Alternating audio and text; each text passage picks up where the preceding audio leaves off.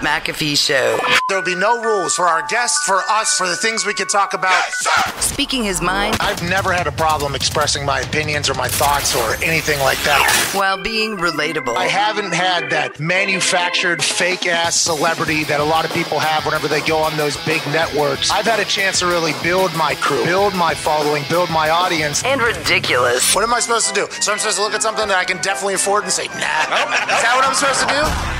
The Pat McAfee Show starts in three, two, one. Good afternoon, beautiful people.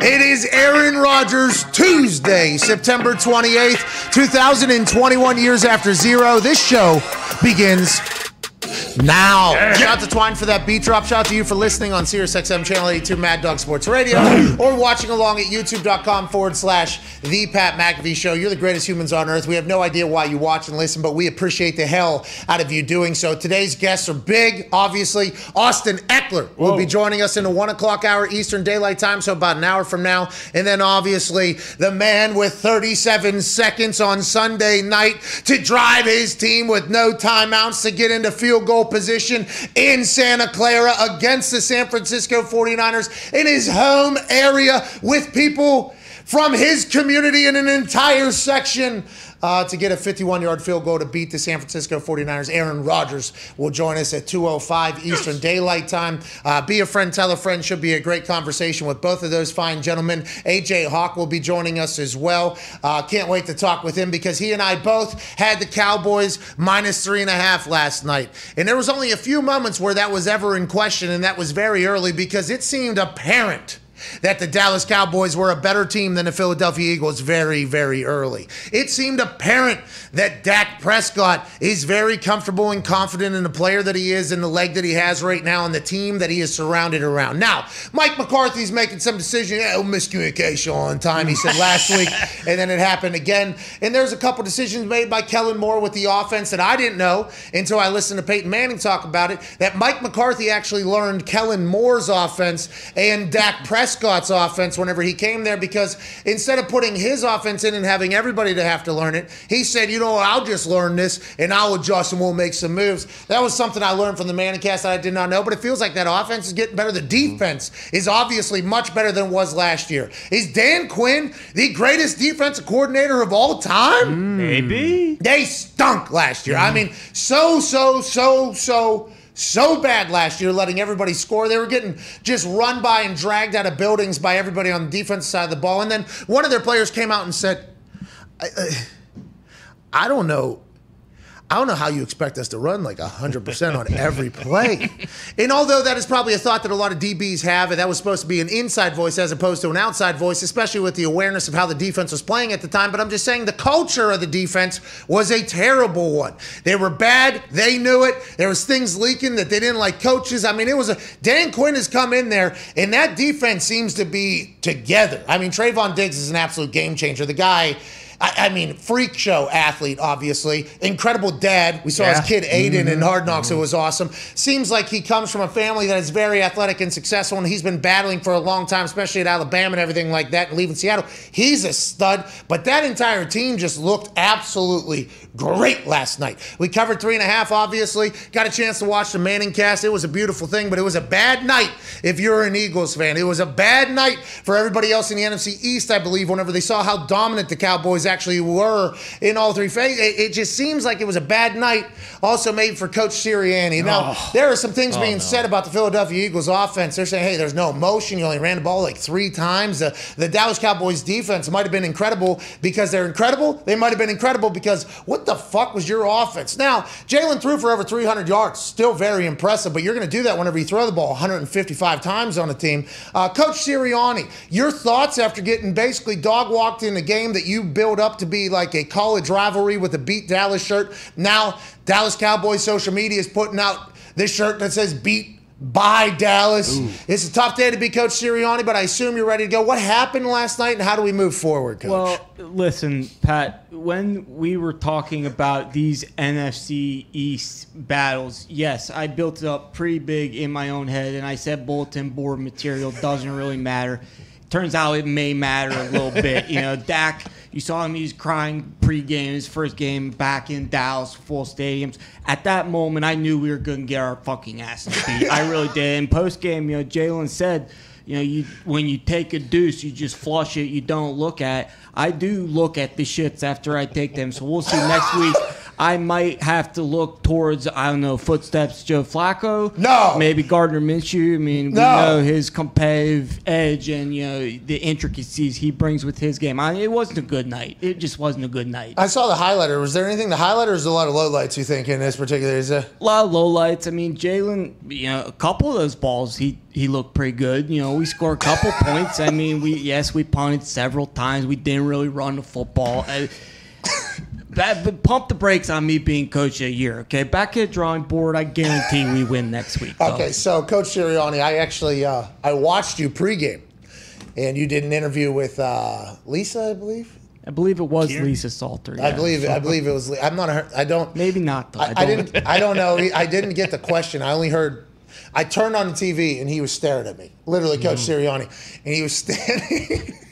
they had him in a microphone, just socially distant away, and he went. I mean, they asked him a couple questions about the rivalry, the shirt, uh, what he said to Jalen, and he gave Sirianni answer. He's always that guy. I love this man. And you have ruined him for me because as he is speaking, I'm listening to because I do believe he is a deep thinker. I think he does try to go about things differently, but I'm excited to see this guy who's very upbeat. He's positive. He's been around the NFL. He's had success in the NFL. Obviously, he understands the game. But what do you do? This is like the MCDC thing. We didn't know what was going to happen with MCDC because in the offseason, every conversation was a good one. Every conversation was upbeat. There was every, you know, the fans were almost buying it. Lions fans are buying in. Eagles fans buying all the way mm-hmm. in. And I'm not saying they should be out, but I'm just saying there comes a time before every season where everybody on earth who's an NFL fan of a team somehow believes that their team does have a chance this year. Yeah. Right? So that always that that, that is a real thing that happens. Oh, happens. yes. Foxy, Joe Thomas told us. it's not just fans, by the way. Players have to do this as well. And I never really. I had one year where I was on a team that was two and fourteen, but I don't think we really knew, you know, until that that was going to happen until like game one. I don't think any of us knew what was going to happen because the Peyton Manning was going to be out that season. Didn't happen until training camp. I think publicly nobody really knew. I didn't even know. I just kind of I went down. I was called down, summoned down to the training room by the sheriff. You know, and it was like maybe what day one or day two of training camp, and I was summoned down. They're like, hey, come see me or whatever. So I go down, and he's in a back room, and I walk in, and he has wires coming out of him. Oh, okay. And I go, Ooh, what the fuck is going on here? And that's where I'm kind of told about what's potentially going on because I have a great relationship with the training staff. I have a great relationship with Peyton. This was happening I because I, hadn't talked to him for, I guess, a, a few months at that point or whatever. Like, hey, pal, come on down, have a little chat. And that's where I learned about it. And I don't think I was really able to grasp, like, okay, the only thing I really knew was I'm going to punt a lot more this year. Yeah. Okay, I should probably have been in better shape coming into this season. That was my immediate thought. You know what I mean? Because okay, probably going to punt a little bit more. Of this guy very rarely failed, but I never got to the point where I had to convince myself that the team was going to be good. If that makes sense. Joe Thomas came on our show, and I think it was Ty who asked him, or somebody. I, somebody asked him like, "Hey, did you know you guys were going to stink?" And Joe Thomas said every single year at the end of training camp, he fully believed that they were going to win a Super Bowl. And in the locker room, I think that has to happen when you're going to go out there. You can't go into a game thinking you're going to lose or anything like that. You have to have that confidence. But I don't think it's just, you know, the players that do it. Now that I'm getting a chance to realize and see and interact with people outside of it, players at one point, or fans at one point it, before every season, I think, believe that their team has a chance to make the playoffs and go on a run. Oh, yeah. We're, we're not going to win. A, not everybody's thinking we're going to win a Super Bowl, but every team thinks like, hey, we have a chance to make the playoffs and run. Now we're three weeks into this thing. Okay. The Lions are 0 3. Is that MCDC press conference, if it goes off right now, anywhere near as accepted in Detroit or anywhere else? I mean, nationally, it wasn't accepted at all, but in Detroit, they're probably like, okay, we don't just fucking go coach. Yeah. Right? It's like a different time. You know, like it's a different time now after you start losing. In those moments when you're building up to a season and the motivation is there and the inspiration is there and the, the buy inness basically of a city and a fanhood is there, like, hey, that's when things are going good. That's when the Sirianni is good. After you lose a big divisional blowout on national television against the Dallas Cowboys mm-hmm. with Dak Prescott back. Like, I'm excited to see how Sirianni handles this. I'm excited to see how these young head coaches handle the adversity that comes with an NFL season. Because when you're going into a season, Eagles fans were on Sirianni's back. You were getting a lot of heat for doing what you were Yeah. doing, but we were listening to the words. Lions fans were on MCDC's back, like, "Hey, here we go. Hey, you're the fu- you're the Kinlan man. Yeah. you know what I mean? Like, Yeah, all- and it's like now how, we get a chance now to watch how these young head coaches are going to handle these situations. Some people do it good, some people do it bad because you're not just talking to the media, you're also talking to the team as well. So I'm excited to see what Sirianni does. We're very early in the season. That's what all coaches are saying. That's what all players are saying. There's a lot that can happen. Everything is still in front of us. But these little adversity obstacles, watching these coaches handle for the first time will be a lot of fun. Uh, and I can't wait to just think of you impersonating him every time he fucking sneezes uh, at Boston Connor last night's game. Uh, your thoughts? Are you happy for Big Mike McCarthy having success down there in the Dallas Cowboys, or are you so focused on this weekend that although you were listening and watching last night, you saw Eli Manning go, "Hey, fuck you, huh?" Incredible. That's what Philadelphia Eagles fans do whenever you roll into their stadium. Shout out to Eli Manning. If you don't like the Manning cast, by the way, fuck you, said Eli Manning. And I think that's kind of how everybody feels in there. But while you're watching that last night, you're listening to LeBron talk about how Jerry Jones and Pete Carroll made him an offer, and you're mm-hmm. listening to Saban talk about defense and how he keeps up with all his players in the NFL, 73 of them in the NFL mm. right now on rosters. Were you even able to pay? And Stafford was chit chatting, mm-hmm. never Oh, seen yeah. Stafford talk. Were you even focusing on any of that, or is right now very difficult because you have a different energy about you the last couple of days Mm-hmm. here? There's a different energy around old Boston Connor this weekend. Hello, it's Tom. Tom. Yeah. That video by Sunday Night Football with Adele's "Hello" is amazing. Uh-huh. I mean, in, in the more and more this gets built up for Sunday Night Football, which is NBC doing an incredible job Mm-hmm. of promoting their game, but I don't think this game needs any promotion. But the fact that it's getting promotion is making me realize, I think, more and more, which is good promotion. That's why they're promoting it. Right. Hey, this is fucking massive. Huge. And both teams are coming off a loss, obviously. One team potentially has looked much, much, much, much, much, much, much better than the other team. Yeah. One team is loaded with vets ready to go, and maybe even adding Richard Sherman to the roster. He's currently visiting Tampa Bay after Josh Gordon signs with the Kansas City Chiefs. So the tops of the NFC and the AFC are continuing to accrue talent, which is what I think everybody should start to think about doing because injuries are going to happen, and it's nice to have a veteran around. But these two teams are just two men, basically, in uh-huh. everybody's eyes. Tom Brady, Bill Belichick. I think Tom Brady's team, the dudes down in Tampa, are like, we got you, Tom. Hey, we understand. We know exactly what this is. We all won a Super Bowl together last year, and all. If we had this opportunity to do what you have right now, we would want to go to fucking. We would. We would hope you would go to fucking war with us.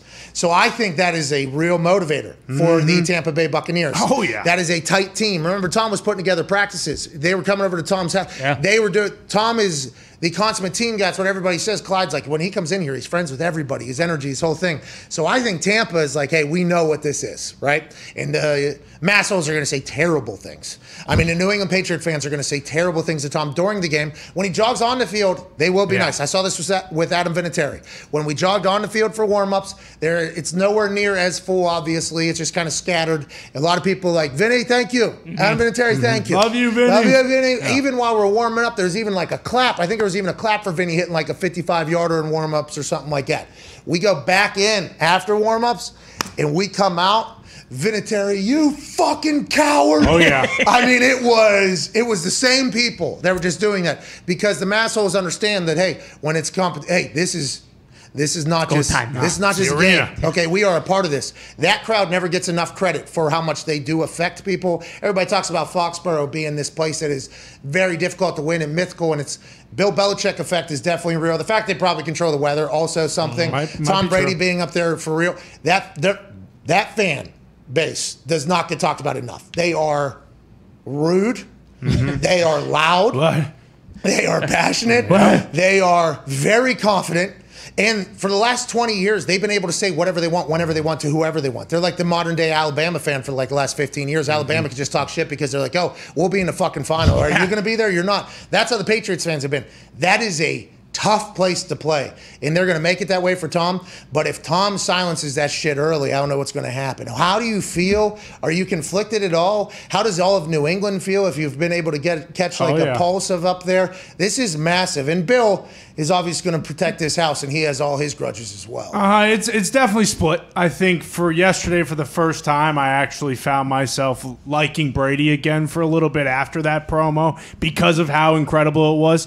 Uh, Tom came out and he said, you know, he knows exactly what Bill's going to be doing, exactly what their entire week's going to look like, what their game plan is. I think he said how the wind is like. I don't even know if that's possible. yeah, you guys have an open. Yeah, you guys have an open end. yeah, very open. So I, don't, I mean, he, he knows everything about us, which is a worry. But also on the other side, Bill knows everything about Tom.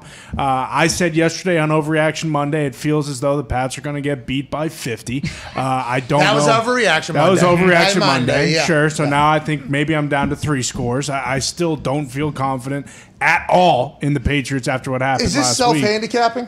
No, this is not self handicapping. This is all us. do it. This is us. We all do it. yeah, it's true. We do. We all do it.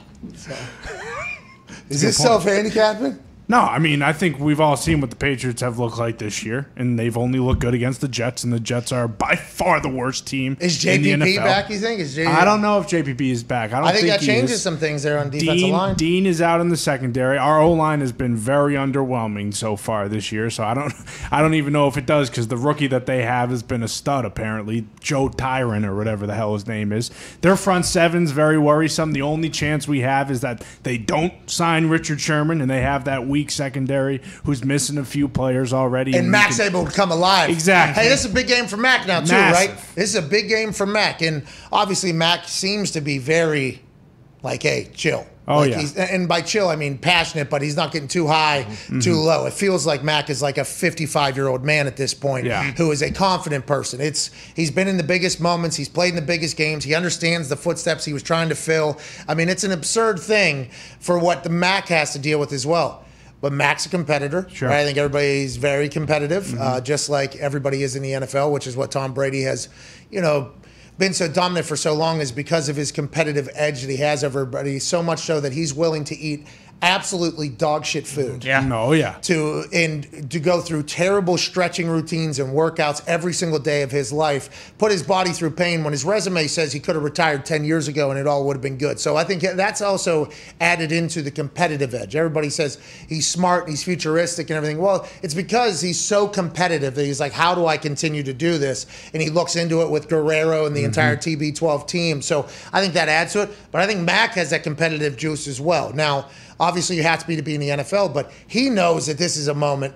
He knows this is a moment. Oh yeah. Andrew Luck, whenever we played Peyton, he knew. Andrew Luck knew Yeah. this was a moment. Now we won, but he knew that that was a big moment, and that everybody knew that the War of 1812 is uh, the game of 1812. It was Sunday Night Football. He came back to Indianapolis.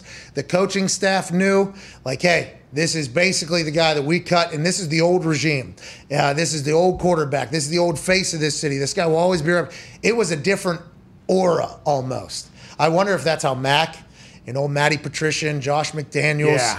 And Bill Belichick, the people that, you know, are getting caught up in this whole it was Tom, it was Bill, it was Tom, it was Bill. Like they also have a a little bit of a hey fuck you too. Absolutely. You know what I mean? Like there is so much into this thing. The deeper you peel and the more layers you peel off the onion, it's like, oh, that person could be fucking pissed off. And let's not even think about John Bon Jovi. I mean, oh, He'll be there right. for sure. John John, Bon. I'm sure Kenny Chesney will probably show Yeah. up. Who All the? Patriots brass will be there. Wahlberg, I'm sure too. But what you just said makes me think even deeper in this thing.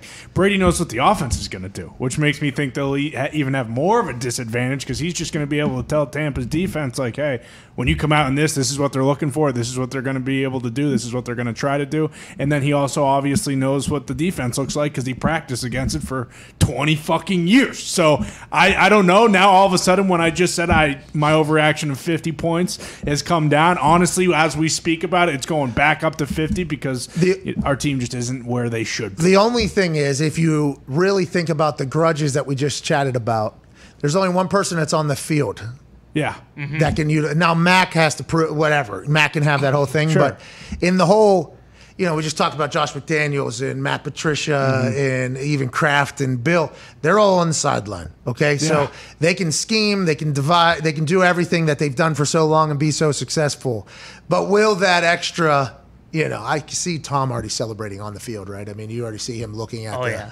You already see. Oh, yeah. You already see that happening, right? Absolutely. Oh my god! I mean, god. this whole week it's like a funeral week. It's like I'm just waiting to get. no, it's homecoming. It's a homecoming. It's supposed to be happy. Homecoming will be for 15 I'm minutes. coming No. home. I'm coming home. Tell assholes I'm coming home. There'll be a tribute video. It'll be glorious, I'm sure, similar to the one we saw last night by Sunday Night Football. But at the end of the day, he's going to come out and beat us by 50. And I don't think many people are going to be too pumped about the tribute video or thinking about that when they're leaving. Hey, you know, Tom hasn't had to experience that traffic on the way out of that stadium. You know, as an away team, he'll get to experience the entire Foxborough Oh, yeah. experience, I assume. There you go. Uh, because that's down in the neighborhood as well. Uh-huh. Mm-hmm. Everybody talks about Lambeau being in the middle of a neighborhood. Foxborough is also a neighbor. I mean, you drive through town. Oh, yeah. Foxborough. You dr- you make a right at a stop sign, like Mm-hmm. it's not as opposed to a red light. It's a stop sign, and then there's houses, and then you go down in it, and as soon as you pull in, it's just like this massive thing.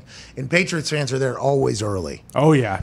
always early. 8 o'clock, 8.15 start, whatever it is for Sunday Night Football. They'll be there at 10. Yeah, and a lot of the um, a lot of the parking lots already filled that we pull into. Every, Mm-hmm. every and I was always on the first bus, so I was on over on the first bus because I don't know. I just wanted to like get out of my hotel room that I just slept in for probably 15 straight hours because I just took an Ambien and another one and then just did that until the game day or whatever. But I that place was always an electric en- environment. I couldn't even imagine.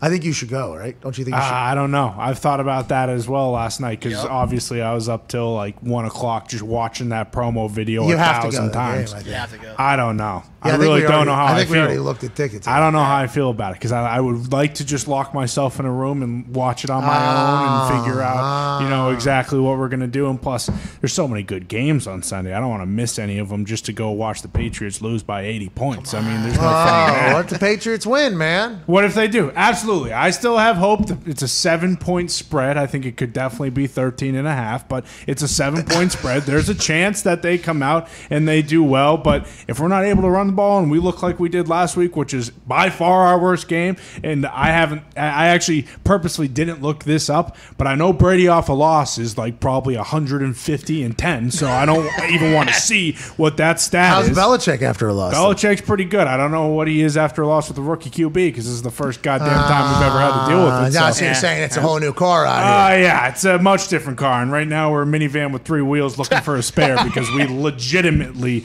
had nothing going last week. I just We'll found see. some good so you're tickets, by the saying way. you're saying yeah, we looked up some last night. They're pretty pricey, but it would be cool to get you yeah, out it's there. more maybe. expensive than the Super Bowl. Yeah, but you're saying right now you live in the same building, but you got different views, huh? Oh yeah, much bit. different views. I actually don't have a view. I'm in the basement. I'm hanging out with everybody else that actually shouldn't be in the building. All the homeless people that want to live in the building, that live below the building. That's where I am right now. Oh, what is this? This is the um, the uh, oh, what's that hotel in L.A. Oh, The uh, my the one where people were getting tossed out. yeah Yeah. yeah the uh, it was the homeless uh-huh. Cecil? Cecil Yeah. Cecil, Cecil. Cecil Hotel Cecil There Hotel. is, the Cecil Hotel. Yeah, I'm living in the Cecil Hotel, and it's not good because you know one and two staring down one and three. It doesn't feel too great. Okay, now. fun fact. This is the first time since forever that Patriots, Seahawks, Chiefs, and Steelers all have a losing record. Let's go to our Steeler expert, a man who lives and breathes the Pittsburgh Steelers, host of Hammer Dahn. He did have Philadelphia plus three and a half last night, but he said he was forced to bet on that game. It wasn't an actual pick. He kind of got bullied, which comes with the business of hosting a gambling show that uh, a lot of people win money off of. Uh, your thoughts on the Steelers being a part of this crew? Steelers, Patriots, Chiefs, Seahawks, right? Hasn't been since 2000, week 12 of 2000, that those four teams have a losing record, all one and two, basically. Uh, Tone, your thoughts on on the Pittsburgh Steelers? You're going to turn this thing around. He feels like the Patriots are dead. Uh, how do you feel about the Pittsburgh Steelers? Super proud to be on that list. It's a hell of a list to be on. A lot of teams would strive to be on that list. Not have a losing record alongside the other greats since 21, 22 years ago. Steelers gonna be fine. They always figure it out. There's never been a time that they haven't figured it out. So why would I think that this year is the year that they're not gonna figure it out? I saw you campaigning for the next quarterback of the Pittsburgh Steelers on, on the internet yesterday. Didn't think I'd do that in week three, but here we are. Still have all the hope in the Still world. Still have all the hope in the world, but you know, also be prepared for disaster. Yeah, 'cause- well, and also you you got that GM mentality. You you like to think things from a global view. You zoom Correct. out on the picture, not zoomed in. You're not thinking about just winning right now, which is going to happen in your eyes. You're talking about, hey, there's this guy at Ole Miss who. Uh, who I learned about is an incredibly blue collar guy we should think about for yeah. the future. Look at you. You're not even not only talking about like Tomlin, the fans, and the players. You're like, hey, Colbert, I'll do your job for you too. That's awesome. Look at you with the No, I was never good at the micro. I was always better at the macro. So That that's way. how I tend to look at things. This Matt Corral kid, by the way, at Ole Miss, I guess he left a high school Mm-hmm. Himself, dropped out of the high school because the kids were too rich and he thought they never really would uh, have to f- work for anything. Correct. Wow. That's allegedly what And he happened. punched Gretzky's. Uh, this is even better. Son? He punched Gretzky's son in the face for uh, that "Here we go" guy's daughter. Defend, Bret Michaels? yes, Bret defending Michaels. his daughter's honor. She's supposed to be a Steeler, this Correct. guy. This guy's supposed to be a Steeler. Yes. Sounds like this guy is a Pittsburgh Steeler. Has here. to be. Tatted up, got the one sleeve too, a couple course. white trash tats. Pittsburgh people will lose their minds for this There guy. is a lot. All those tattoos are faith-based tattoos. Does give me some concern. Oh, no. Um, you got him early. but the big difference is he's always been a man of faith. He didn't find. Okay. After success. Correct. He has always had it. Thank you. With his success. Correct. Because you're saying yesterday, I believe, your statement of fact. That was an overreaction Monday. No. What do you mean, no? Laced with truth. Sound like that was a kind of a casual Wednesday thought too that you had been thinking about. The uh, that is fascinating because if I've had a couple friends in the league, bottom half of the roster, who decided to start doing like yoga out of nowhere, and they want to change their entire routine. Five, six years, seven years, six years, maybe five years in there. I don't think anybody too much later, and then they all. Literally, four of them blew their hamstrings. Jesus. And I'm not saying it was because of the yoga. Could have been. Okay, I'm not saying it's because of the yoga, but I do believe it's because they changed their routine that they had done for so long to get them to the highest level. Now you have to evolve, you have to completely change, but I think some people change their entire Now I've seen that work for people in the mm. positive too, like Mike Adams pops, he played for a long long time in the secondary, which is the most athletic area of the field for a long time. He said that yoga helped him last longer, but I saw a lot of guys change their entire life almost to go into this yogi lifestyle almost, and then boom, it was like, no, gone, gone. And I'm not saying yoga caused this. I'm just saying sometimes if you mess up the feng shui and change some things, maybe there might be a little bit different. You're saying that that happened when Roethlisberger Potentially. found his Lord and Savior, You and Jesus I, are, you and I are both big. Be who you are. Let's not fuck with what got us here. Yeah, yeah, big, big, big. Be who you People. are. Let's not fuck with what got us here, people. Yeah, I mean, change, change is not change is never good. If you be who you are, if you're a scumbag, always be a scumbag. Okay? Oh yeah. This guy this guy just said Jesus ruined Ben, and don't ever change. Be, be a scumbag. You're a bad guy. You are a terrible guy. I think you can change, by the way. I think people can change. I think things can Sure. change. But whenever you're talking about your mode of work, the thing that pays the bills, I think whenever you do change, it can be a little bit scary. I know a lot of people that are scared to death to stop doing something while they're in the NFL that they maybe want to do that isn't necessarily great for them. And they're like, ah, I can't change it though because it's gotten me here. And then as soon as they retire, you see massive changes from a lot of people, right? You see a lot of changes because that is something that, and maybe it's superstition, maybe we're too mentally weak or whatever. But there's a lot of things I was scared to death to stop doing. For instance, I was scared to get on a good diet because I thought, I literally always said, have you ever seen a designated hitter or a home run bomber that is small and you don't. Mm. Okay, I'm shorter than all these other guys out here, but I feel like if I have some, if I have 240, 250 pounds going into this thing with a little bit of burst, I think it's going to help out. Now, I did towards the end of my run get into like great shape, and it only helped me. And I probably should have done it earlier, but for a long time, I was like, I'm going to eat wings. Okay, I'm going to eat. I'm going to continue to do exactly whatever I'm doing. I've never pulled a muscle. I am just going to continue to do this thing because I was scared to death to change it. Even though when I inevitably did change, I got much better, much quicker, and the body felt better. But those are some things you just got to worry about. And maybe if you buy into an entire biblical lifestyle, that could take away some savageness that you potentially need at the quarterback position, or it might save you and calm you down and make you a better player as well. Diggs just thinks in the Roethlisberger situation, it's like probably made him a worse football player. Well, in your case, you know, it's not as drastic. I mean, you're still eating wings and stuff like that. Like Ben would have, he was watching porn for like seven hours a day, so he would like that's a drastic lifestyle change. You Yeah. know, that he maybe I don't know, maybe it was it was for the better. We we don't know if if it was for seven hours a day, but we were told that via uh, a news break from a testimony, yeah, which should have never got out, shouldn't have. Shouldn't have got out. but it got out. Thanks, Chef. So what do you want us to do? What Gotta do you, what do you want us to do about it? It got out, but not just like a. I don't think he was just bopping for vacation. You know, like the other people also think like think about the muscles and the Yeah, you're right. cardio. No, you're right. You know, That is and the- missing. no, he would walk into his bopping room and fucking punch the time clock and fucking clock in and clock out. This was not a vacation. This was a job. Yeah. Bam, bam, bam, bam, bam. Twist it. Pull it. Bop it. Ding, ding, ding, ding, ding. Uh, he does not deserve that. He will never come on this show, but we do appreciate everybody from Steelers that has come on. Uh, let's talk about some things that were said on the Manning cast last night. Manning cast. I'm fascinated by it. They're taking a three week break. Yeah. Yeah. Yikes. They're not coming back until week seven. So what that means is next Monday night, I think uh, Steve, Louis, Griese, uh, and um, Michelle. Michelle, of course. of course, uh, they're going to get some. Michelle is on Sunday. It's night. Lisa. Michelle Tafoya Yeah, is She on just- she just Sunday. uh, Roger, Rogers on the brain. Oh he my just God, her, you know? are a terrible person. No, no, no, no. But anyways, they're getting a bunch of brand new. They are all very nice people, by the way, and great at what they do. But they are all getting a probably a pretty new crowd on Monday night. Oh, yeah. and it that's a vastly way to vastly different way to watch the game. Last night I was watching Manning Cast. And I was watching the game.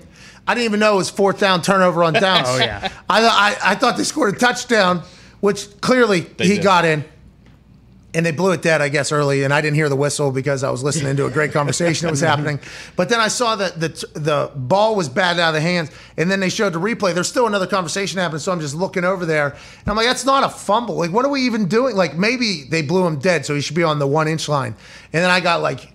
I don't know, 50 people that tweeted me immediately upon me putting out. It wasn't a fumble. It was a turnover on downs, you fucking idiot. I'm like, okay. I, went. I didn't know. Manning I didn't know. I'm, I'm so sorry. I had, hands up. That's on me. I did not know it was fourth down there. And there's a couple of those moments throughout the game for sure. But the little nuggets that we learn about things and says and who's doing what and how they're acting and just the the Manning privy conversations. He said he was talking to um, he was talking to Big Mike literally the day before the game on Sunday. He was talking to Big Mike about some decisions that are being made and things like that. The access that Peyton Manning and Eli Manning are going to get to the coaches, to the players, to the training staff, to whoever, I assume is going to be better than what Levy, Riddick, Griese, and Lisa. Lisa. Lisa Salters, of course.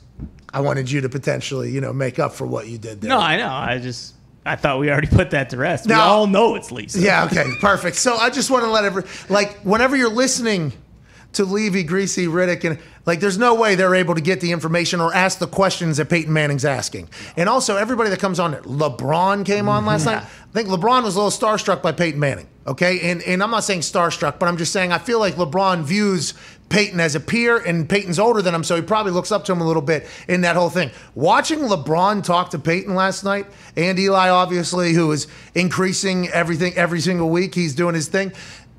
LeBron was talking like a pretty regular human almost. It was like he was so excited to talk football. Now, he obviously called a couple plays and Sure. yeah, he said he was going to run the ball here. Peyton saying, no, throw the ball, but that's what Peyton literally, that's what Peyton does. like throwing the Peyton did throw the ball. That's why whenever he's saying like with these two high safeties, you just got to run, keep running it or whatever. I'm like, did nobody ever run two high safety against, you know what I mean? Did nobody ever run it against Peyton? Because it felt like we were able to throw the ball every single game. And before I, much longer before I got there, they were able to throw the ball every single game. But whenever like LeBron comes on there and just starts chit chatting, it is distracting to the game. Oh yeah. Yeah.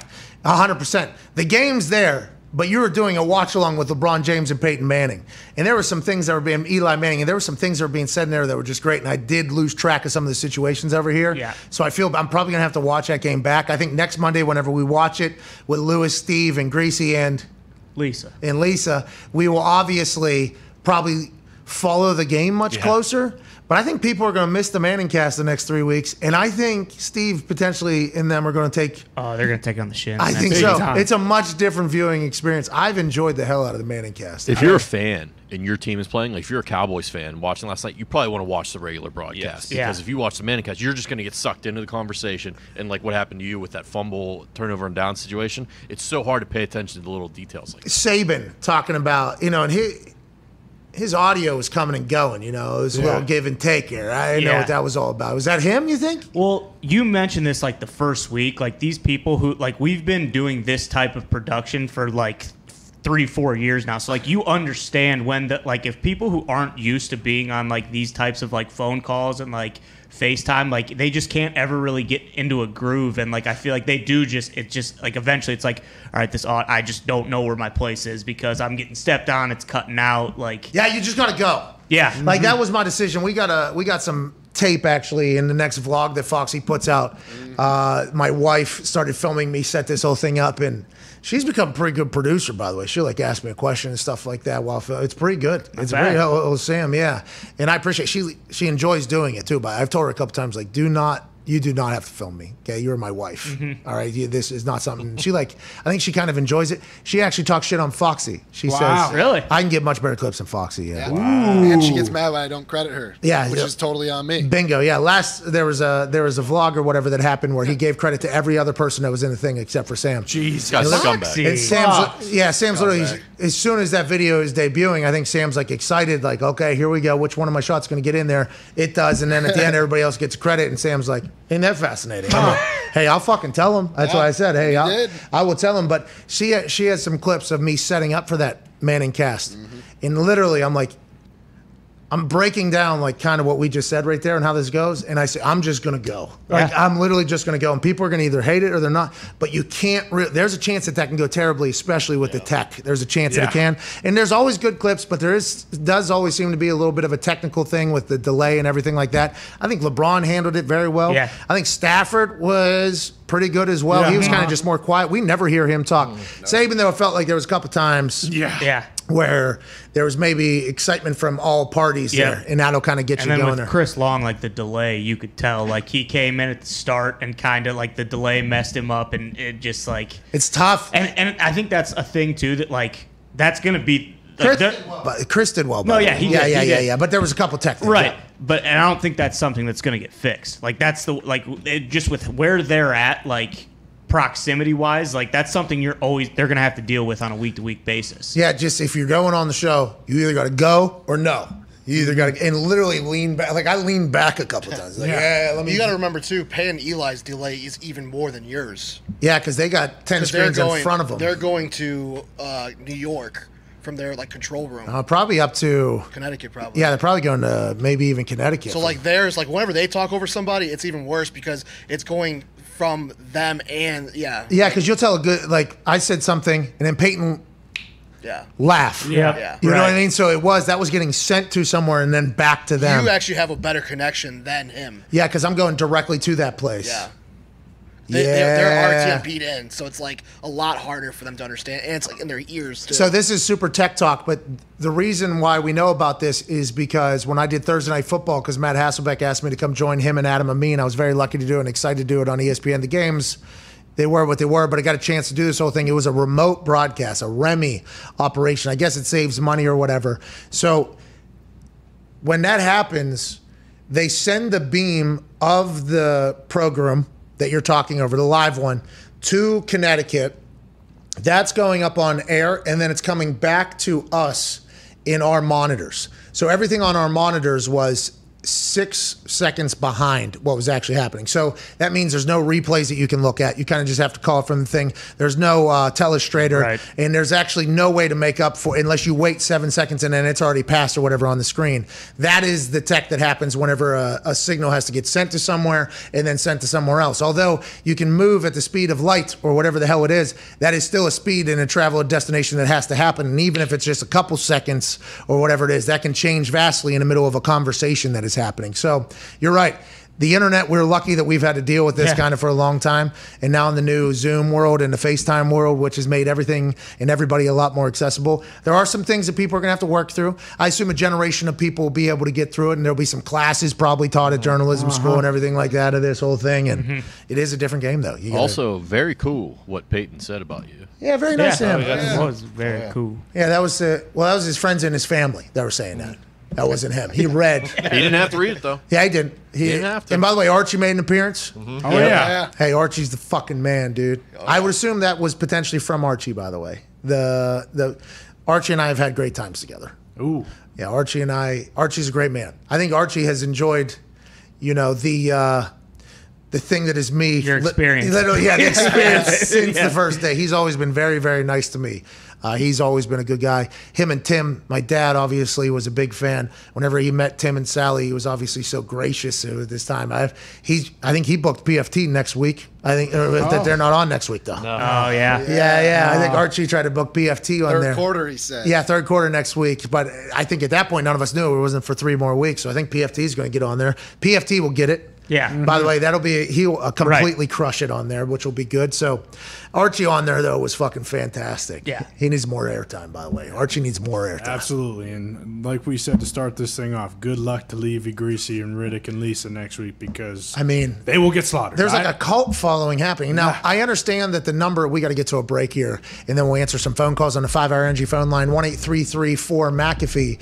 The cult like following for the Manning cast is already starting to kind of happen here. Oh, yeah. What everybody's looking for in this world, I feel like the Manning cast was able to create over just a few weeks. Now, first week, everybody was kind of against it publicly. It felt like on Twitter from the big media names and everything like that. Then they were all told it was okay to watch and it was cool to watch. And then they all kind of bought in. And then you saw the ratings go. And then last night, it was getting even more critically acclaimed and heralded on the internet because a lot more people are getting introduced to it, I think. Maybe people that thought they were going to be a little turned off by it early or they didn't want to, whatever, this is how you watch football and they're kind of getting into the game.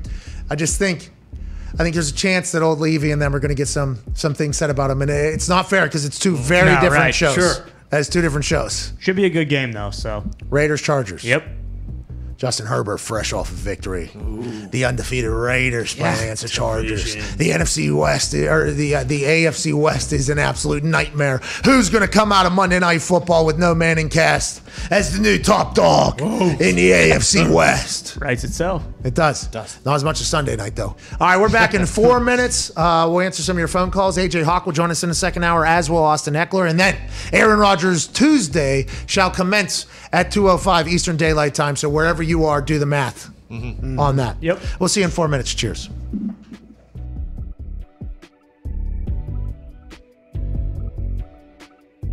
I just saw a picture of you getting out of, I think, a 757 that was from Jim Irsay. What was that? And have you ever been in that plane before? I, I thought it was like a, the team plane to fly all of the Indianapolis Colts. I, uh, literally, I mean, it's got the logo on it, uh, Pat, and uh, it was awesome. But hey, look, that's just Jim. Pat, I had a wonderful 14 years there. It, I, it's obviously the team that I wanted to play for always. I, I understood the, the, the decision he had to make and no hard feelings. And uh, for him to send his plane to fly me and my son down here, uh, it, it was a great, great gesture. A lot of room for me and Marshall. We were throwing the football. Pretty, uh, pretty, uh, pretty cool experience. Pretty cool father-son weekend. By the way, as he's moving from event to event right now, you are the best, dude. Where are you headed right now? I'm going to the game. I'm going to the game. I got Lynch. I got Faneca. I got these guys in the background. So, Boys, uh, how you? Congratulations! Congratulations, boys! All right, Peyton. Oh, hey, there he is, Marshall. I hope you enjoyed that plane, pal.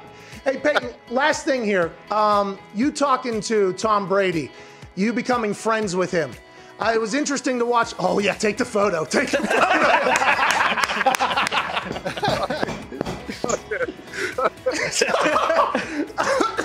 All right, we will wrap this up. Well, I'll tell you, Pat, um, I don't think anybody can do what, what Tom has done. Look, I know how hard it was for me to get on the same page with my receivers, learn a new system, learn new coaches. But I had a full off season. I was injured. I was rehabbing. The fact that Tom has done this in a COVID pandemic off season, no time to meet with his receivers. He met with his coaches illegally by breaking into Byron Leftwich's house. Uh, so besides that, uh, it's been incredible what he's been able to accomplish, and uh, he deserves all the credit. His leadership is, is what's put the Bucs in this game today, and uh, I have great respect for him because I know how hard it is. But uh, he deserves all the credit. Hey, how did you know Red 18 was coming? Pat, I mean, I, I can't tell you how much I appreciate you telling that story and, and just growing the legend. That was about the 18th time I tried it. I was 17 going into that. And, you know, when it doesn't hit, you just keep walking. and Nobody ever really tells you about it. So when it hit, I was as surprised as you were. And uh, the reaction from, from some of the some of the good old folks there in the casino that night was uh, pretty special. Well, I appreciate you doing that. You made me and those folks in the casino a bunch of money. Congrats on the Hall of Fame nod. Thank you for spending time. Enjoy yourself at the game, Peyton. Pat, thanks, pal. I appreciate you. The, sher- you. the sheriff, Hall of Famer, Peyton Manning.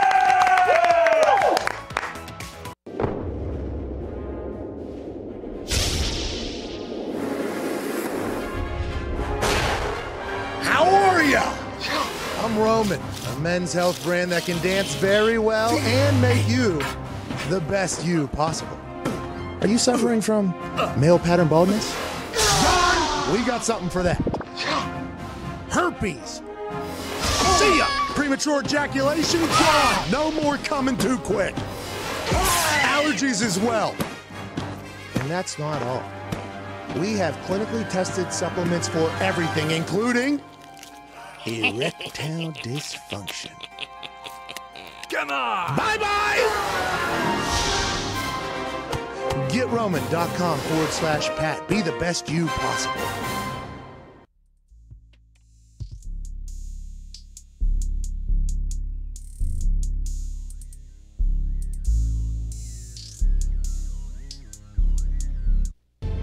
This is the Pat McAfee Show on Sirius XM Mad Dog Sports Radio. We thank you for taking the time to seek out this small regional show that streams internationally. Here's Pat and the boys. Welcome back to that show. And the first three weeks of Aaron Rodgers Tuesdays are under our belt. And I can't believe I'm saying this, but we've been sleeping thus far, boys. Really? Yeah, we've been eating greasy pizza, No. What? What? Terrible burgers, What? mall Chinese food. What? Whoa, whoa, whoa.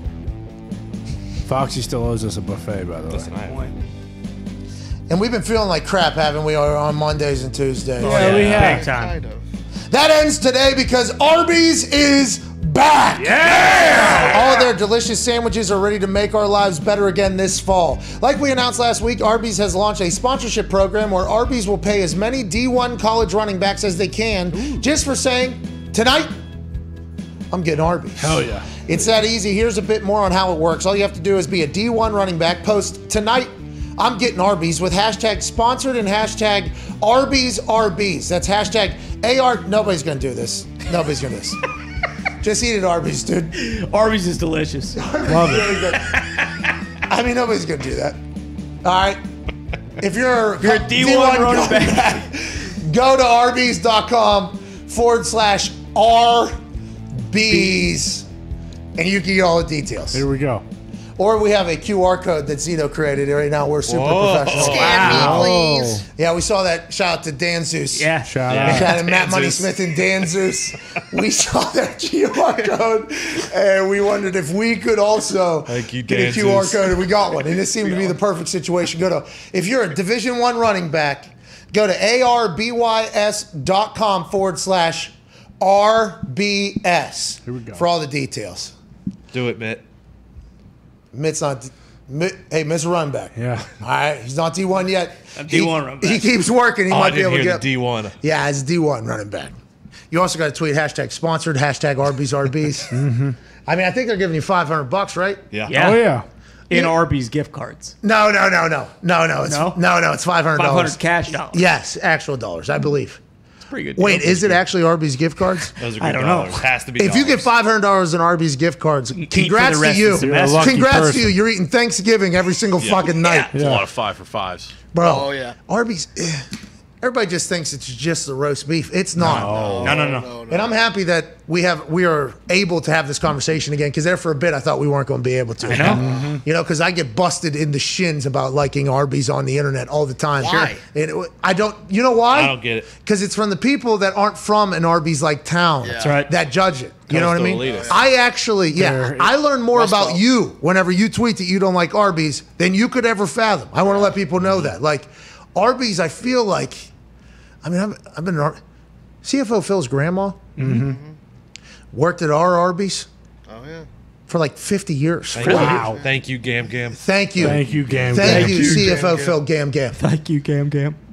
I don't know if that's what they call her, but yeah, that's what Arby's is to us. We love Arby's. We're happy they're back in the game. Don't think anybody's going to tweet that though. No. I just, I don't But know. if you are but if you do, a D1 RB, you should tweet Get it. hashtag, Hashtag. sponsored hashtag Arby's Arby's. And tonight, I'm getting Arby's because as soon as you say tonight, I'm getting Arby's, and you do the hashtag sponsor, everybody know you're not getting Arby's. Yeah. You know what I mean? yeah, that's a good point. You're not getting Arby's. Feels like an Arby's night. Oh, they have the meats, dude. They do have Still. the mates. You think those Bishop High School kids uh, could do this? Bishop Sycamore kids. Yeah. That was a high school. It's not D1. But they basically are D1. No, no, they're JUCO. Yeah, close. And no offense to JUCO, by the way, we got a lot of respect for the JUCO Love world, JUCO. but We love JUCO. But Bishop Sycamore graduates of JUCOs playing high school football. Yeah. I mean that is, and still losing somehow. Let's go to the phones, the five hour energy phone line. Let's go to James in Cincinnati. James, what's going on over there? You got a good football team in the Bengals, huh? Yo, Pat, what's up, man? Appreciate you taking my call. Hey, no problem, dude. Thank Um. No, first off, I'm gonna come at Tone Tone Diggs real quick for being an absolute slapdick, Oh. talking shit about the Bengals Oh. and Joe Burrow. oh, Your second slapdick too is the the king slapdick, Coach Jason Brown, talking shit about my Cincinnati Bearcats and our boy Luke Fickell.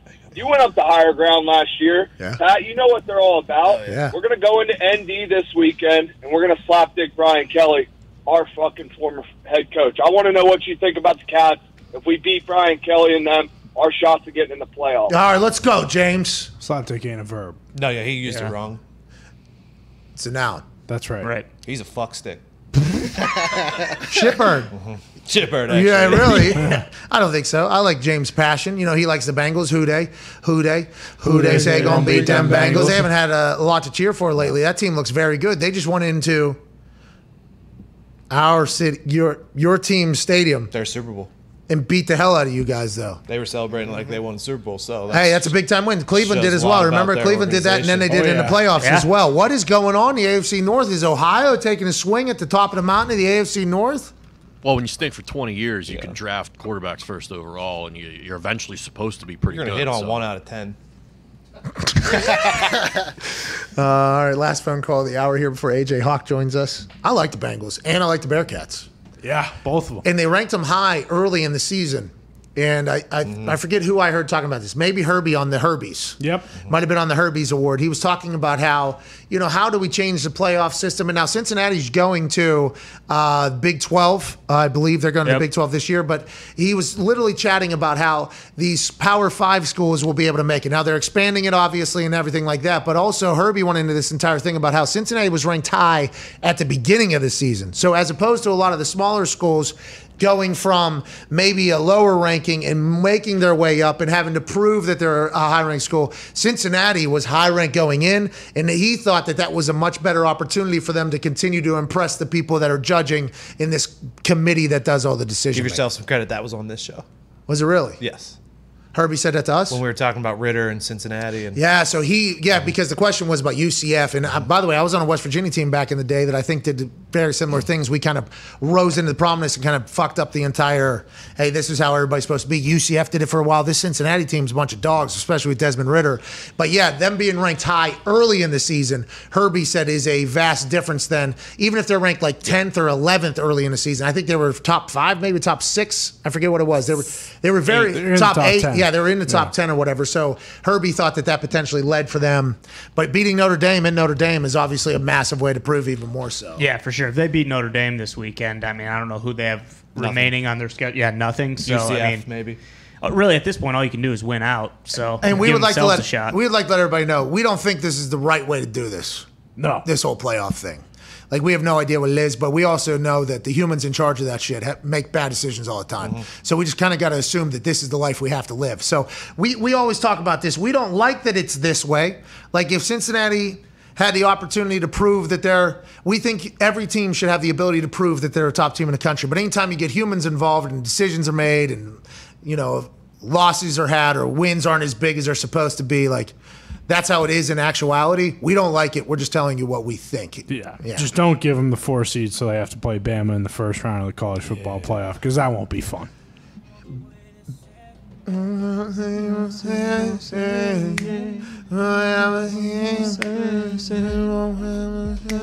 Uh, it's a banger here. But yeah, anybody that has to play Bama is going to be in trouble, except for maybe Ole Miss this weekend with Matt Oh, Corral, future hell. Pittsburgh Steeler. Hell yeah. Hawkeyes can give him a go, allegedly. Hell Hour yeah. two, we'll have Ohio State legend AJ Hawk joining us. We'll see you in six minutes.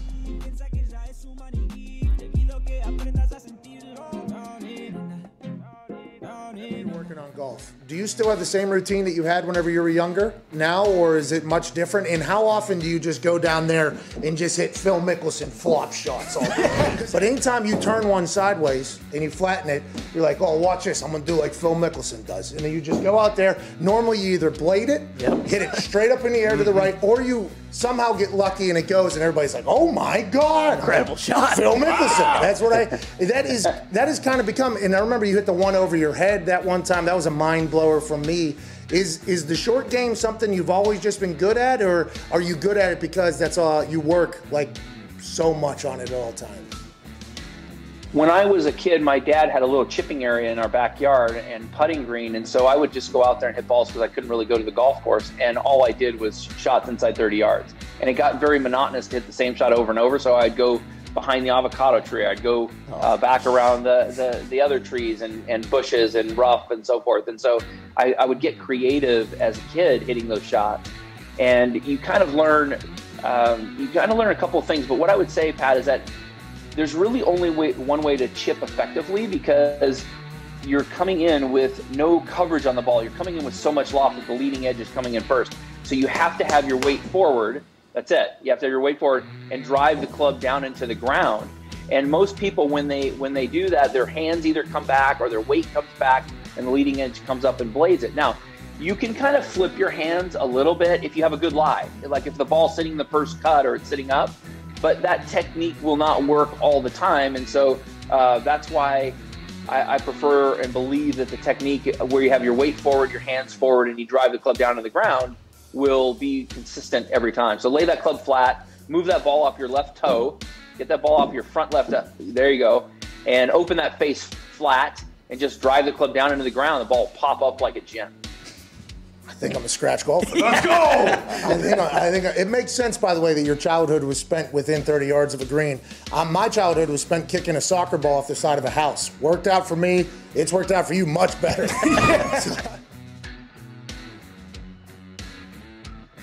Ladies and gentlemen, the head coach of the Pittsburgh Steelers, Coach Mike Tomlin. Oh man, Pat, it's an honor to be on with you, man. Thanks for having me. You're a legend. Thank you for putting me through my workout and having the scouts actually come watch me kick at West Virginia. I don't think I've ever fully thanked you for that moment, Coach. No, man, I, I, I've drank the, the McAfee Kool Aid for a long time. Uh, Let's get right into it. The locker room culture changed completely when I was in the league, from when I was a rookie to when I was done. And I retired after the 2016 season. Now it's even more different, I would assume, from when you came into Pittsburgh and everything like that. The dancing on the logo, the TikTok, everything like that that you guys have had to experience. What is your messaging in there? How do you adapt and let players be themselves without, you know, doing too much? Because that is a fine balance that you've been able to do, I think, in an incredible job with throughout your entire time in Pittsburgh. I think for me, more than anything, I try to stay connected. You know, um, just getting a sense of where these guys are coming from, what's in vogue for their generation, what captures their attention, how do they learn, how do they communicate, how do they interact with each other formally and informally. And I think being a parent kind of helps me. You know, my boys are 19 and 20, so it's not much difference between them and some of the younger guys that I deal with here. And so for me, it's just about gaining an understanding, working to stay connected. You know, that's my general attitude, man. It's adapt or die for me. And, and I want to. I don't want to be one of them old crusty guys, man. Just that just refuses to adapt. Although I am one of those old crusty guys now. Yeah, you are old as shit now. You know what I mean? I mean, you've been around a long time. I remember back in the day, whenever you showed up, there was a lot more, you know, to the camera. There was a lot more. Yeah, yeah, yeah. man. There was a lot of that. Now you're just old ass man now, huh? You know how it is. Years in this business will scar you, man. It'll settle you down. that is classic. One of my favorite moments uh, with you is. Uh, when you would tell me every um, warm up, uh, I'm gonna get you back to Pittsburgh when you're old and cheap. Uh, what what's Yes. that mean? what, what did that mean? And uh, should that have been taken as a smack in the mouth, like I, uh, whenever you said that to me?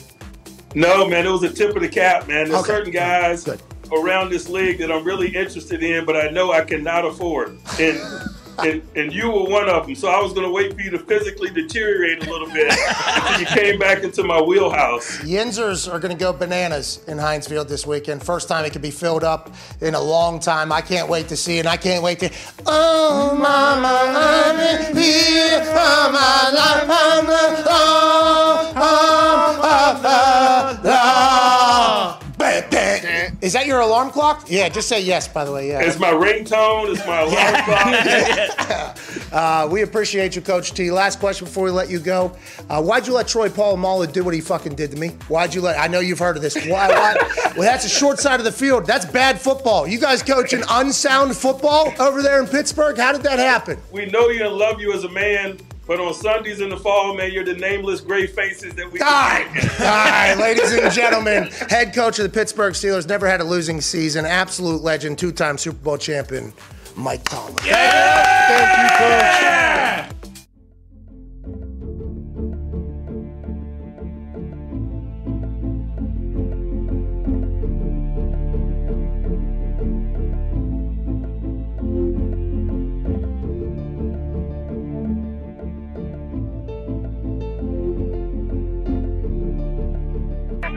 The Pat McAfee Show. There'll be no rules for our guests, for us, for the things we can talk about.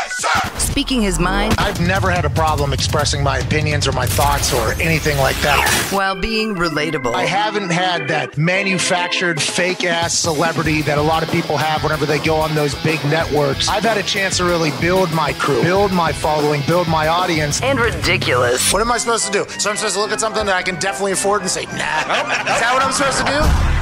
The Pat McAfee Show starts in three, two, one. Good afternoon, beautiful people.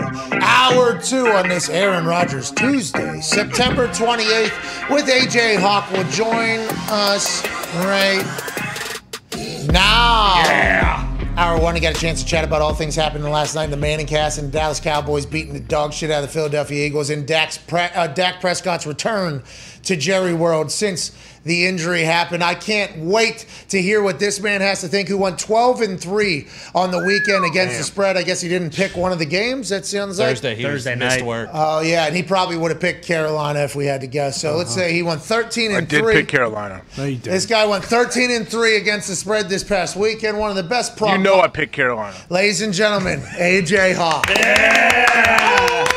What's up, AJ? Hey guys, I don't know why Dallas had a lead and you texted me you were worried that they weren't going to cover. No, there was just a couple moments there early where it was like, are they going to put this away or not? A couple turnovers in their own end zone. It's like, wait a minute, is this going to be one of those ugly games that the Eagles are going to be able to win because Dallas is going to shoot themselves in the foot? And instead, no, it turned around the complete opposite. The Philadelphia Eagles did a couple of that. Uh, Trevon Diggs, Dan Quinn, and that defense are humming. It seems like the offense that Coach Mike McCarthy learned from Kellen Moore and Dak Prescott is rolling. Uh, good night to be a Cowboy fan. Bad night to be anybody in the NFC East, in my opinion, AJ. Yeah, I would say it was a pretty uh, balanced attack uh, as far as the offense for Dallas, and I mean, it's hard to not be a Dak fan. Like I don't know if there's many people out there that don't root for Dak Prescott, even if you didn't know all that's happened, like outside of his football life with his brother, just terrible situations that he's dealt with and coming back from the injury. But now, like I'm all in on his play on the field. I don't know. I guess earlier years previous, I I thought he was awesome. I was like, this dude's great. I don't know if he is like the the dude, like he's that good. Like, he is more than that guy. He's awesome. the uh, mental makeup of Dak Prescott is something that I think you know, more people are talking about because we got a chance to learn a little bit about him at Hard Knocks and Hard Knocks and when he's mic'd up and him coming back and this whole story and obviously the family stuff, but also the the incredibly devastating break of that ankle. I mean, that was disgusting. Yeah. And then him coming back earlier than anybody expected, getting a long term deal, fighting through the conversation about his contract for the last two, three years or whatever, outperforming everybody at his position and where he was drafted at was insane. So he's just, I love him as a human. Hard Knocks sold me. As soon as I heard him say fuck two times, I was like, all right, mm-hmm. like this guy. Mm-hmm. This is a guy I do enjoy. And then everybody that's ever been around him is like, hey, everybody loves him. His team loves him. That's why it was so easy to almost move on from Tony Romo because of what Dak is. Uh, I'm incredibly happy for him. And you got to feel good about Big Mike, huh? Couple clock management things uh, going on here in the first couple weeks, but It's a work in progress, man. Hey, they're, we're, we're getting better every single week. That's what they're doing. But also, I see Dan Quinn, D coordinator, getting a lot of love too with that defense. Micah Parsons rushing the passer. Like they have some team speed on defense. If they if they find a way to continue to build on this, man, they're, they're going to be scary. Jaylon Smith, right? Yep. Uh, number nine. Yeah. Yep. His dreads, he's got great dreads. I mean, those things are middle of his back right now. He, flies around. he was the one that was talking to the team in the huddle before the game started, and I was like, "Is that? Yeah, he's from Notre Dame, right? Yeah. He, he had the broken leg and had to rehab and Yep. came back. Yep. He flies around. Trevon Diggs has been an absolute game changer for them as well as we've started here. His kid, obviously on Hard Knocks, is awesome. But yeah, I led off with I led off the show with is Dan Quinn the greatest defensive coordinator of all time. He's back in his roots almost, where he was finding his coaching success before becoming a head coach and having to deal with all the other bullshit. And everybody knows what type of defense they're going to run. That's the same Seattle Legion of Boom defense, and a couple people run it. Dan Quinn says we're going to do it. He's got some dogs, but it's not just the dogs and the plays they're making. It feels like that culture is different, AJ. Last year, that defensive culture for the Dallas Cowboys was not a good one. And I, I referenced this. You had a safety come out and say, well, we're not going to be able to run 100% every fucking play. And then there was there was rumors that the coaches weren't coaching and they were bad coaches and then they were getting bombed on every single week. It feels like Dan Quinn was able to bring that entire squad together now, bring in some more weapons, get Micah Parsons on defensive end instead of linebacker. It feels like that entire team's culture is different, man. It- It's just it feels different for Dallas this year, although people have been saying this for like 20 years now, you know? Yeah, it feels different. Hopefully, they, you know, if you go and you lose the next game and you look terrible, then it's like, okay, they're terrible again. Fire everybody. So it's just a week to week thing. I feel like when you talk about like people that are invested in diehard NFL fans and love a certain team, but Dak and Zeke are a huge part of it. Like they really are. When you have Dak back, like it, it breeds confidence for the defense, the, the offensive play caller, defensive coordinator. Yeah, it's it's fun to watch, man. I think it's fun when Zeke gets going like he was too. How do you feel about Mike McCarthy learning Dak and Kellen's offense whenever he got there? Because I was told that he was been coaching like he was a head coach uh, in the basement even when he was fired. So does that mean he was coaching his coaches that were in his basement, the offense that he had been doing for a long time, and then once he got his job because of how much he was coaching in his basement and how ready he was, he said, "Fuck, I'm not even going to coach what I was coaching in my basement. I'll coach what you guys are coaching." Did you expect that? That was kind of a little. That was a piece of information that Peyton dropped last night. I was like, "Damn, that's very smart." I think this is the right move, by the way, especially with the success that Kellen and Dak had had, especially that one year. But you would assume that a coach would come in and be like, "Nah, this is what we're running because I'm going to be here longer than everybody." Yeah, you would assume. I think it's it, it, that's what great head coaches do. They put their ego aside if they feel like it's going to help the team win. And why it should make sense though. Why would Kellen Moore is calling the plays? He's calling the offensive plays during the game. So why wouldn't you want to be running what that guy is versed in, what he runs best? Yeah, I'm sure they have plenty of, of Uh. plays mixed in that are, are Big Mike's playbook, but. I think whoever's calling the plays, it should be like what they're the most comfortable doing. I agree completely, but a lot of people could uh, potentially say on the other side that, Kellen Moore's offense hasn't really won a fucking thing, right? Yeah. So he says, "Hey, hire me. To, hire me to be a head coach. I'll run this offense. Whatever I'm doing here, whatever I'm successful with, I'll run a hybrid of both of them." Yeah, I mean that's probably how you sell it. That that is what he decided to do, which is a good. By the way, good idea. I want to let you. I think this is a good idea because Kellen Moore, Dak, they already know they don't have to think about anything. Because Tom Brady told, uh, I think Peyton or Peyton or maybe Matthew Stafford said this to Peyton last night. He said, "Look." Unlearning the old offense has been difficult. He said learning the new one, adding information into the brain hasn't been an issue. Getting rid of some of the information, probably in some pivotal times, he'll be standing there, he'll see something, and he's like, "Oh, we should run a boom," and he's thinking, "Oh no, that's the Detroit offense. Hold on, let me. We should do a boom." It's like those types of second instinct types moves change whenever you have to learn new verbiage. That's why the Tom Brady Tampa Bay Buccaneers experience we knew it was going to take a little bit of time until it kind of molded together, and it did immediately after the bye week, after the Atlanta Falcons second half blowout that they had of of Atlanta, and then they hit the bye week and do the whole thing. That happened. It's fascinating though to hear that Mike was like, oh, "Just tell me what you guys are fucking running." You know, that's that's fascinating. It's very fascinating to me. That I did not expect that at all. I like it. I appreciate it because Dak can just fly around, knows what he knows. He doesn't have to forget a whole system and learn a new one. But I just, if it doesn't work out, people will be like. So Jerry hired a guy to tell a guy to run what he's already doing. You know what I mean? Like that. That's that could be the other side of that whole thing. You know? Yeah, it could, but it also could be like, yeah, but Mike is there to be the CEO, to run the team, to set the schedule, to set the culture, and then he empowers his assistants to do their job. It doesn't micromanage. Like that's what great leaders do. That's awesome. If it works. Yeah, and it worked this last game. So hey, we're all good. Let's see what happens six days from now. We might want to fire everybody again. Uh, yeah, that, that is the life in the NFL. But I mean, I, that team looked fucking good last. Real night. good. Yeah. I mean, they How hard does Zeke run? You want to tackle Zeke? Are you kidding me? Well, and people are dogging Zeke. They're saying Tony Pollard last season and this season he provides a spark, which he does, by the way. Hell of a player. But I think Zeke has heard all that. He looks lighter. He looks.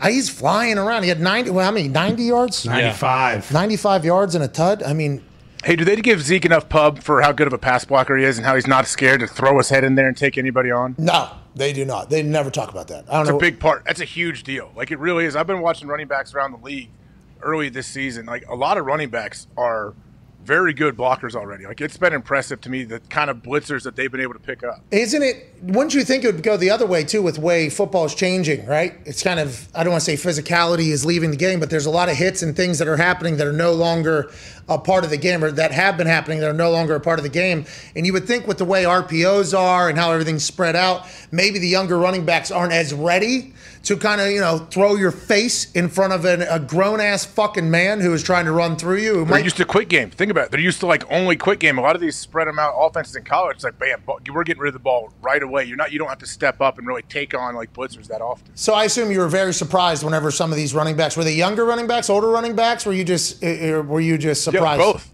Both. It's usually when a younger running back gets in there and I see it like he's in on third down. First off, which is a great sign. If you're a young running back and they trust you enough to have you in on third down, that you know the protection's well enough and they trust you. But then when they'll go up there and they're they're sifting, and all of a sudden they dive back and they they take out like a guy blitzing in the A gap from the backside that gives the quarterback that extra split second he can get rid of the ball. Like that's stuff that doesn't get noticed a lot. But I always, for some reason, notice it because if I was like running backs, your job is to score touchdowns. Yeah, that's a secondary thing. They, they have to you have to be able to to you know pass block, but that usually comes later in your career. I feel like when they become better and they, they are, they're trusted enough to be in there in those pivotal moments. Yeah, they always talk about it. You know, oh, the young guys haven't been able to get into pass block, and it's always like a throwaway comment. You know, it's always like, ah, he's learning how to pass block. It's always like a throwaway comment. But then whenever you hear a lot of quarterbacks speak, you know, one of their things they are most worried about is like, can this guy fucking block or not? Does this guy know how to do any of this thing? And then for you, that's probably who you ran into huh? every single time you went in there, you know, before you're flipping off your coaches and refs and fans and everything like that. You're running into those guys. How many sacks? Do you ever think about the amount of sacks if some running back didn't get a chip on you, or how a game could completely change because if a running back didn't chip? It's a massive ordeal, I think, to you because you know how many games you probably could have changed if it wasn't for some asshole great running back that could block. Is that fact? Yeah, or like you, you you're coming downhill, you're wrapping like you're.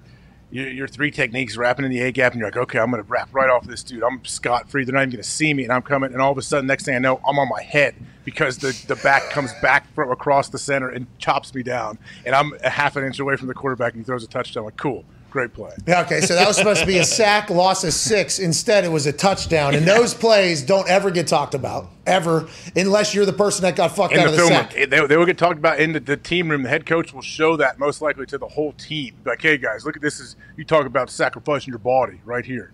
Hey, has Zeke always been good at blocking? Is that something he's I always think been? so. He's always been willing. I feel like since he got in the league, it looks it seemed like he's always been willing to stick his head in there and try to slow guys down. Dak and him get along very well, so I assume that's a big part of it as well. Is that what you're going to say, Connor? Well, I was going to say it's even more impressive now because they can't like cut block inside the tight ends. There's no more cut Yeah. blocking, so they actually have to stand there and just eat one if they want to, you know, be effective in the pass. Just die slowly. Yeah. Just hold on and die. That's an actual. Hold on and be a speed bump. Hold on and make sure you try to trip him up as he runs you over. Just die slowly.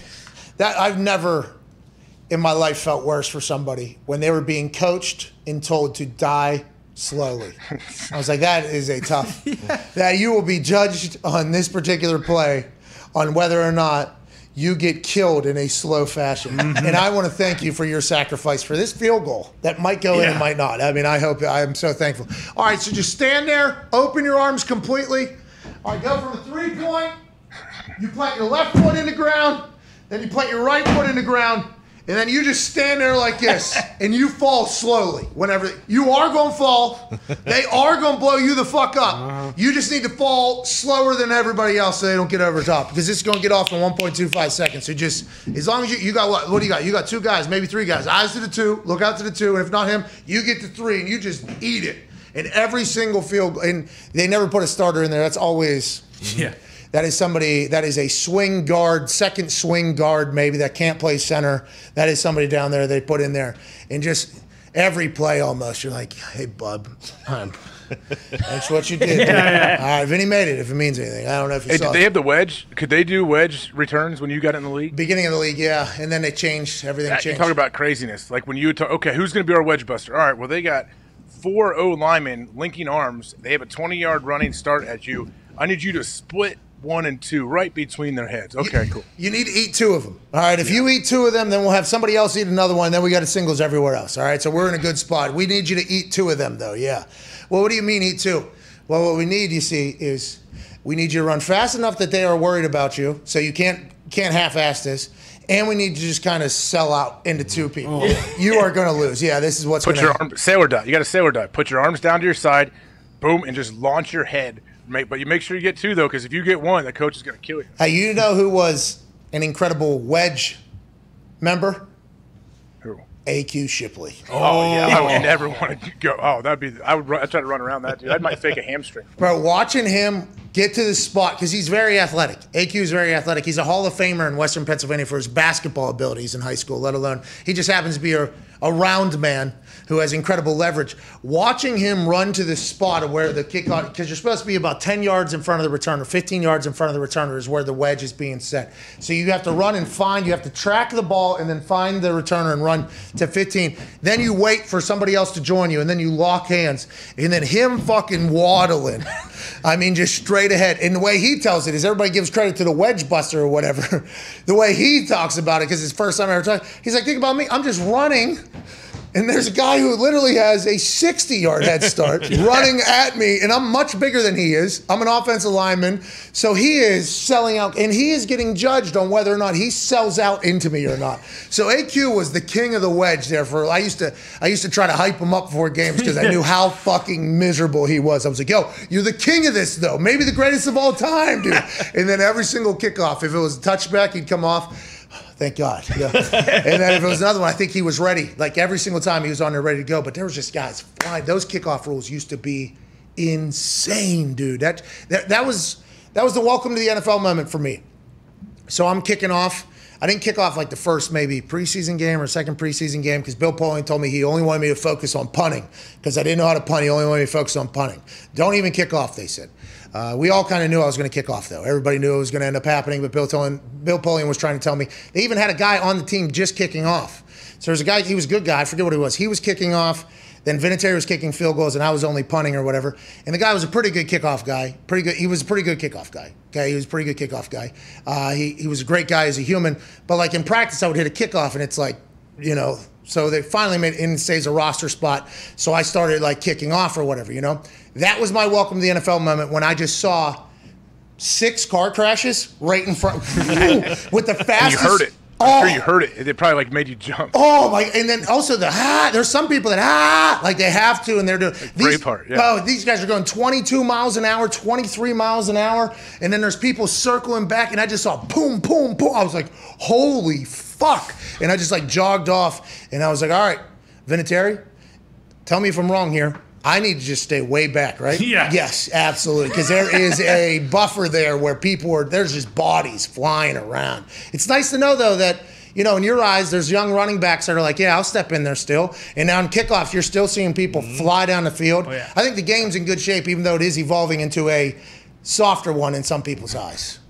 Oh yeah, there's still plenty of contact. Like they go watch a game on the sideline someday if you think that it's uh, it's it's soft. It it will scare you. We had a, I had a couple teammates that I don't even think they knew that the game was changing, and uh, they I think they would kill a human if they had to, you know. But I was thankful they were on my team. You know what I mean? Hell yeah, you need that on your team. We had a couple guys. It was like, hey, that guy's better than you. They say that guy right there.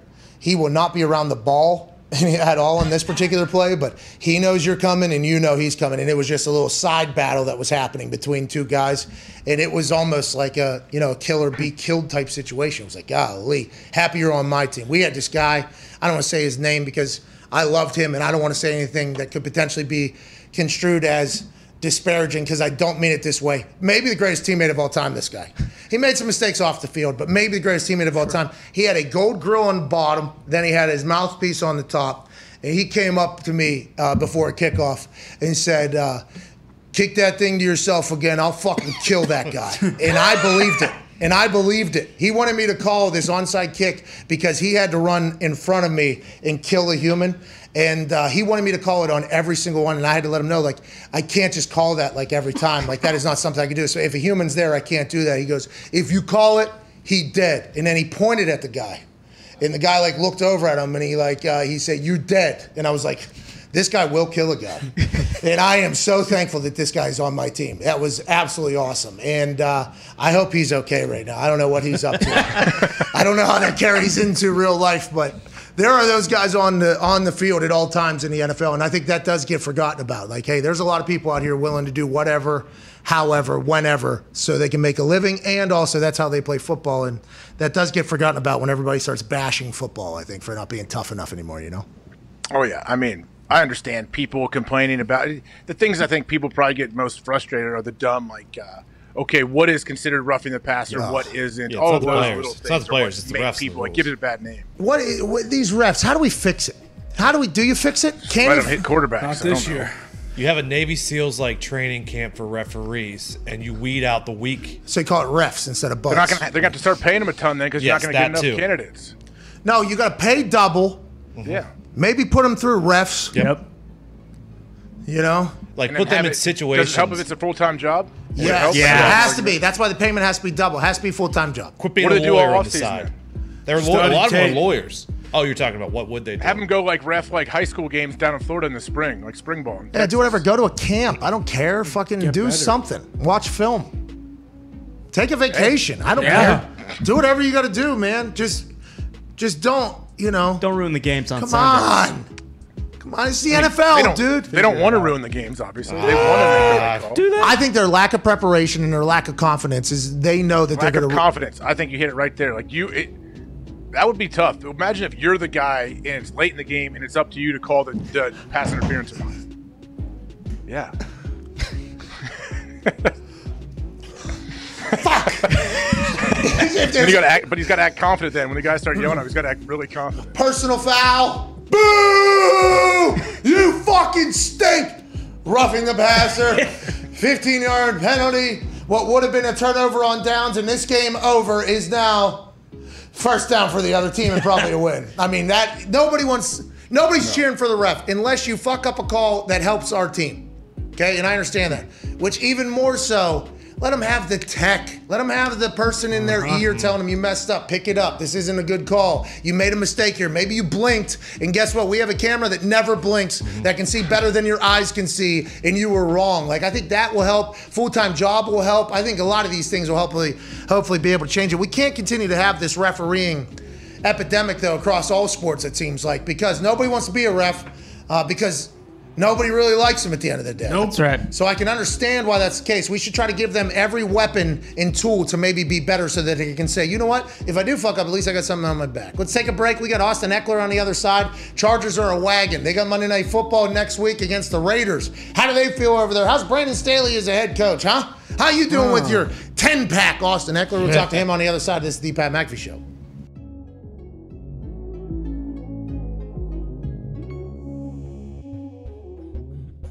Got to experience so many things, both as a businessman off the field and on the field.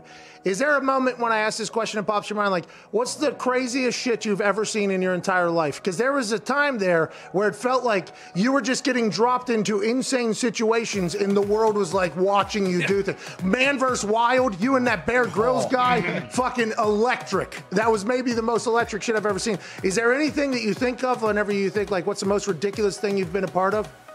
Uh, probably some of the most ridiculous shit I ever been a part of was, uh, you know, I, I, I had got the uh, uh, the restaurant which I'm in right now, and uh, you know, when we first got it, I, you know, I would come in here and I would, you know, clean up and go outside in the front, sweep up, you know, make sure everything looked nice and shit. And uh, one morning I got up here and I noticed, you know, like, damn, this is funky ass smell. and I looked, you know what I mean, to the side of my front door and it's big ass pile of shit. and I'm talking about human shit. Yeah, and yeah. It's right on the side of the door. So I was like, somebody done came and, and popped the shit right in front of the door. Like, oh, this this shit is crazy. like, I can't be in here serving food. Motherfucker come walk in and they smelling straight ass cheeks when they come in there. Like, I don't think that's the restaurant I need to eat in. So man, I get the water hose and I'm hosing it down, and you know, I see, uh, you know, we got a couple, uh, you know, uh, dolphins that that usually walk back up in front. Hey man, did you do this? Like, oh no. So, you know, one of them owned up to it. I said, man, it. So you don't do this no more. Look, you come by here, we get you a, you know, I mean, we get you a broom and a, uh, you know, you help, you help us, we help you. You feel me? And you know, we put together a little, uh, I put a proposition together for him, and ain't cleaning up shit no more. It's a win-win. It's a win for everybody on that one. Hey, one of your Hey, you former know, teammates. Yeah, hey, everybody wins. You're helping the people, man. That's awesome. That's why people love you. But hey, One of them owned teammates- up to it. Just a line of questioning. The line of questioning. His The fact name that is he owned Willie. up. Willie. Willie owned up to. Matter of fact, he just he just left out. He saying sweeping up. He like, hey, what's up? Oh boy, I've been looking for you. You feel? Okay. we, we we bust down together up in the front of the uh, restaurant to get it all cleaned up and everything. Hey, you're helping people. Hey, you're help- Willie went from shitting outside to working inside. Let's go. Yeah. All right, Let's go, Willie. Let's go. give it up for my boy Willie, man. I actually would have made more money the day I signed than my whole contract with Indy. Oh, dude. Why did you decide to turn down a lot of money to come back to Indianapolis for the year? True story, no bull. I prayed about it. By three o'clock, I'm, I'm signing somewhere. And then 2:55, I got on the phone with Chris. Like, are we gonna get this done? Like, how can we get this done? He, he came up with a number, and I'm like, all right, it's all right. Well, I guess it's meant for me to go to this next team. As soon as I closed his message.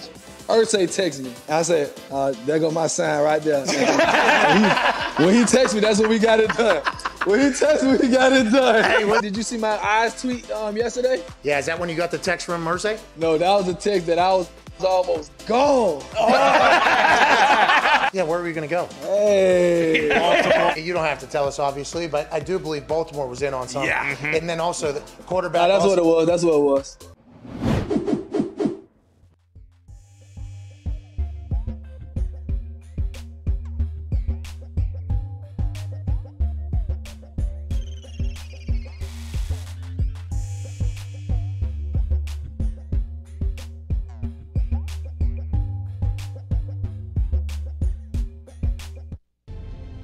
Is the Pat McAfee Show on Sirius XM Mad Dog Sports Radio. We thank you for taking the time to seek out this small regional show that streams internationally. Here's Pat and the boys. Anybody. Welcome back. Not a single person. Welcome back to the show. Joining us right now, uh, AJ Hawk, and obviously a beautiful Aaron Rodgers Tuesday, but we're joined by another man who always provides us with incredible conversation. Uh huh. He's been on a few times, and we're incredibly happy for him. Just had a touchdown this past weekend and a massive win over division rival Kansas City Chiefs. Ladies and gentlemen, running back for the Los Angeles Chargers, and also Twitch Fit God, ladies and gentlemen, Austin Ekeler.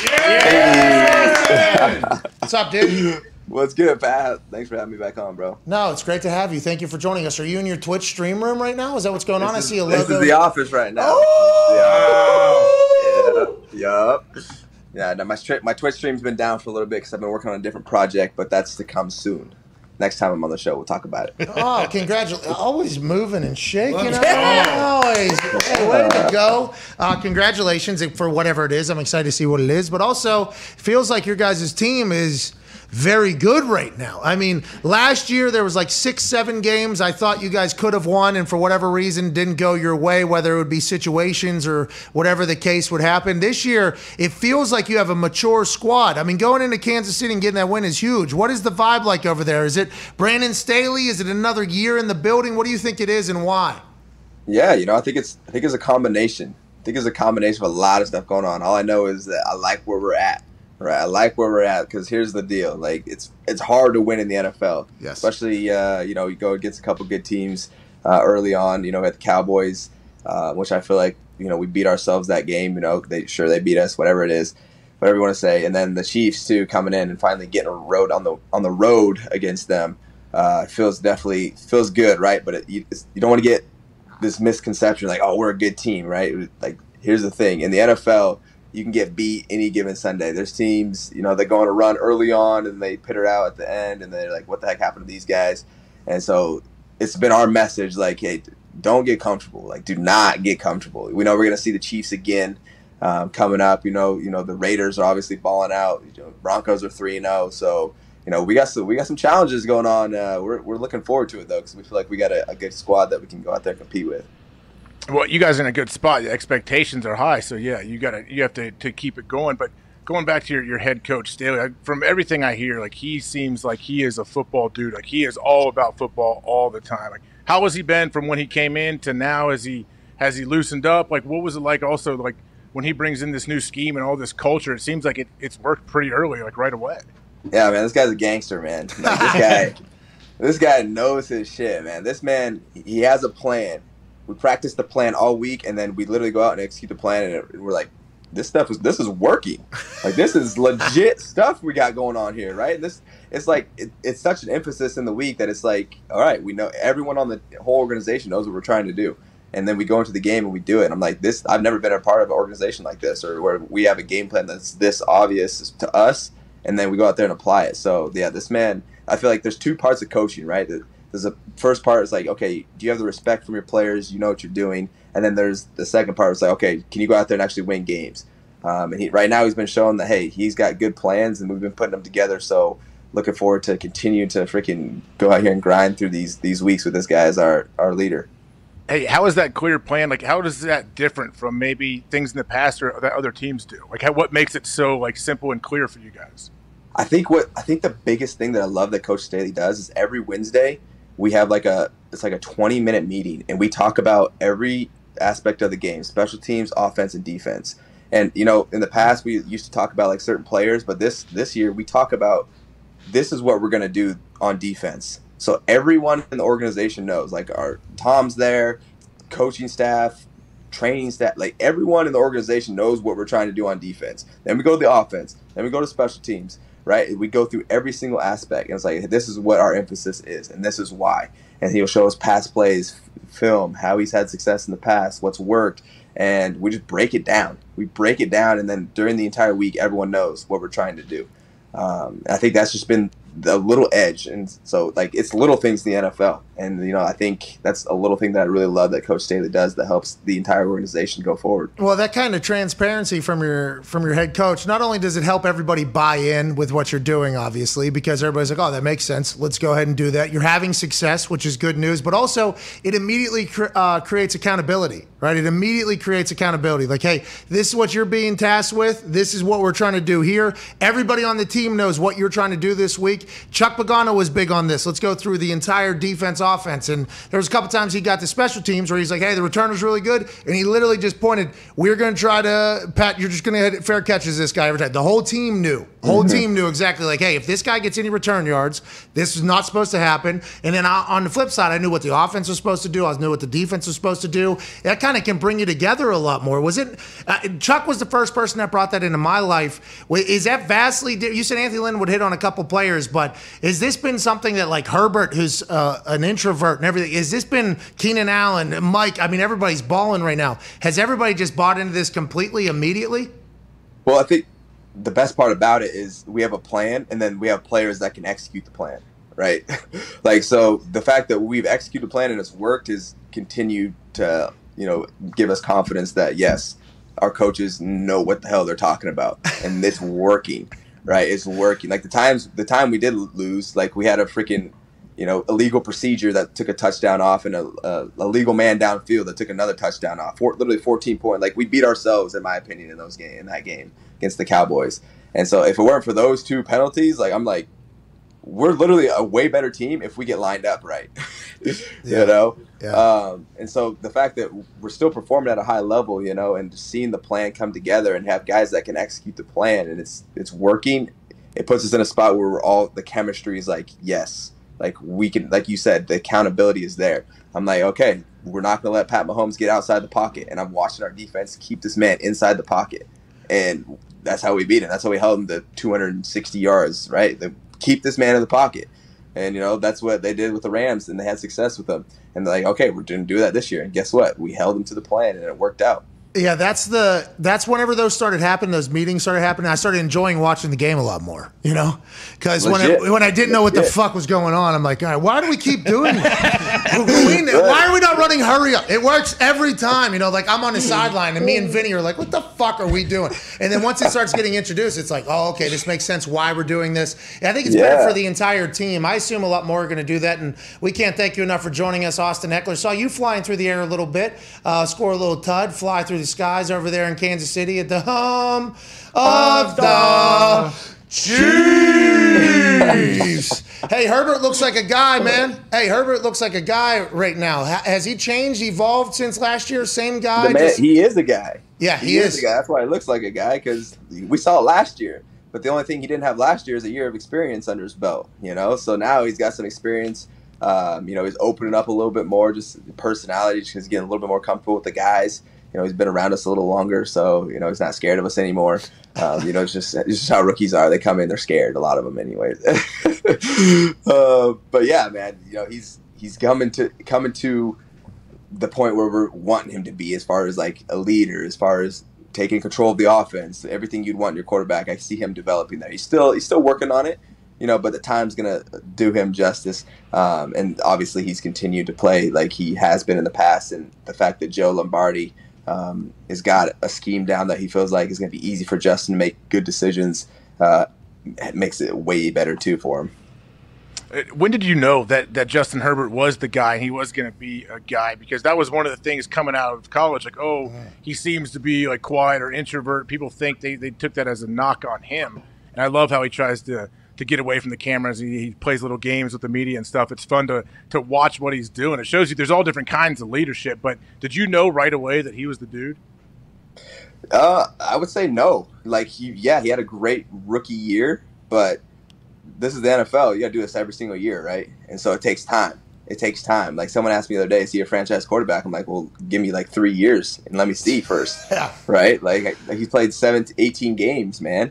Like I don't know. Like right now, he's playing like he's got talent. Absolutely, he's doing it consistently, and that's what you need to see for a few seasons before you say like, "Yeah, this guy's a dude." But right now, you know, he's playing at a high level. He's keeping it up. We have a lot of you know explosive talent around him too. A lot of veteran talent too, and uh, obviously put a lot of money into the O line, which definitely helps. So right now we're, you know, people don't even see this, but right now we're in a, a premium spot. You know, in an offense where we have a young quarterback who's playing lights out on his rookie contract, which means we don't have to give him half the salary cap to keep him around. So it means we can spread out some money all around him, so we could we could build this offense around this guy and it's helped him so much, and that's going to help him too uh, as far as just developing because he's, now he's understanding. He's hearing from our center Corey Linsley, who's been playing for nine years, how he calls protections, how he's you know pointing things out. You know, we have all these guys around him that are getting open. Keenan, Jared Cook, Mike Williams balling out, and so it's just like man, he has all these weapons around him that are keeping him safe and giving him places to throw the ball, and so that's just going to make him even quicker and better, and it's just going to make our offense just you know almost unstoppable. Yeah, the theory about the rookie contract being able to build the team around it is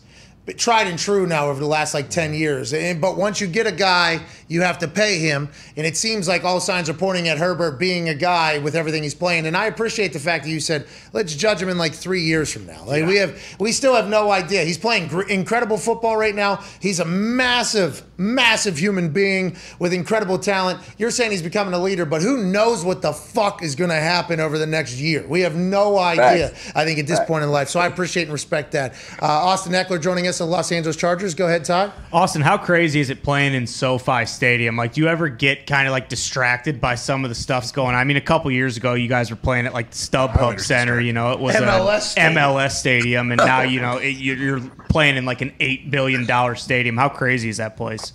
You know, it it doesn't really hit me until like how crazy it is until I really go to other stadiums. I'm like, wow, like SoFi is way better than this stadium. you know, like, it's just like it's not that the other stadiums are bad. It's just like this one is like brand new. It has all the bells and whistles, suites everywhere, the giant jumbotron ribbon that's a circle, um, the overhang, just the outside venue. You come in, it's like already 100 feet down the field, so it, like opens up in front of you. So it's it's really special, man. It's so special. And you know, versus the Cowboys, our first home game, it was sold out. So just feeling the energy of that place and how loud it can get um, compared to what we've been playing, like you said, StubHub, Dignity Health, whatever they call it nowadays. Um, yeah, man, it's it's night and day difference. So like, I, I'm like, you know, the Chiefs Stadium used to be my favorite to play, and just because the energy. But I'm like, you know what, SoFi, SoFi's got some energy now. Um, and you know, obviously, us winning games going to help fill that out. So. Uh, we're going to continue to keep doing our part and try to make games exciting. It's a space station. It looks like. Uh-huh. Yeah, It it, looks is. like it's. It literally is. It looks like 2050 in there. It feels like every camera is an 8K camera that I've seen. Mhm. They Yeah. even had it in like the booth, and that's because uh, old Kroenke, the owner of the Rams. You know, paid what ten billion Yeah, for that. yeah, ponied Just about. Yeah, he better save some of those though. Hey, St. Louis coming for a couple Yeah, as be well. careful. I, I've heard that place though is amazing over there, and uh, it feels like the young team is the right thing to build a brand with. You know, like we're still in the stages of the Chargers and Rams building their brands in Los Angeles. Now, Rams were once there before, so I get it. But 10 years from now, 15 years from now, a lot of fans are going to be of the team that they're a fan of in the LA from the success that the teams have. Rams are going, and the Chargers, your team. I mean, it's a very incredible. Both of you guys are in incredibly difficult divisions, but Well, it's been fun here- to watch your team, dude. Here's the thing: this year, this year more than any other year is a premium year for branding in LA, and that's because the Super Bowl is in LA. so, like, yeah, I get it. Look, I get it. It's going to definitely take years to you know build and establish ourselves as far as like the brand of the Chargers. Um, and how that goes, like I'll be long gone, and that still be being established. Oh, established. dude, but if an LA team plays in the LA But if an Super LA Bowl, team plays in the Super Bowl in LA, bro, oh, immediate stamp.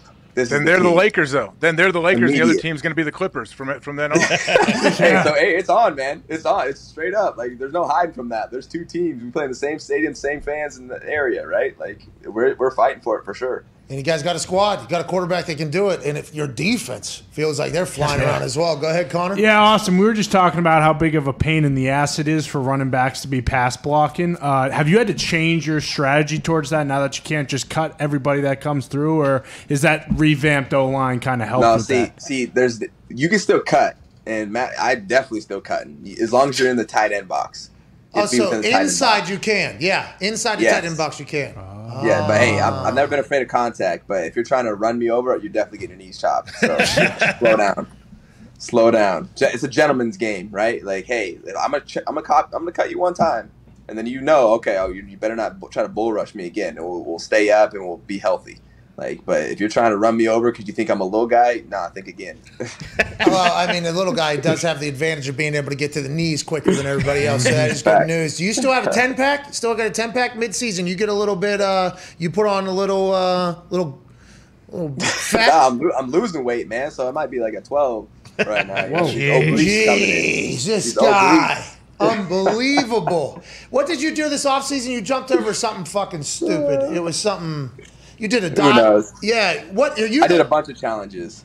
Are you trying to become like the most athletic human of all time? Is that like a, a Not even. Not even. I'm just trying to push my body, see how much I can really do. I was doing like I did like four one arm pull ups. No one did that challenge, and then I had the 405 squat challenge where I squatted 405 13 times, no one, no one challenge, no one, no one's challenging me. I want to see. Look at this step up. fucking guy!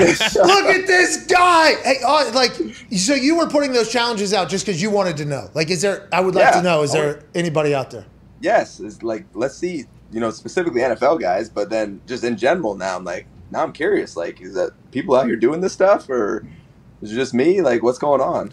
Uh, I hope you get an answer. I can't wait to find out. I, I can't wait to see who answers. Look at this Jeez, guy. good lord. What do you? You don't eat anything. You just have you had a sandwich? Do you? Is that all a myth? Is that a lie? Do you, are you completely calculating? Do you get like your levels measured monthly to make sure everything's intact? Like, what do you do? You know, I've been I've been doing the same routine for a long time, so I've got it pretty much down as far as how I can keep myself lean and also gain mass. And I've been doing that for as long as I can remember, like eight, ten years. So just doing it for that long now. I'm not counting calories. Just like I eat the same foods over and over again. What are they? What are they? My main go-to is just rice, turkey, uh, salsa, and a little dab of sour cream. Ah, yeah. So I can't do it. Yeah, that sounds terrible. I appreciate you doing that and for you joining us. Uh, you're the best, man. Good luck on whatever project you have coming out, and good luck on the rest of the season with the incredible Chargers. Hey, I appreciate you, Pat. Thanks, boys, for having me on. Hey, tell everybody we said hello, ladies and gentlemen. Austin Ekeler. AJ, is that what you do? Is that why you look the way you look and your jawline's the way it is? Is that what you do? Same. I mean, I do eat the same foods a lot over and over just because I like the same thing. So yeah. What is it? What do you do? I don't look like him. I mean, that dude's a freak, and he's, I mean, crazy powerful too. Yeah, 405 for 13, and then he has an explosion as well. You know what I mean? So Oh, yeah. I do like the fact that he's like, is there anybody out there? Aren't there any CrossFitters? I feel like that would want to challenge that. Well, that's why I'm happy we just kind of put it out there because I, I am legitimately excited to see. There's a dude that I've been seeing on the internet. He's been popping up on my Explore page every once in a while. He uh, he might be 360, and he's doing those uh, CrossFit All the way up. The- all the way up pull-ups. The muscle, muscle ups. or Yeah, whatever the hell that's called. Oh, Steve Weatherford. No, Steve Weather Steve Weatherford. That might be the guy that has to answer this. Actually, Tell that guy to be careful because his organs will fail and attack him if, if he's not careful. CrossFit did have that going for them a little It bit. actually happened to Phil when he was running. Though. Yes, yeah, Rhabdo, uh, CFO Phil, who was in the office, by the way. Phil, Really? Nice little treat. Yeah, you know what that means? That means there's probably a rather large conversation happening. If we, get, if we get Phil Maines out here, which is good news anytime you talk to CFO Phil or whatever. But he ran a marathon. He ran too fast. He trained for so long for this whole thing. So long he trained. So he committed his entire life to training to this thing.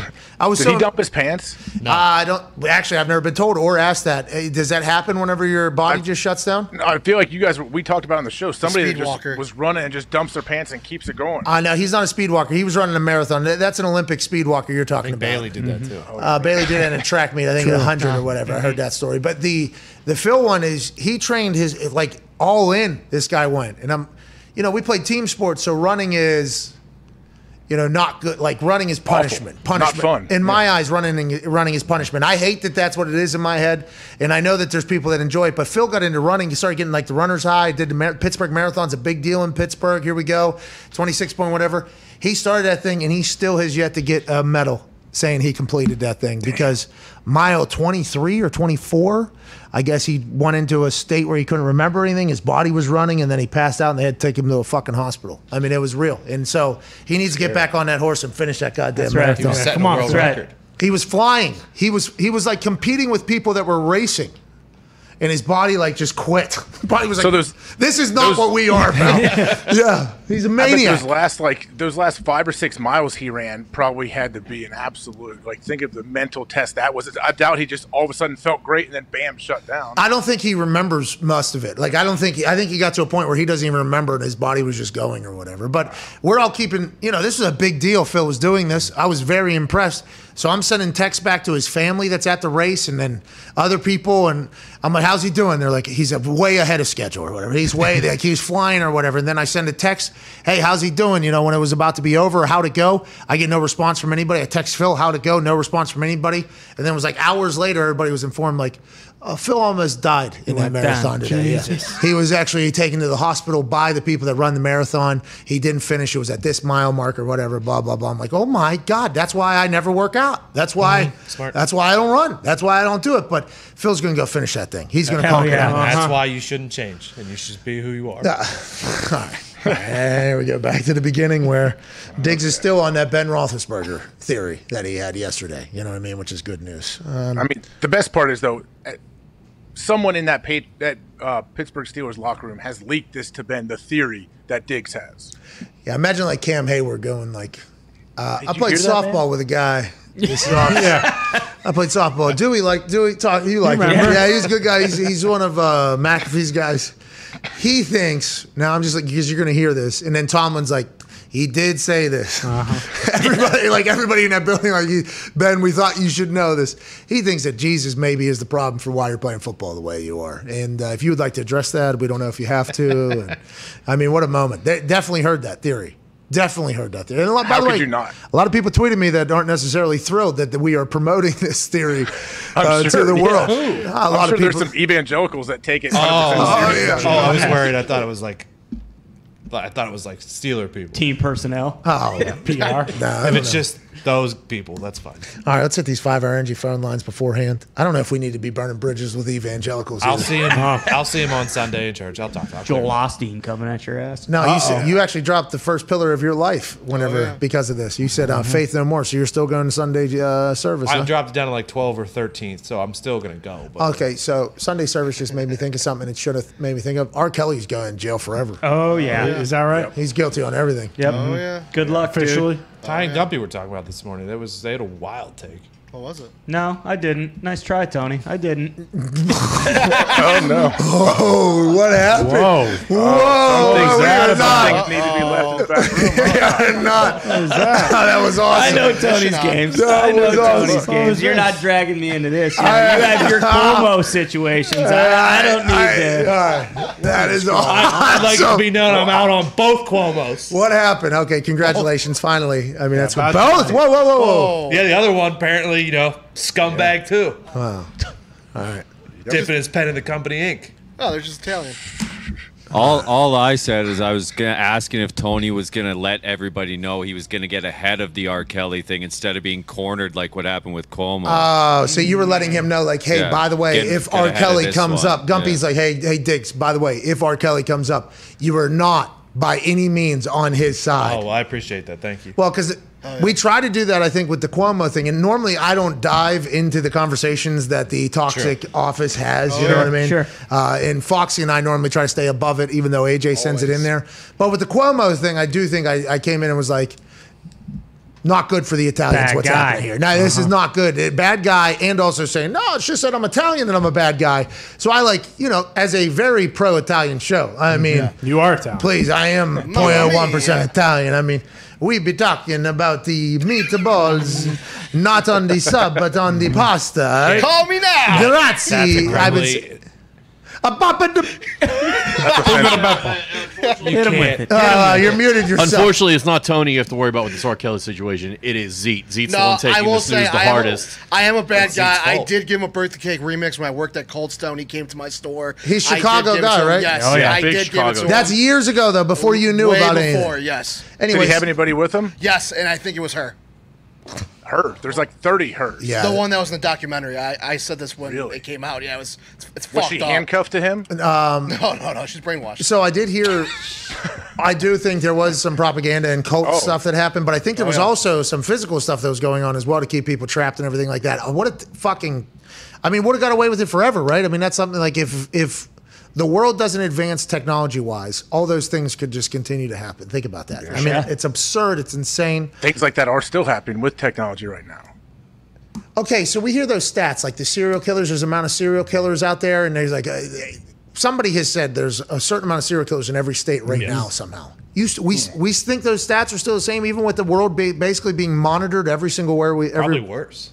I don't. I think you just. It's I don't know. The world is. We are under surveillance, difficult. dude. Doesn't We it seem difficult to get away with a crime right now? Like some, That's you're going to get caught on a ring cam on something. Like There's a lot of small find towns with no. I understand. Like there has been unsolved murders, and there is terrible people out there still. I'm not saying that's not the case, but I feel like when you hear the story of like Manson, and and you go back to Dahmer, and, and uh, even uh, uh, the guy that Bundy? Bun, no, the um, the hands. Gacy?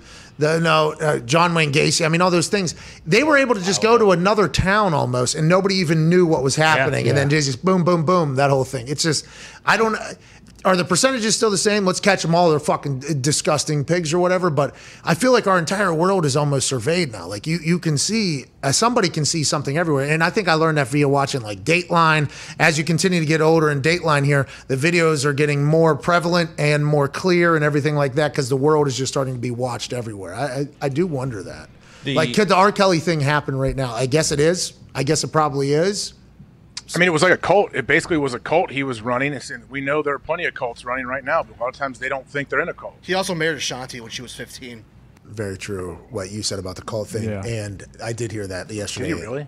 Yeah. In that Do her parents have to sign off on that or something? I don't know. And then, do they actually sign off on it? Is it not just a forged signature? Yeah, exactly. You know, because you never know. Back in the day, you had no idea. Remember, th- that's not that long ago that the oh that ain't fucking right was available. Yeah. You know what I mean? Like that. That it's not that long ago. When I was in high school, you asked somebody a question. There was no internet on your phone. There was internet, but it wasn't internet on your phone. This is not that long ago. This is not that long ago. 15 years ago. Whenever you would ask a question, 16 years ago. Whenever you ask a question, uh, if somebody gave it a good answer from a position of power that should have given that answer, it's just like, oh yeah, that makes sense. Tito still lives Those like are good times. Yeah, it's good times and also potentially catastrophic times for some Right. particular situations. The issue with serial killers these days is they're learning from the mistakes of past serial killers. They they know how those guys got caught, so they're just getting smarter and better. Well, we got to keep our eye out, and I'm happy R. Kelly's going to jail. Yeah. Hell yeah. Me too. See you later, dude. I can't believe you sang to him because he tipped you at Cold Stone when you were working. 60 there. bucks and my fucking, the manager took it all. What you did? You sing the Ice Ice Baby? No, we did ignition. Oh no. How'd it go? How's it goes, go, Z? I can't. I'm doing a count. Yeah, we're not singing it. Yeah, we got 30 seconds till the second hour ends, and then Aaron Rodgers Tuesdays on the other side. Yeah. Yes! And then we talk a little bit more football. We talk about 37 seconds. We talk about what's going on in the Aaron Rodgers book club. I mean, there's so much to happen in about six minutes from now. AJ. I know. What, what are you going to ask? What's your first question going to be? Well, I, I wrote some things down after watching the game about 2 a.m. in the morning after Extreme Rules. You know, I'll see how coherent they are during the break and really lead off with something special. I can't wait for it. Aaron Rodgers Tuesday, hour three, is on the other side of this six minute break. We'll see you then.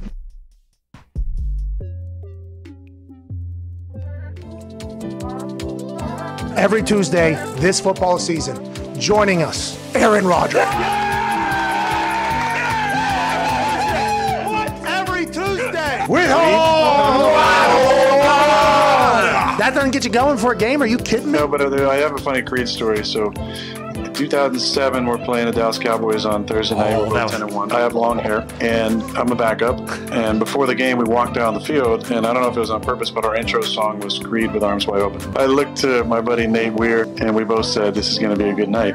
And that was the night I came in mm-hmm. off the bench and changed the narrative about me from, you know, possible draft bust to, oh, hey, this guy might be able to play, maybe. Thank you, Creed. Yeah. Why am I having so much fun? Bingo. I have just a new and increased love of life. And I've made decisions and changes and habits that put me in a lot better headspace. And there's just a lot of things that have come together in my life over the last few months. And it starts with love. And then surround yourself with, with people that you really enjoy. You know, to, to get sentimental, this show is, is just another step in that. What is the longest you've ever thrown? Do you even know that number or do you not care? Yeah, somewhere between 68 and 70, Pat. I don't know, right in that sweet spot. oh, 69 yards is how far you threw it. Nice. Congrats. I sometimes laugh when people talk about, you know, down years for me, because a lot of times down years for me are career years for most quarterbacks.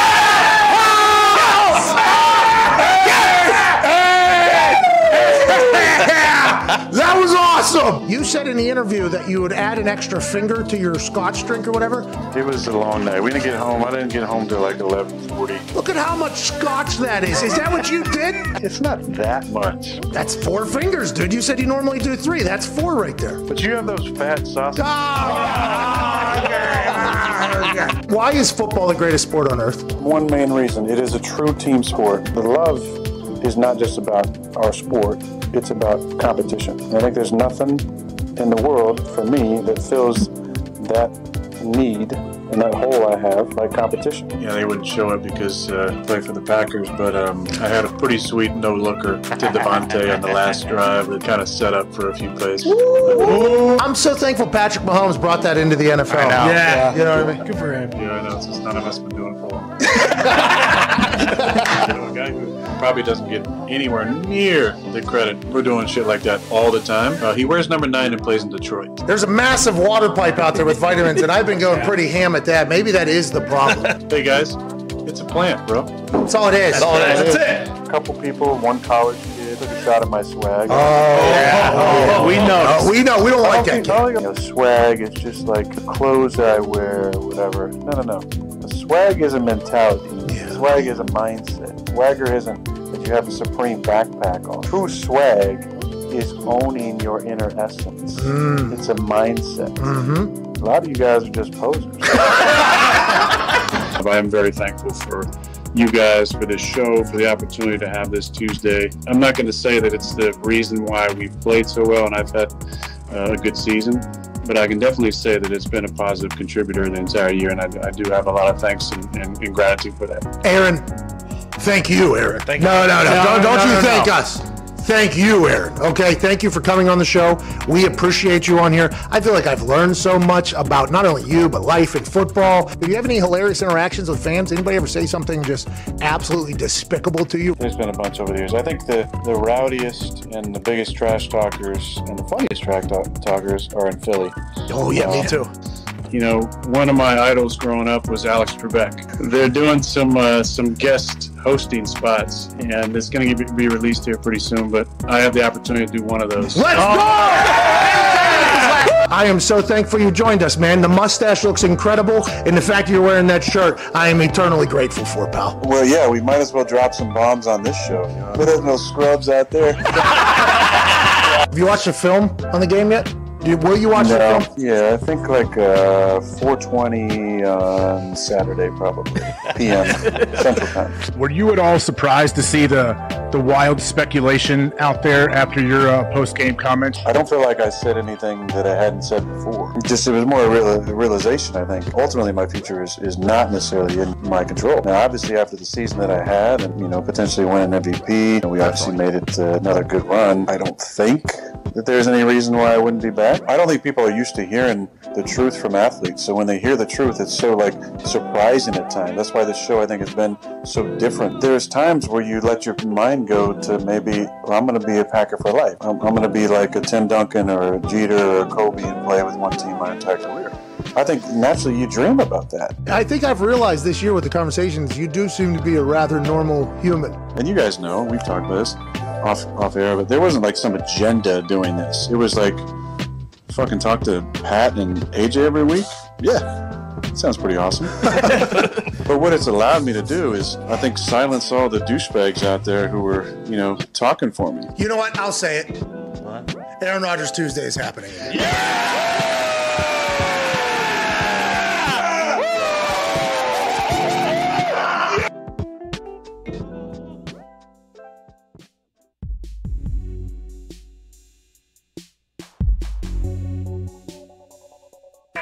The Pat McAfee Show. There'll be no rules for our guests, for us, for the things we can talk about.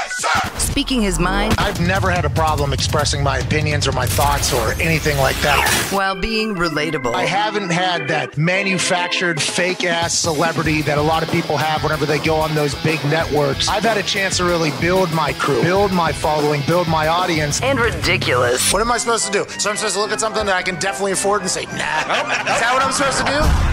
The Pat McAfee Show starts in three, two, one.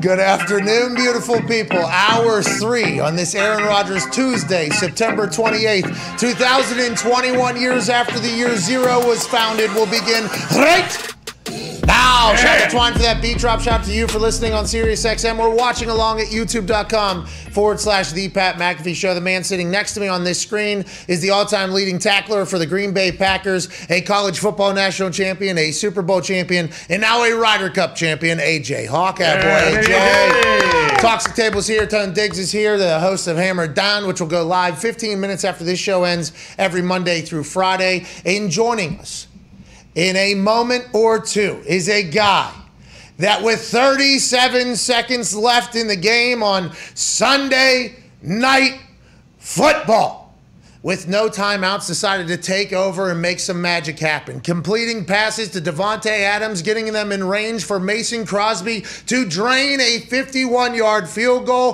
to get a massive win in the NFC over the San Francisco 49ers in Santa Clara, California, with the North Valley Community Fund receivers in the building and back in his home area. The founder of the Aaron Rodgers Book Club, the current reigning MVP of the NFL, ladies and gentlemen, Aaron Rodgers. Yeah! What's up, dude? Hey, thanks for uh, giving me a few seconds to get situated there that long intro. Yeah, yeah, it was pretty nice. You know, Zito's back there like, ah, ah. And I'm like, all right, I can say a couple more great things because life is good for this guy. Uh, congratulations on a massive win. That vertical leap you displayed while celebrating after Mason Crosby put that ball through. Life's got to be good right now, huh? You were up like 40 inches, it looked like, maybe a 50 inch vertical. And you look so cool right now, obviously, in a different place than normal. I'm in the yeah, I'm in the the sunroom. I got the you know my uh, books behind me here. I thought that was very apropos, considering the uh, the, the uh, book club that we've been doing. I can see you've uh, at least got a book in your hand. That's good. It's the giver, dude. Hey, it's crazy what that one kid got to learn from the giver there. That's right. I mean, really, it's free thinking. I loved it, man. This was awesome, dude. This was really good. It is apropos. You're right. It is. It is. Uh, but a, a little trick, a little trick for the uh, the vertically uh, jump jumping impaired. If you lift your legs up, it actually looks like you're jumping higher than you actually are. Okay, so let's talk about the jump a little bit. And the bookcase looks great. The lighting looks fantastic. The flow got good hang time. Yeah, I got my guitar here. Yeah! Oh my god, I wish I had one. I wish I had one right here. Are you gonna play something? Can you play? Uh, I can play a little bit, but but no, I'm not going to. That's not what the show's about. I mean, it could become that. Honestly, it's Aaron Rodgers Tuesday. You do whatever the fuck you want to do, pal. If you want to play a little guitar, you do that. But let's talk about the game a little bit. Um, was San Francisco, especially with family, friends, community, people you helped in the building, and being from your area of where you're from, is that a game that drew a little bit more excitement and enthusiasm, or is it just, hey, this is a massive win for our team right now, and that's what we got a chance to see at the end of that thing? It was beautiful to see you celebrate like hell with your teammates your coaches, especially just weeks removed from, oh, this guy doesn't care. You know, that, that, that whole narrative was one that was getting a little bit loud. It was great to see it. Is it San Fran that did that, or is that just a massive game for the team, you think? Well, it's a rough night, I guess, for some of those uh, he doesn't care campers.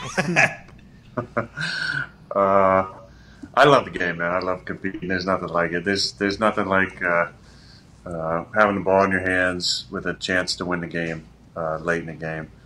Uh, that's yeah, that's what we live for. That's what we dream about. We don't dream about you know kneel downs at the end of games. We dream about okay, we got to go down and put the ball in position to either win it with a field goal or win it with a touchdown. That's what that's what you dream about. You know, when I grew up, uh, when I was a young kid watching the Super Bowl and watching the drive, um, you know, I, that's what I wanted to do: drive your team 92 yards down the field and win a game. Now that was San Fran, so obviously I've been a San Fran.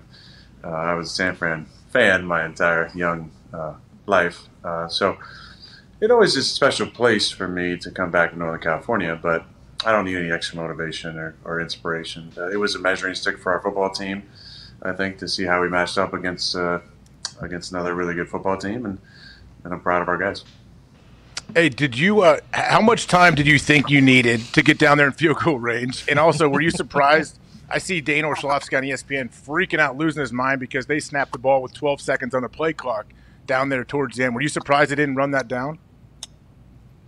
Uh, I was considering that we were out of timeouts, but you know, what are you going to do? You know, they throw it to that stud fullback and he breaks a bunch of tackles and scores. Like it wasn't the situation where, well, don't get in, don't get in. You know, it's, it's you know, you got a great defense, you got to trust the defense. Like obviously, we need to make a couple plays and still hit a 51-yard field goal. Now we got an incredible kicker uh, who definitely you know reps the brand all the time. All the time. Hell yeah. But still, you know, it's still a difficult kick, and even to get in that position, you got to hit uh, hit a couple chunk plays and, and not have any penalties and, and clock in time. So, look, you know, I, I think no one's to fault uh, on, on their side, especially not Juice. I mean, he's you know, bowling people over, running a little choice route, getting in the end zone. Um, but you know, if you if you play if you play not to lose, you lose. You, you usually lose those games. You know, and and playing to win is always the win. You know what I want to be a part of, and I don't think they, they have anything to be upset about. Okay, so let's talk about that last drive, and then you talked about Mason Crosby there, who OG dude, by the way, he has been bombing balls for so long. I don't know how, I don't know why, but I'm so impressed by it. He's unbelievable. But as soon as you kill that after the two incredible plays, Davante's stallion, by the way. I I don't know how the hell he continues to be even better, and just you two playing football together is so much fun. But as soon as you clock that, your celebration. Like, yeah, I know Mason's gonna make it. Like, I bet you Mason saw that and really felt like my guys got me. You know, like that is that's a really cool moment that AJ and I chatted about yesterday, but I don't think a lot of people saw. As soon as you killed that thing, especially in the state of the world we're in with kickers, you go and yeah, we just did it, and then him burying it, even though he bent it around a guy, which is fucking awesome. But that was just that was a really cool moment for the brand. I want to let you know that I appreciate that a lot, and I'm sure Mason does as well. Well, I have a lot of confidence in him. I should. He's proven it time and time again. Uh, he's made a lot of big kicks over his career. I remember his first game winner his rookie year against Philadelphia at home in 2007. I was a backup, and you know, you just had a good feeling about the, the temperament of the guy and, and the attitude and the confidence that he had, and nothing really rattles him. And the only time you can rattle him is get him on the golf course a little bit, start piping it past him. You know? but uh, but man, you know, it maybe wasn't my favorite game winner. My favorite was probably against the Cowboys in the divisional playoff when he made it twice. If you remember, he made it the first time. This in '16, and then he, uh, you know, he was hitting a cut that day, so he, you know, hit a little cut in there off the left upright. Then he hit it outside the left upright and just snuck it in there. That was really special, just because of what we went through that 2016 season.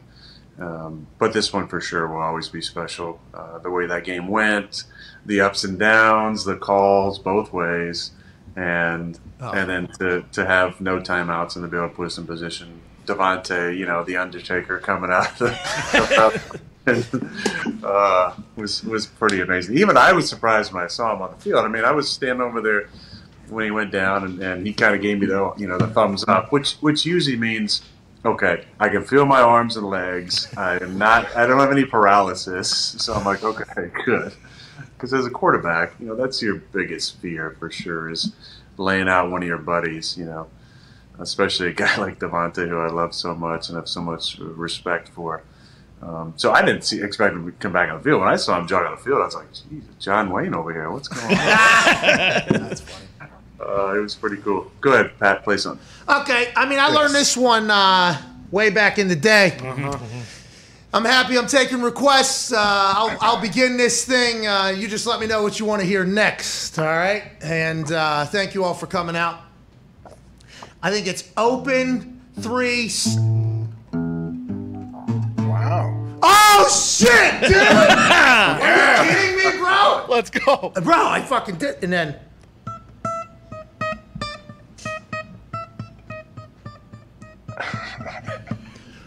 Spider Man. Yep, boom. Hey, I'm a fucking. Huh? Hi, am I not? This is my dad's guitar. I, I fucked it up Hey, for nailed sure. smoke on the And I water, normally by the way. have the pick. Yeah, that's it, dude. Right? Oh. Is that not it? Damn. Is that not it? That's amazing. Yeah.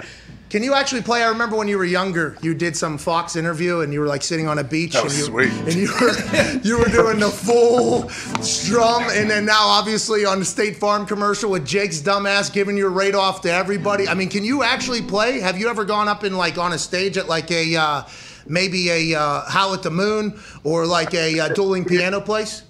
I did a, uh, an open mic, a couple songs. This was years and years and years ago with uh, with Brett Goode, our longtime long snapper. We we used to, you know, have our Fridays where we uh, drink some brown liquor and uh, play some guitar. Uh, and and we decided for whatever reason to play this open mic. This is I don't know. This is about twelve years ago, maybe. Is this Green Bay? This is in Green Bay. Yeah, we went down there, you know, and you sign up or whatever. So we, you know, we were gonna play a couple songs, and he kind of froze. Be honest with you, like we played a couple. We, I mean, we practiced for a few weeks too, and you know, when you're maybe when you're drinking, everything sounds a little bit better, I guess. But but we went in there and we struggled. Did you get booed out? I mean, they had to know who you were, right? Immediately upon you. No, we didn't get booed out, but we started our last song, and Brett couldn't do it. So I said, "Hey, man, I got it." So oh, yeah, and I did a little uh, Ben Harper Forever to kind of bring it home. What, what did Brett do? Did he just slowly walk off the stage while you played the song? I think he bellied up to the bar. Oh, good. Hey, going to your, you were talking about uh, Pat and I were talking about Lafleur earlier. You ever feel like you may be bullying him a little bit with this position you're in? Whenever you get juiced, you just sock him and forearm him in the chest and hit him in the neck and just mess around. I know it's all in good fun, but technically he can't really hit you back, and he you deserve to get smacked a few times. How, how, heavy-handed you are. Yeah, you know, Matt likes that real intimate hug, you know, kind of where you hold and then look at each other. And I'm more like, give me my space, man. Come on. like, I'm not trying to like hug and then like talk it out close. Like, man, come on, just dab me up and let's move on. Come on. How are you with How are you with the offense? How are you with Lafleur? I mean, this was a big one for him too against Kyle, I guess, and there was the cold handshake or whatever. And who knows if that was just two friends being mad at each other? I'm sure that's been addressed. But how was it for you know him to get this a big win? San Francisco has been a nemesis. I mean, it has been here for a bit. This is a massive win. How has Lafleur been? How's your relationship, and how do you feel about the offense right now? Yeah, I don't think anybody's seen him. I mean, he's been on a on a bender the last couple days. uh, no, Matt. Matt's a grinder, man. I'm sure he put that thing to bed. You know, on the plane, he probably stayed up the entire plane ride. We landed like 5:30 in the morning. You know, walking out there, it's like damn paparazzi who walk off the plane. Now I love it. I mean, I love seeing the fans at the airport, but it's like 5:30. I haven't even slept. It's hard to sleep on those planes, um, and you know, walking off and it's like people clapping and people taking pictures. I think people just got in the airport. Some of them are for their flights, and I'm like, you know, baggy eyed, can't even, you know, s- you know, staggering around there, haven't slept, you know, at all on the flight, uncomfortable, hungry. Um, but I'm sure Matt was, uh, you know, put that film to bed and was on to, to Pittsburgh pretty quick. Now, you know, we were all happy, and, and some games mean a little bit more than others. I'm sure when you go against your former boss, it does, and then have an icy handshake after you know, after a win, I'm sure that feels a little bit better. What is that icy handshake? You ever have any any uh, opponents where you weren't really sure how the interaction was going to go after? You know, you always go talk to the opposing quarterback. You always seem like you're your best buds with them. You ever have any interactions after a game that you're like, oh, this got a little more serious than I thought? I haven't. No, I haven't. I really haven't. I mean, there's been a couple where you might have some strife with another guy on the other team during the game, but uh, usually after the game, it's you either don't talk to him or you know it's squashed. It's like oh that was heat of the moment. You know you dap each other up and then you you, know, you move on. So I, I haven't really had any any of those on the field. Cops You like- walk with you too. Cops walk with the head coach and the quarterback. Yeah, it's too. So no Rodgers. one's doing it. Yeah, sure. I got a ton of yeah, a ton of cops around me. I'm sure. Oh, that's a no. You don't. Because we have seen you very casual conversation, except for uh oh. Except for is that Ndamukong Suh saying, "Hey, you're right. We should get past this," because I do remember that is a situation that is still potentially, you know, something that exists. I don't know if you guys handled that or not. Yeah. Uh, no, I mean I never really got necessarily handled, but I, um, you know, I didn't see him after the game, so I'm sure there's there's not any strife between us. It's a couple of, you know, competitors, savvy businessmen off the field. Nothing but respect for each other. That's all. Nothing but respect. Do all the younger quarterbacks just come up and ask you a bunch of questions? Like right now, the rookie quarterbacks are swimming in it. Uh, this last weekend, I forget what it was, but do young quarterbacks after the game, since I know you don't go out early in the pre warm ups, do, do they take that time to ask questions? Did you ever do that to any quarterbacks, or is that something that's not really like talked about much and doesn't happen on the field? I mean, uh, there's a time and a place. Like after a game, but this it's not a lot of like Q and A stuff. You're usually looking for, uh, for me, you're looking for uh, you know the opposing quarterback, and then maybe the defense coordinator or people you know on the staff, and then friends. You know, and then you're looking for your friends catch up quickly. But it's all quick stuff. You know, it's it's. Uh, you know, it's respect and and uh, well wishes, and then you know, and then you move on. If you, if you see like you know a friend, you might stop and you know might grab uh, uh, Evan Siegle to take a picture or something. You know, it's like last week when seeing uh, you know Tim Boyle and Jamaal Williams and, and Geronimo Allison. You know, that was definitely uh, definitely wanted to, to get a photo with some of those guys. So I thought Pat, you had something. Oh but- no, I do. Yeah, I actually No, do. no, no. no, I'll no, no. Because this, this, this is it. So, so Tom. Oh, so like, my thing was, who's somebody you look? Who did? Who did? Like when you're fucking Aaron Rodgers, everybody talks about you, and I'm sure you have heard this. You've had to have heard this. Like, hey, this guy's the greatest ball thrower of all time. This guy is the reigning MVP. There's only a certain amount of people, I assume, that you can go to for any advice. And do you even have that person? When was the last time you had that? Like, we saw you and Tom Brady have a little relationship this offseason with the match happening and hanging. You guys had a nice little catch. I mean, you guys Oh, had a yeah. good catch with each other. Like, is there people you? Is there people you could talk to? Is there people throughout your career you think that maybe we wouldn't know, like, hey, helped you out immensely with some tips or advice or anything like that? I think there's a lot of people for sure. I mean, you know, Steve Young has been a has been a friend and a, and a mentor for a long time, especially younger. When I was younger, I reached out to him. I think after my second concussion in 2010, uh, and uh, I just wanted to, him to alleviate some of the fears I had around uh, around concussions and and long term health because I know he was a guy who sustained a number of concussions over his career, and uh, you know had a bad one at the end of his career. So I reached out and he was fantastic. And since then, you know, we've kept in touch over the years, and, and he's uh, you know been a great resource when I need him. Um, but but just also just kind of a supportive friend from afar. Um, you know, some other former quarterbacks that I keep in touch with uh, from time to time as well. Obviously, Farby and I have uh, uh, become good friends uh, over the last few years, especially. Um, but yeah, it's kind of people reach out to me a little bit more, I guess, now than, than I reach out to them. No big It's deal. fun. No big deal. No big deal. No big deal. Yeah, people calling. Uh, it's cool to chat with people. No big deal. Go ahead, Ty. Aaron, first and foremost, incredible game Sunday night. That was a lot of fun to watch. Something I'll, I'll remember that one for a while. Let's go! Yeah, that big, big win. Um, a lot of people were talking about how the, the first pass to Davante on that last drive was something you guys came up with during the week in practice. Has that been common through your career? Like, can you think back to like these pivotal moments where it was something you guys put in the week prior to the game or the week of the game? Yeah, great question, Ty, as usual. Thank you. Um, and a boy Ty. For a long time in Green Bay, especially when Joe Philbin was around, we used to do this thing on Saturdays, and it was a two minute uh, against ourselves. So it was the number one offense against um, a bunch of other offensive players, backups. And they would play as a defense. And over the years, it got very competitive. Um, Joe Philbin, uh, you know, got those guys running a bunch of crazy defenses, and it turned into uh, a period where we'd work on things, but it was it was also kind of a bullshit period a little bit um, because we would do two drives. One drive with uh, you know the normal guys playing, and the second drive, all the skilled players would play the line, and the line would play the skill positions, and we'd go against them. So it was this big fun thing Saturdays, right? That got kind of outlawed uh, towards the end of Mike's time and and Matt's time as people were worried about you know O line getting hurt because they're running 50 yards down the field, ridiculous, right?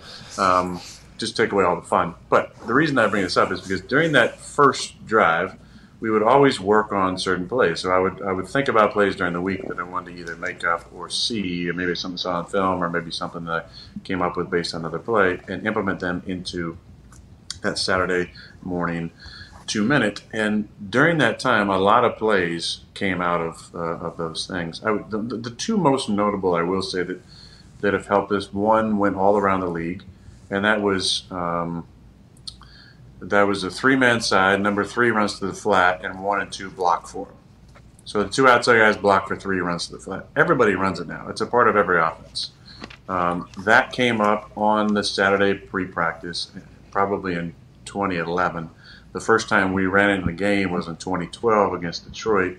They played a lot of Tampa 2 in their two minute, and I hit uh, uh, Jermichael on the right side, so I'd be going on their sideline. Finley. He broke tackle and went about 53 yards. It set us up for uh, the. It was the game-winning touchdown I threw to Randall on a on a corner route, but it was set up by that play that came up in this silly pre-practice Saturday morning two minute. The other one is the genesis of the the dash protection, which came in handy in 2016 in a game I mentioned earlier against Dallas, where you know we it was third and 20. Um, we had taken a sack. I called timeout.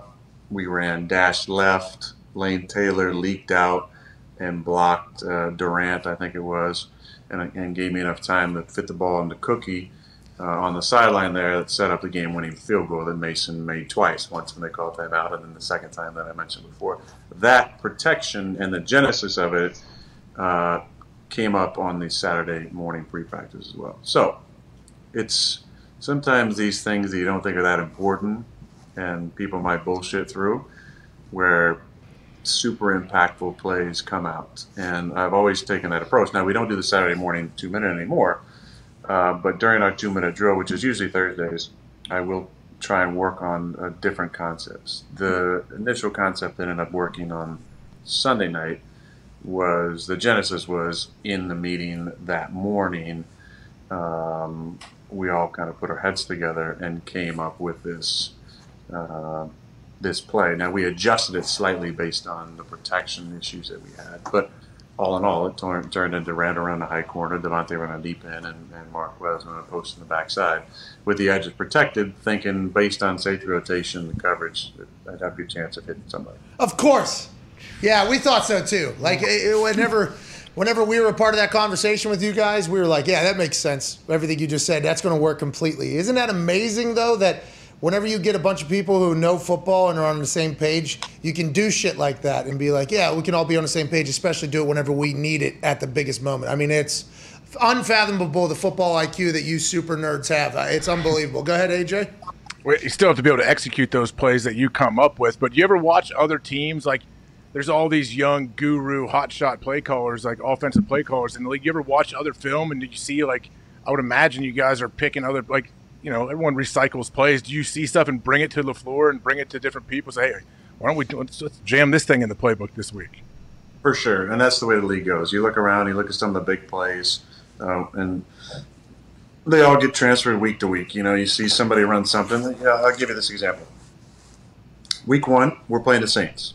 They have a fourth and five on like the plus forty ish going in, and what do they do? They run tight end screen back to the right after they motion the back out left. So what do we do the next week? We're playing Detroit. We got a second and eighteen we motion the back out to the left and throw a screen to the right to Bobby. He hits 22 yards for first down. Um, what did I see last night? I think it was Cowboys. Cowboys had the ball. Get back on track situation. They motioned. I think it was Pollard out to the left. They threw a screen back to the right. Guy gets you know a ton of yards, first down. That's the way this thing goes. Somebody sees something on film that worked, and everybody tries to to initiate into the game plan. There's a lot less uh, stable maybe stable isn't the right word, but systems that are rigid in that this is what we're going to do every single week, and we don't. We know if we do what we do better, uh, then you can stop us. It's going to be very efficient. That's how the West Coast offense was. The West Coast offense was not a you know make things up. It was it was not it was not relying on scheme. It was relying on timing and rhythm uh, and proper uh, ball placement. Um, most of the offenses now are heavy scheme offenses. So of course they're going to steal from the latest fads and and try and recycle plays if it fits in your scheme. What did Tom? Tom said it's getting it's like dumbing down the game almost because it's the scheme making plays as opposed to the players having to do it. Do you? Like, it sounds like you agree with that type of thing, right?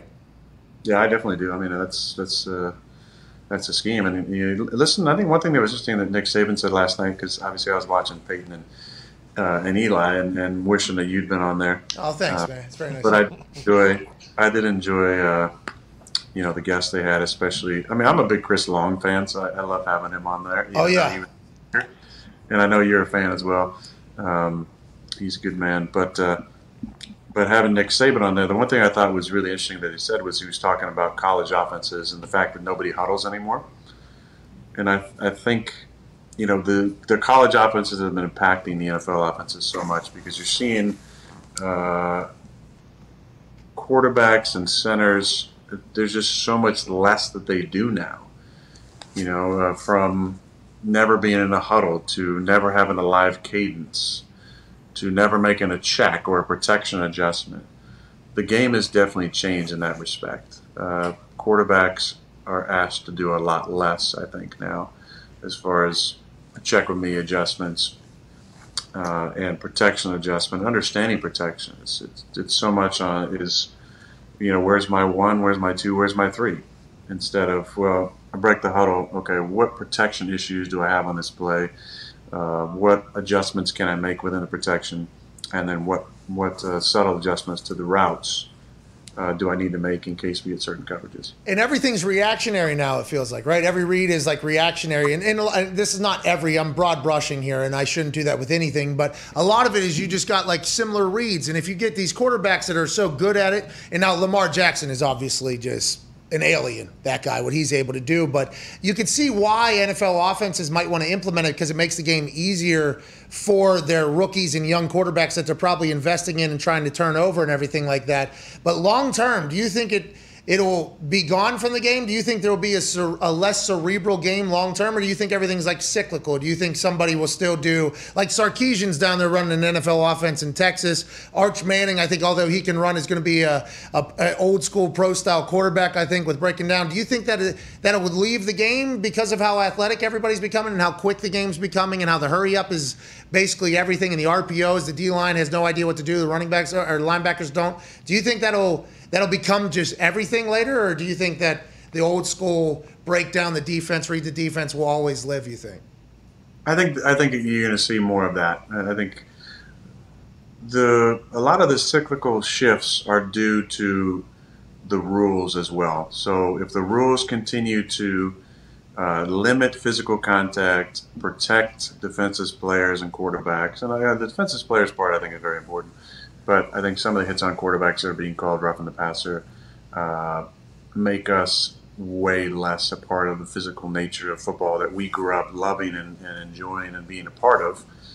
And I think that's that's kind of a bummer. But you're seeing, you know, as the rules continue to change, uh, you're going to be seeing more college influences. Look at the RPO stuff, and they're trying to crack down a little bit more on linemen downfield, but uh, but until these, you know, and, and also with the the cut rule, I think has really uh, adjusted some of the RPOs because receivers, you're not allowed to cut outside the, the tight end box now. You know, five yards on each side of line scrimmage, um, I believe. So that has changed some of the RPO mindset where you can't just throw it out to the flat, have two guys cut, and now you got you know racing away from one guy. Now you got to body up a guy and, and, be able to actually block a guy. It's, I think that's swung it back in the defensive favor, which is not exactly a bad thing based on the, all the rule changes that we've had over the, the last uh, half decade, decade.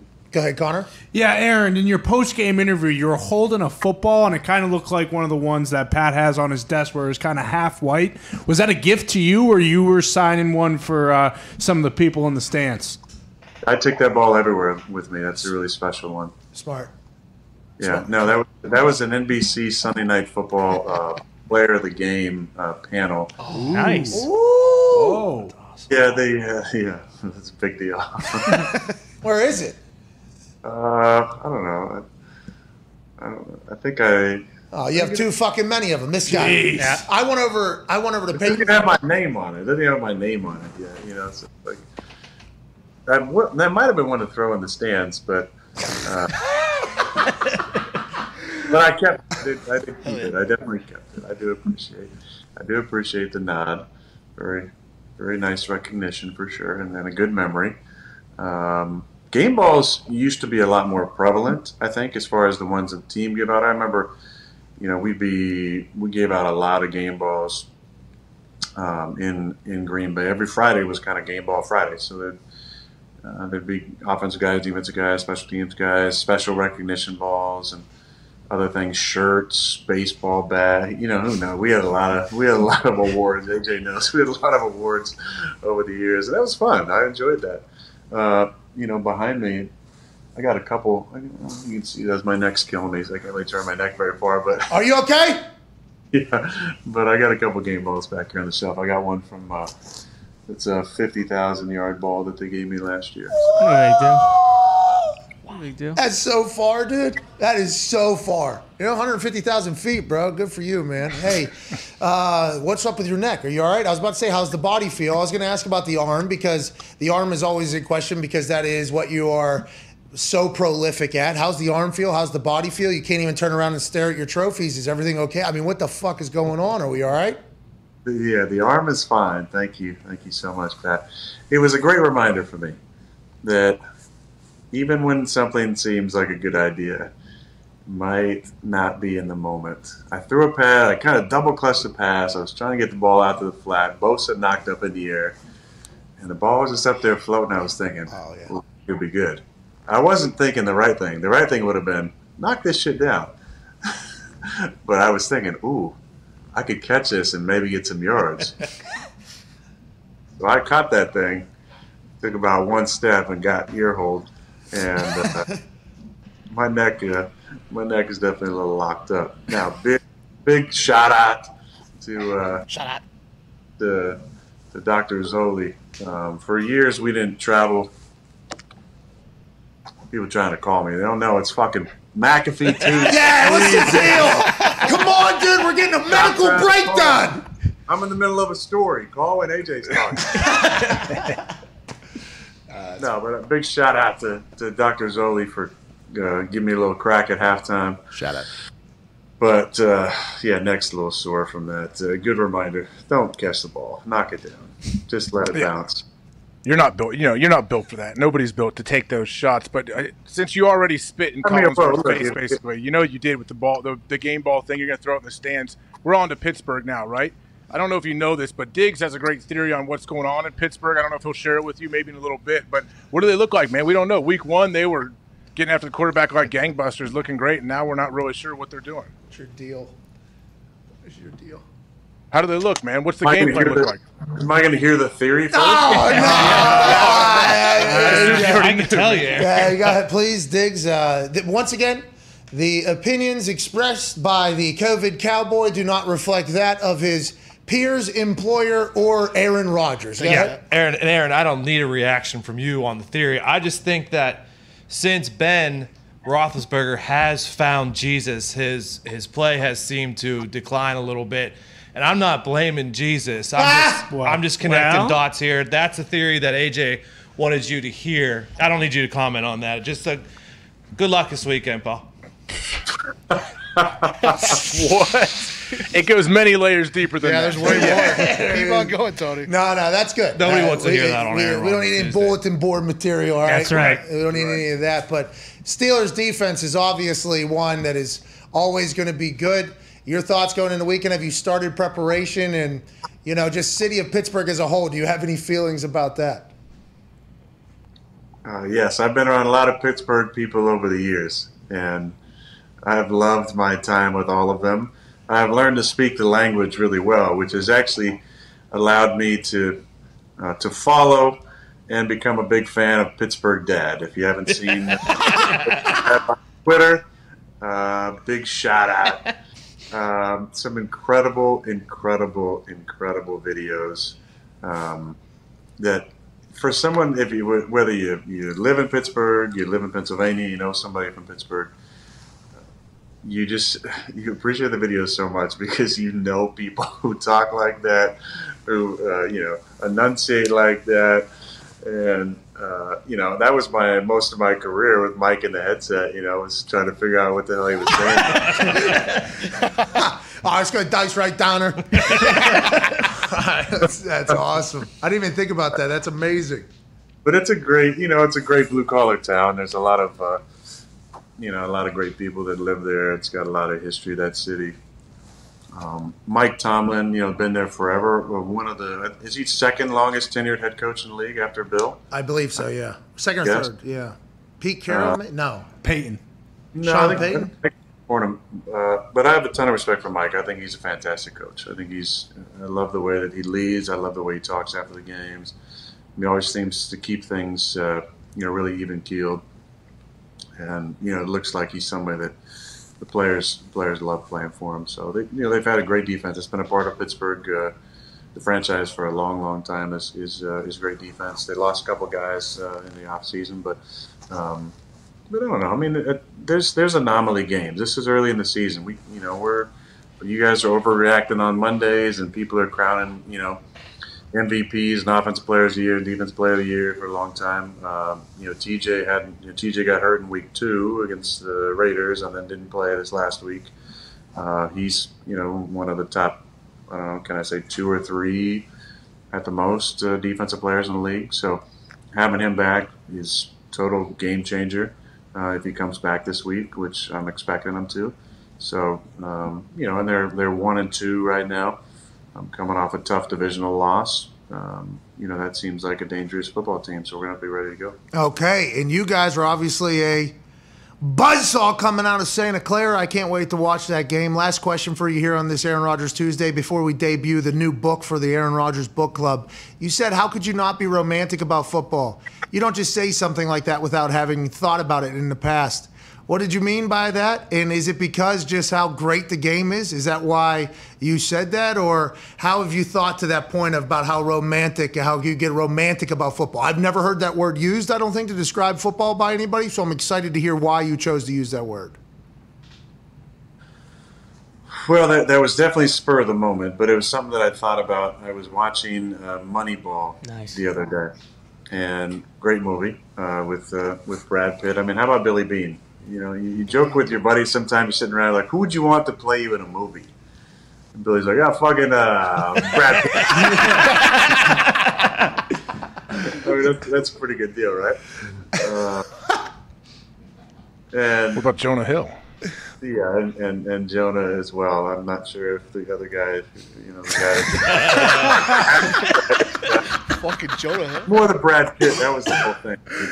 Uh, we don't need to bury Jonah, okay, to No. put over Brad Pitt, AJ. Asshole. Let him finish. He's a his- great actor. It was a compliment, bro. I- Settle down. I agree, but what I mean, I love You ever Jonah. seen War Dogs? Hey, you ever Yeah, seen I- I Accepted, it. dude? You ever seen him in Accepted? Ooh. He's fucking awesome. Ask me about. Sorry, but anyways, go ahead. What were they asking him about?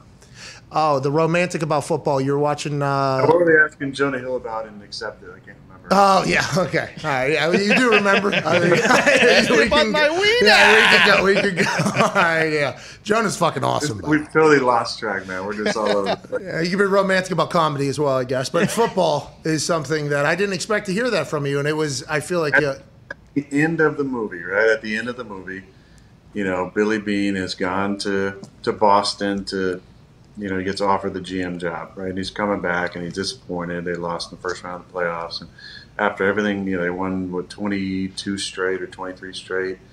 Uh, you know, after, you know, they didn't implement what he was trying to do and then he traded a bunch of players away and you know, all the stuff that happened.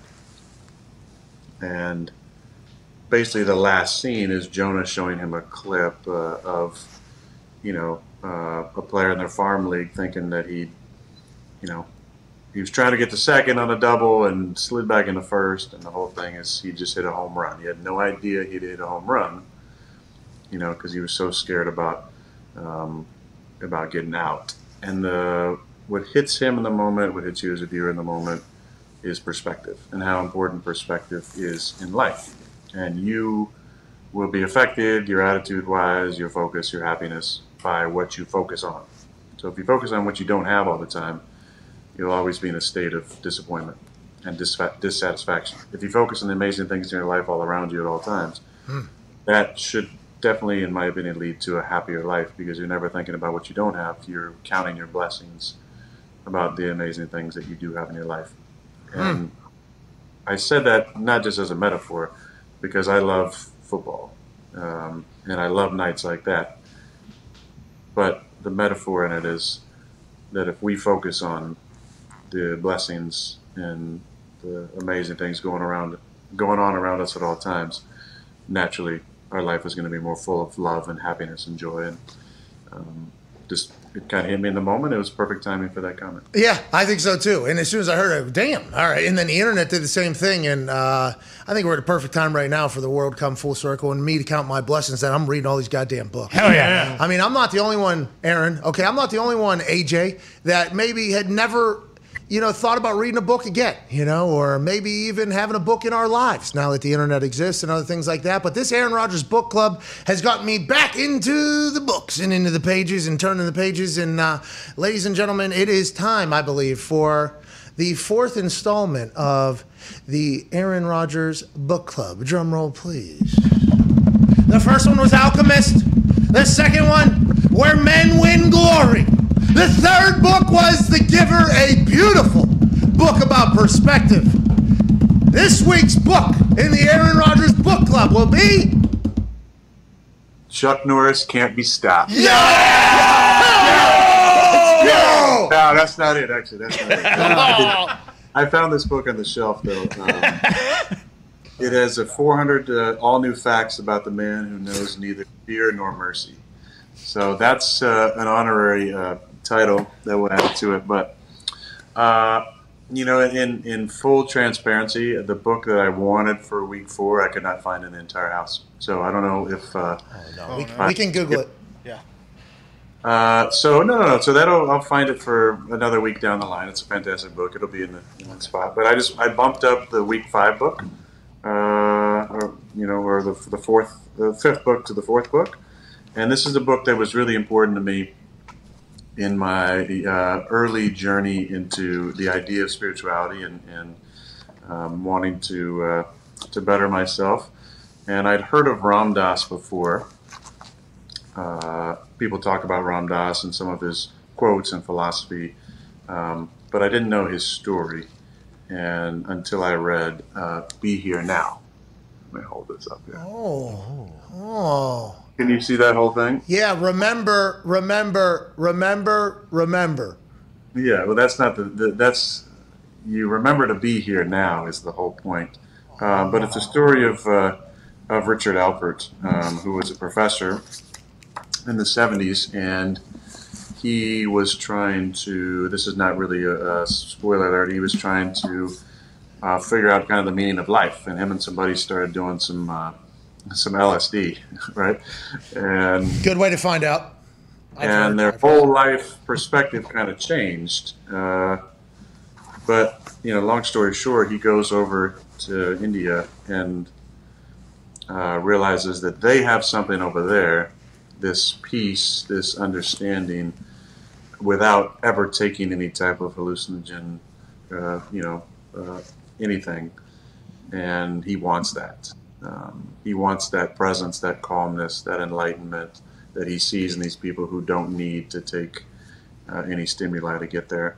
Huh. And it's a good intro book, uh, I think, for anybody interested in uh, needing inspiration on their journey uh, to a new type of spirituality. Uh, some incredible quotes in here, and, and a book that uh, that really meant a lot to me. Ram Dass actually passed away a couple years ago. Matt Rum- no, Now, maybe not even two years ago now, but uh, there's a great documentary about him that's out there, and um, you know people that love him, and his foundation still puts up a lot of great uh, inspirational quotes and, and stuff uh, uh, on Instagram and, and social media. I wanted to have a moment of silence for Ram Dass there, but you were in the middle of your sentence, so I felt bad. And AJ, and I mean, I felt like I disrespected the man. Cannot wait to read the book. Remember, be here now. Be where your feet are. Let's live a little, huh? Let's let's appreciate life a little bit more. And I can't thank you enough for uh, reminding me to read The Giver again. You know, last week, and I can't wait to get into Ram Dass's here. Remember, be here now, dude. This is awesome. Okay, buddy. Thank you. I can't wait. I, I I just hope you read, you know, whatever is. I don't know when your off season is because you hustle so much. You don't have to take a damn day off. But Thank you. I just hope at some point you read one of those books, or your wife reads it to you in bed. You know, when you're having your pillow talk or something, just so you can, you, know, you can digest it more than than Connor's, you know, cliff notes. Or whatever. Well, Connor, I mean, The Giver I read in fifth grade or whatever, so I mean, that was easy to pull. And then obviously The Alchemist. My wife, big time reader, though. Maybe that is how I get into this thing through her beautiful voice and your incredible recommendation, sir. I can't thank you enough for joining us. Good luck this weekend against the uh, Pittsburgh Steelers and enjoy the hell of your Tuesday, man. Let's loosen up that neck a little bit, you know? Ooh, I'll try, man. I'll try. And keep playing guitar too. That was really inspirational. Hey, Be you here wanna, now. hey, you want to play something? You want to play something right here? Yeah, play a duet, guys. Come yeah, on. come on. Yeah, play a little something on the outro, right? Uh, yeah. Recreate that sweet Fox uh, Fox Sports interview. you did. Yeah, Yeah. we'll- yeah, on right, the beach. Here we go. All right, ready? Hey, play, jump, hey, play Jumper. You got to sing it. Ah! He almost showed his screen, too, huh? That was your fault, AJ. Hey, Jay, if you would have just shut lot, up, we could have had a fucking duet, dude. Thanks a lot. Yeah, he was definitely going to play and sing. He was. Well, until you brought up that commercial. Jeez, You ever heard? Have you ever heard him play and sing? He'll do it. He does it. I listened to that. I watched that one piece that he did on the beach or whatever. He's pretty good. I wish I was there at that open mic night. They got oh. booed. Oh man, That would have been insane. Brought the house down. All right, we have to get to a break. Like, actually, have to right now. We'll be back on the other side to chit chat about everything that happened there with Aaron. He said a lot of words. Mm-hmm. put over Pittsburgh pretty good. Yeah, seems like he's going there next year. Okay, so there Diggs once again planning for the future with a new quarterback. Wow. This is the second quarterback in less than 24 hours that he is proclaimed going to the Pittsburgh Steelers. That should be a little bit of a sign of worry maybe for the Pittsburgh Steelers fan base. I'm not 100% sure. AJ? Well, Diggs, I, I bet Diggs is a bit worried when he heard Aaron talk about spirituality. He's like, well, maybe I don't want him. All right. All right, we're back in four minutes. This is the Pat McAfee Show, Aaron Rodgers Tuesday.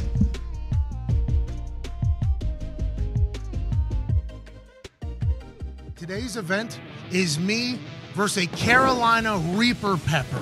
A pepper that has what? 2.2 million Scoville uh, on average. I think it's it's pretty much the hottest pepper in the world. In comparison, a jalapeno is 6,000 Scoville. For every second after it is in my mouth, I don't grab this milk. We'll give $25 to a random person in the comment section right now. $4,500 feels like a good amount to give away, though. And that'd Three be minutes. three minutes. This is going to be a long three minutes. Redder than devil's dick. that crunch. How we, how we doing so far? Doesn't look too bad. I should have taken a drink of water beforehand, though, because I think I had a dry mouth. I had a little cotton mouth. Oh, Oh, okay. Once the hiccups start, I think I think you're just about done for. What's your biggest regret in life? Do, do you have two more minutes in you? Starting to hit like the peak. The curve on this thing is just starting to go up. You are handling this much better than Bill did, though. You are, yeah. Billy Tubes was puking 10 seconds in. 130. 130. It's burning my esophagus. Do you feel like you're going to puke? And that milk looks ice cold, too. No! Ah! Broke my heart. Ah, hey, one more. One more. Yep.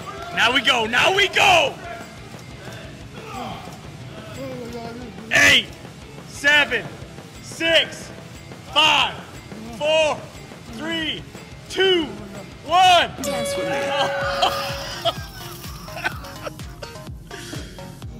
How you feel now? A little bit better, but. Oh, God. That's a bad idea. I need more. I need more milk.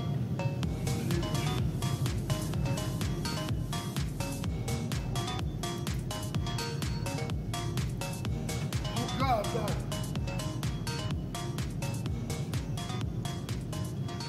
Ah. Yikes. You know, it's just like EA Sports is in the Oh, game. jeez. We're the only media outlet that does not have a deal with them. Like, we don't get free codes. I'm not even in the fucking game. Mm-hmm. They've asked me to do it. I've said no. I don't want to be a part of it. I mean, that is legit because I've never played, to be honest. I am not Smart. good at it. But we're the only ones. Yeah, you guys have played. There's a lot of guys in here that have played. A lot of fans have called in and played. We're the only ones that aren't really on an EA Madden payroll at this Yeah. point. So it's okay for us to come out and say, like, hey, y'all need to stop fucking over your fans. Like, Mhm. you need to help them. I feel like that's a good thing of this show.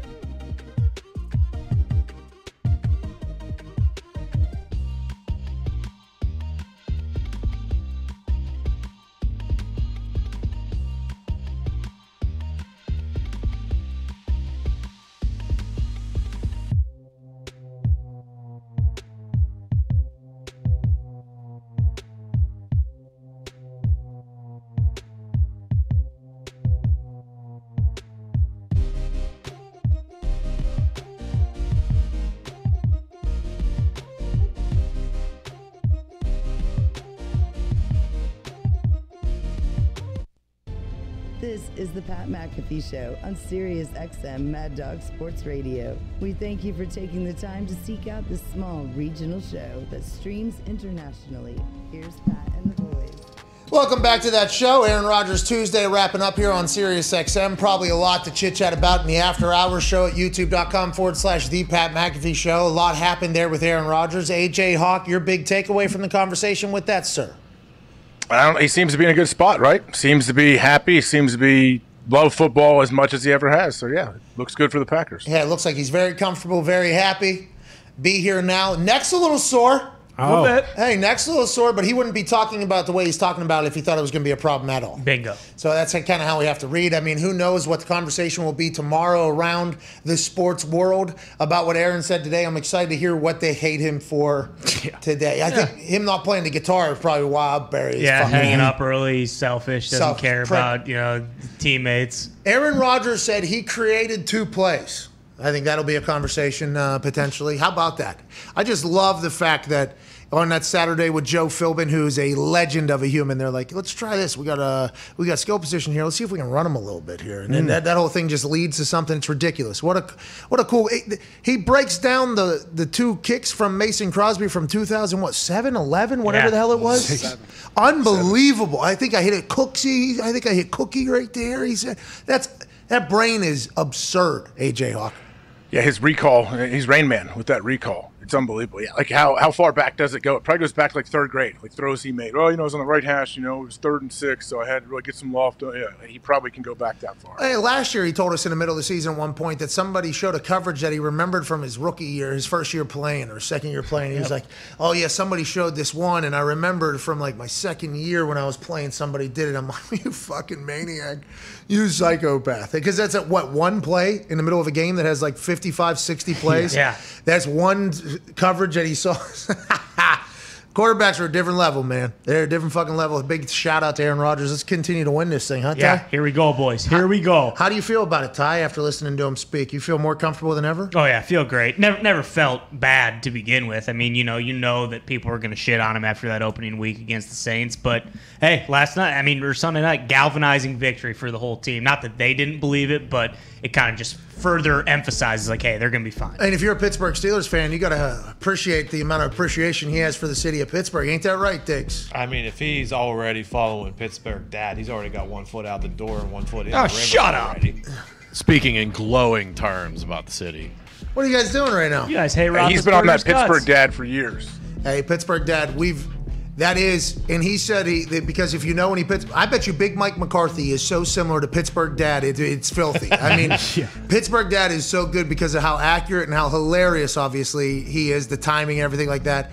But that everybody in Pittsburgh knows somebody like that, or their dad is directly like that person. It is fantastic. Turner's iced tea too. He'd probably love. Oh, sure. Oh, I couldn't even imagine the icy like Mongo in Oh, Pittsburgh. Primanti's. Oh, Rudy Subs. Oh. All right. A show much better than ours on the other side of this six minute break. We'll be back tomorrow with a Coach 'em Up Wednesday. Is that JB? Come on. It's Chuck Vaughn. JB's on Feel Good Friday. I thought it was Coach 'em Up Chuck Wednesday. Yeah. I might have talked to Chuck out of it, though. I don't know. Just because also we were running out of seconds on the clock. I noticed it was a three. Yeah. You know, so instead of taking the pump fake and putting Chuck up in there, Get it up. I just got it up. You know, I wasn't I wasn't balanced. I was off balance. I, it wasn't perfect form going out, but I saw the clock, and right before the red button or the red light lit up, the ball got out. So I think if I would have added Chuck, probably calling Count it it. back. There's still a bucket. Probably calling it back. It was. It did go in, but it wasn't Mhm. as good. It is Coach Us Up Chuck Wednesday. Good move. I just, for some reason, a couple like ten minutes ago, I started laughing in my brain. I didn't laugh out loud, thinking of you doing the little Carson Wentz double ankle sprain like thing, doing your little shuffle. I don't know why it made me laugh. That's what he looked like, dude. I, I was watching him just so bummed out. I'm like, this guy. Because you know how that feels, though. You know how Yes. it feels when you have a bum ankle and you're trying to like, okay, I can't come. Oh, here we go. Everything's super ginger. Yeah, because the way the ankle is set up, you know, it's a joint. You know what I mean? They say this Mm. is the ankle joint here. It's going to the foot down here, and this is your thing.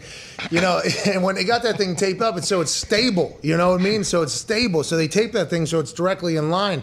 As soon as you get off a little bit, as soon as the balance gets off a little bit, that's where the pain and the irritation happens. That's why they're locking that thing, trying not to move it. So you literally have to run like you're on stilts, especially if you have, and I can't stress this enough, two sprained ankles from one play. This guy's a psychopath, dude. He's like, he's a maniac. He's still running around, flying around, but I appreciate you enjoying that. I do appreciate that. It means a lot. I enjoyed it as well for a little bit. I enjoyed it. For yeah, it came out of nowhere. Came out of nowhere at me. For some reason, it keeps popping up in my head. SeatGeek is a sponsor of today's show, and we ah. got a special promo for you all. Something they've never done before. This particular promo had run for years. We've been asking SeatGeek to do this, and today they have finally come through. And it's because this SeatGeek company is at a brand new chapter. This SeatGeek company is at a brand new altitude, surviving a World Live event stoppage for 18 months. They're on the other side of it with a fresh new logo and a yeah. beautiful new mindset to take care of their customers. So if you're not a first time user, if you've shopped with SeatGeek before, this does not matter. If you have never shopped with uh, SeatGeek before, this does not matter. This is good for everybody. Wow. Everybody? Everybody. In honor of football being all the way back, they gave us a special link that gives you 15% off all football tickets, whether you're a first time buyer or not. This is good for everybody. Everybody. No code, just click the link in the description uh, of this particular video on YouTube, and 15% off code will be auto applied to your account. Doesn't matter if you've purchased on SeatGeek before. We have no idea how long it's going to off, uh, this offer is going to last. Wow. It's been going pretty good. That's a great deal.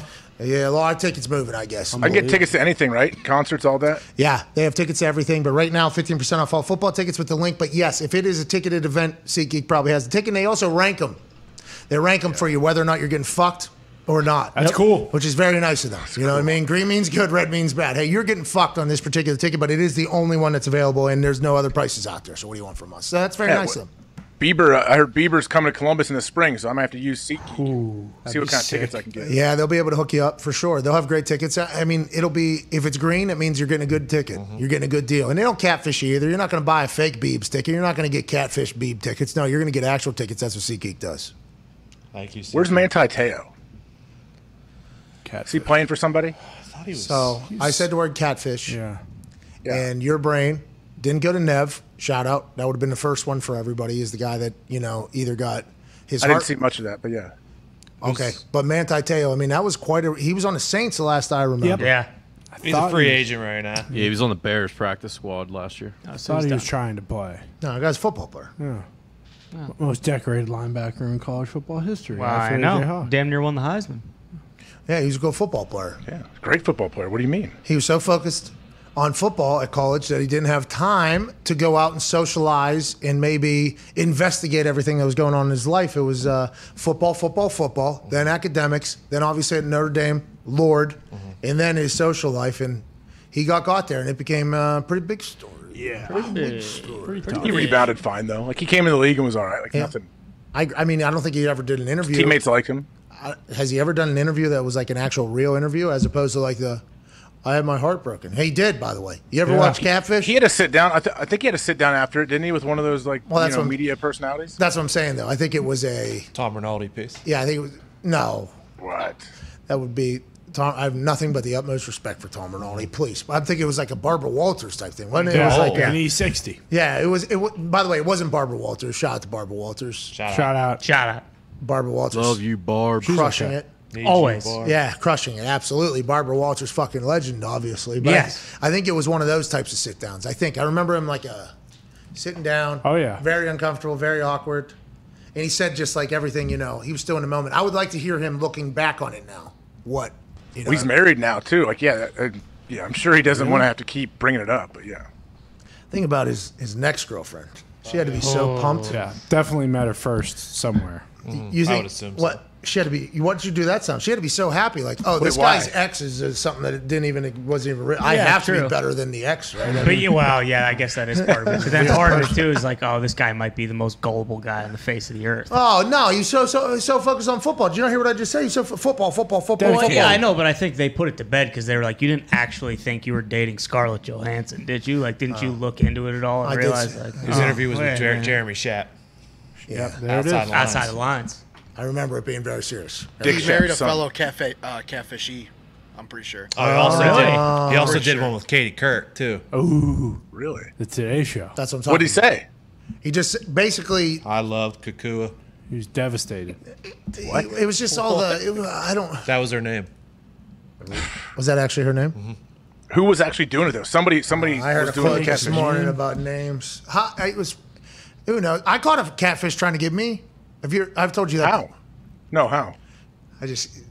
the person was way too, way too, to be talking to me. I mean, I was like, I was the low man on totem pole punter.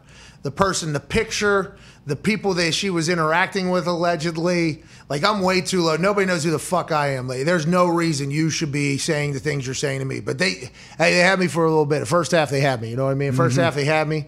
You know, on uh, on Twitter DMs, and then literally, I had, I mean, I had a dream one night, and uh, I was uh, running through an airport and I asked somebody to use their phone, and it was a large, fat, hairy man. And uh, I asked to use his phone, and he gave me his phone, and it, her uh, uh, the her account was on his phone, and I was like, I, I woke up literally, I knew it, and I uh, I sent her this well crafted DM that basically said, when you write your book about you catfishing people and stuff. I would like a chapter dedicated to me. You're a fucking fugazi, dude. And it was like it was like probably you know like we had like a send, a send, a send, a send, and then that was the end of it. I was like, I caught you. I fucking caught you, and I was so proud of myself. I got blocked immediately. Oh, they didn't respond. No, no response. No, not even recognition. Like I was almost like Roman. Like acknowledge me, dude. Mm-hmm. Like Yeah. hey, acknowledge me, because I saw some other people that were tweeting with her, and I was like, it kind of got me going a little bit. Then I was like, nah, it's not. And then it was a catfish inevitably. Did you did you think about sending dick pics? What's that? Were you close? No, no, I've never sent a me tweet, pal. That ain't- Tony was wrong with the name. It was uh, Megan, and her real name's Angela. That's not true. Kekua? That's not true. Kekua. Yeah, Zito, that's not. What happened to the girl that catfished Nev? All right, so that's not. Yeah. That's not who we're talking about. Thank you. Oh. Lennay Kekua. Thank you. Tony. yeah, Le- Lennay, Good Lennay, pull. you're right. Lennay, I do remember Lennay. The fact that you did not remember Lennay and you remembered Kekua is amazing. It is amazing. That's a wild world, though. A lot of athletes, I think, get got. I had a couple teammates that got got in Indiana. I think you know because you travel. Like actually, like meet up. It's do you actually like meet up with a person or just like online? Yeah, I think it's just online. I, I don't know if anybody's ever gone. I think I I I do take that back. I do remember hearing quite a tale on a Saturday morning walkthrough of some of our younger guys potentially going to meet what they thought was going to be a and it was not what they had expected in the way that the story was told on their end. It was a Hmm. much different uh, group of people, I guess. Although they did meet with a group of people, it wasn't the exact group that they expected. So I think maybe there is a little bit, but with the internet, man, like anytime we get a caller, for instance, this is Drake in West Palm Beach. Who the fuck knows? If this is Drake, I literally say that every single time. Who knows if this is Drake in West Palm Beach? We assume it is because Drake in West Palm Beach doesn't fuck around. No, no, no, when no, Drake not calls West into the show on a five-hour energy line, we assume it's him. But who knows? West Palm Beach. Drake, what's going? What side of the bridge? That's a good question. Uh-oh. What side of the bridge, Drake? Hey, we're on the uh, we're on the inland side of the bridge here. Okay. So he says. Uh, yeah, we don't know. We don't know, but that is the right answer. Drake, so far, one for one. If he was to be Drake in West Palm Beach, that's what we would hope to hear. Because nobody on that island is listening to us, by the way. Have you seen those houses over there? Oh, yeah. Yeah, there ain't nobody listening to this show. Anyways, Drake, what's going on, pal? What do you want to talk about? Hey, uh, not much. Uh, I just wanted to appreciate uh, you guys, and uh, you know, um, you know, yesterday uh, you had a bad call from a Raiders fan, and you know, I hated to see it because I'm a Raiders fan myself. So I just wanted to give you guys uh, some love and uh, thank you for all that you do. And speaking of the Raiders, Thank last you. time they went three and zero was 19 years ago. So are they going back to the Super Bowl? Okay, I like that, Drake. Thanks for the call. Go Raiders, huh? Go Raiders. Raiders Hey, go up. Raiders, huh? They Ain't lost right, in the Super Bowl to Jon Gruden that year. Or down in Tampa. Mm-hmm. Uh-huh. Now they got Jon Gruden. hmm Different story. Different story. Got the guy. Uh, the Raiders. Oh. 3 and 0 next opponents the Chargers on Monday Night Football. Ooh.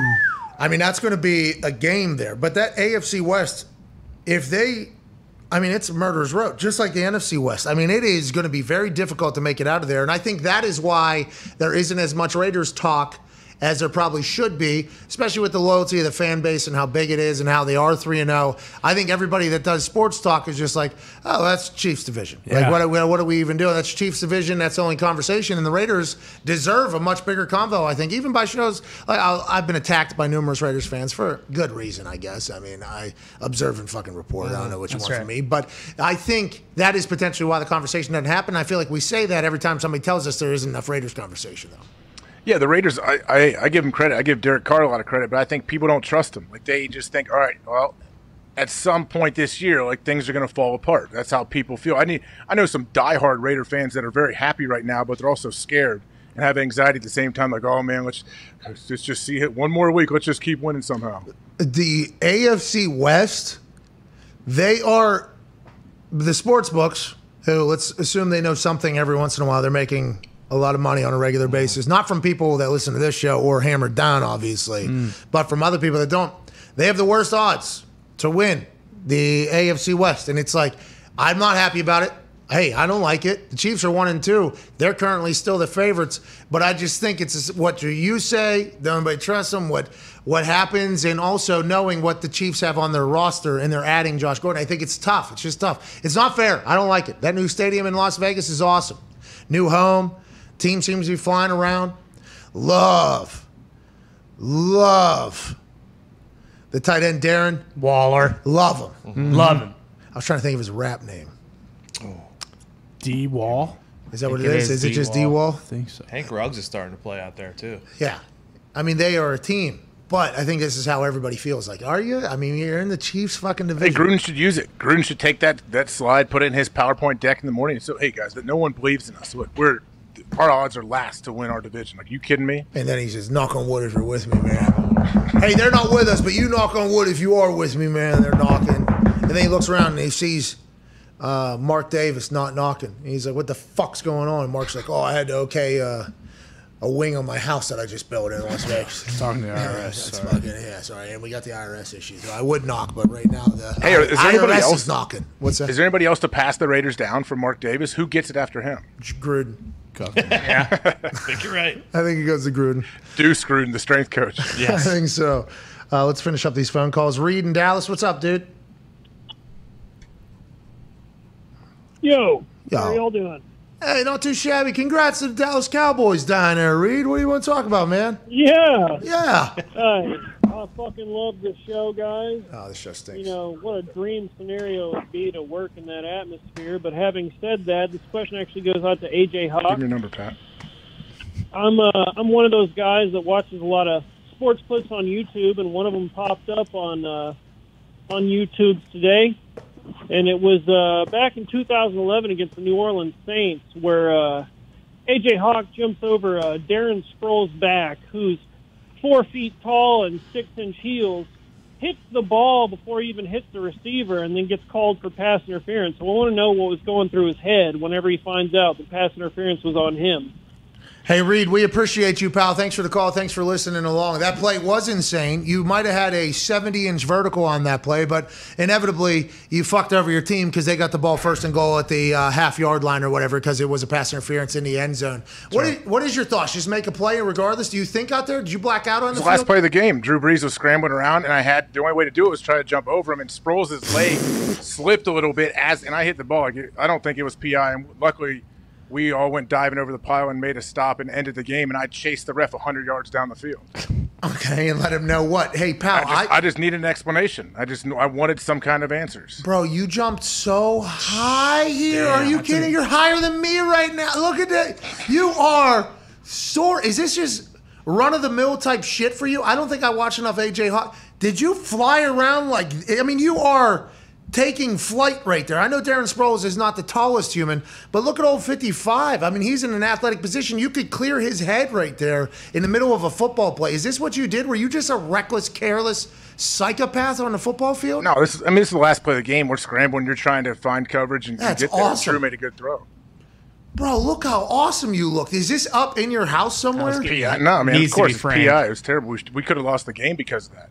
Fuck that. That ain't terrible. That is a great play that the refs fucked up and you. Oh yeah, I'm not mad about it. Believe me, I lost my mind. Like as soon as we, I jumped over the pile, realized we made a stop, didn't care at all. Was just chasing refs. I didn't know who threw the flag. I'm just trying to get an answer from someone. Because this is supposed to be a poster at the house. Uh-huh. This is supposed to be something that is maybe an NFT forever. This that's a play that if I ever had, which I don't, so that's why I'm saying this. If I ever had the capability of doing that, I think I would want as many people on earth to see that picture as possible. That guy right there, about to chase down and yell at the ref immediately before the play ended. I get this. You had to make another stop and continue this rant. But what a fucking hero! This. Well, you watched obviously a Oh, lot yeah. of AJ Hawk. Oh, yeah. I watched you, but I didn't like study focus close enough. You know, I was in the league at the time and in college at the time.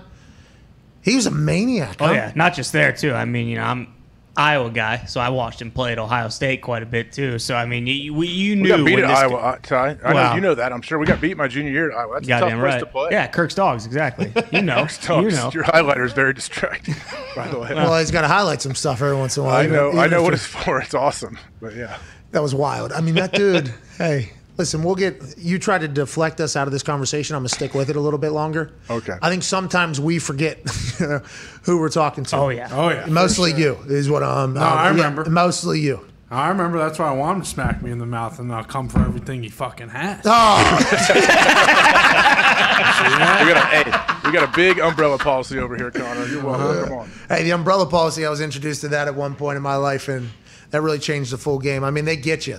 They fucking get you on that payment of that thing too. You need it. You need it, man. Yeah, Someone that's what slips they and falls on your property. Yeah, that's what they say. Just You- remember on that next play too, he jumped over two linemen. Yeah, and he was doing that so he could chase the fucking ref. Yeah. That's exactly why. That You're- guy, uh, whoever that guy was, he's wrong. He's still. Hey, it's probably uh, fucking Walter. Yep. that's probably Walt. Oh, yeah. Nah, I don't know who it was. It wasn't Triplette because I, I would remember Triplette. Well, it's probably Alberto Riveron or Walt, if I had to guess. Mm-hmm. And they, they, good news now, they're running it. That's right. Mm. Much better. Yeah. Good for them. All the great refs go to TV.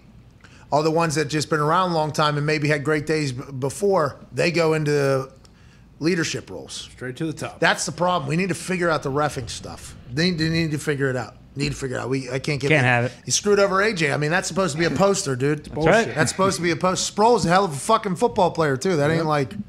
You're flying over top of it. Can you put that thing up one more time? Sorry.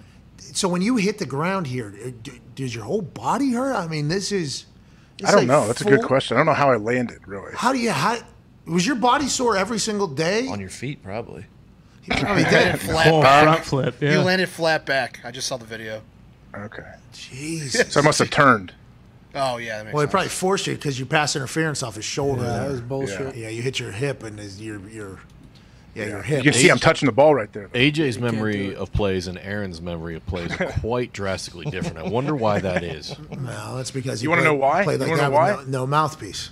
No, because I'm in the moment. I'm here now. Be here now, like the book just said. I Oh, just Ram there, Dass. Ram Dass. Then I erase it. and I'm on to the next. Ram Dass. Hey, by the way, that happens to me a lot. It is problematic. I we'll walk out of this show. I have no idea what we talked about. Yeah. I have no clue. There was a time they were like, "Hey, what are some things we should cut up for a video?" And I'm like, "What did we talk about?" like you were just in there, weren't you a part of it? It's like, yeah, I'll I'll remember more what we talk about today, tomorrow, or next week than I do right now in the moment because of what you were saying there. And I think that "be where your feet are" thing, "be here now." I wish a lot more people would do that. All these big moments that people see, you see it on the internet. All these big people on the uh, like these big moments. All anybody's trying to do is record it so they can remember it, and I respect that. I appreciate that because content is king, and we live in a content world. But I do feel like there are some moments that are missed out upon with just the looking around, being like, I can't believe I'm fucking here, you know. And it's going to continue to happen and evolve, and we're a part of it. I'm guilty of it as well. It's hard not to do that, but it is nice to get lost in some moments. It's nice to get lost in some moments. It's awesome. You know, people always. I, I always try to tell people, like, "Oh, those are the good old days. Oh, the good old days." I hate that. I'm always like, "No, man. Right now, you are living the good old days. You create your good old days, like because you know everything is like perspective. Sure, I'm 37. That's old as hell for some people. That's also very young for old people. Like everything is relative. Is all you gotta have like a, a decent perspective, I think. And I hate when people are, oh, just in another two or three years, things are really going to clear up for me and things are going to be great. I'm like, everyone's everyone's got some kind of struggle or battle they're dealing with, but man, you got to enjoy it. You could be dead. Yeah.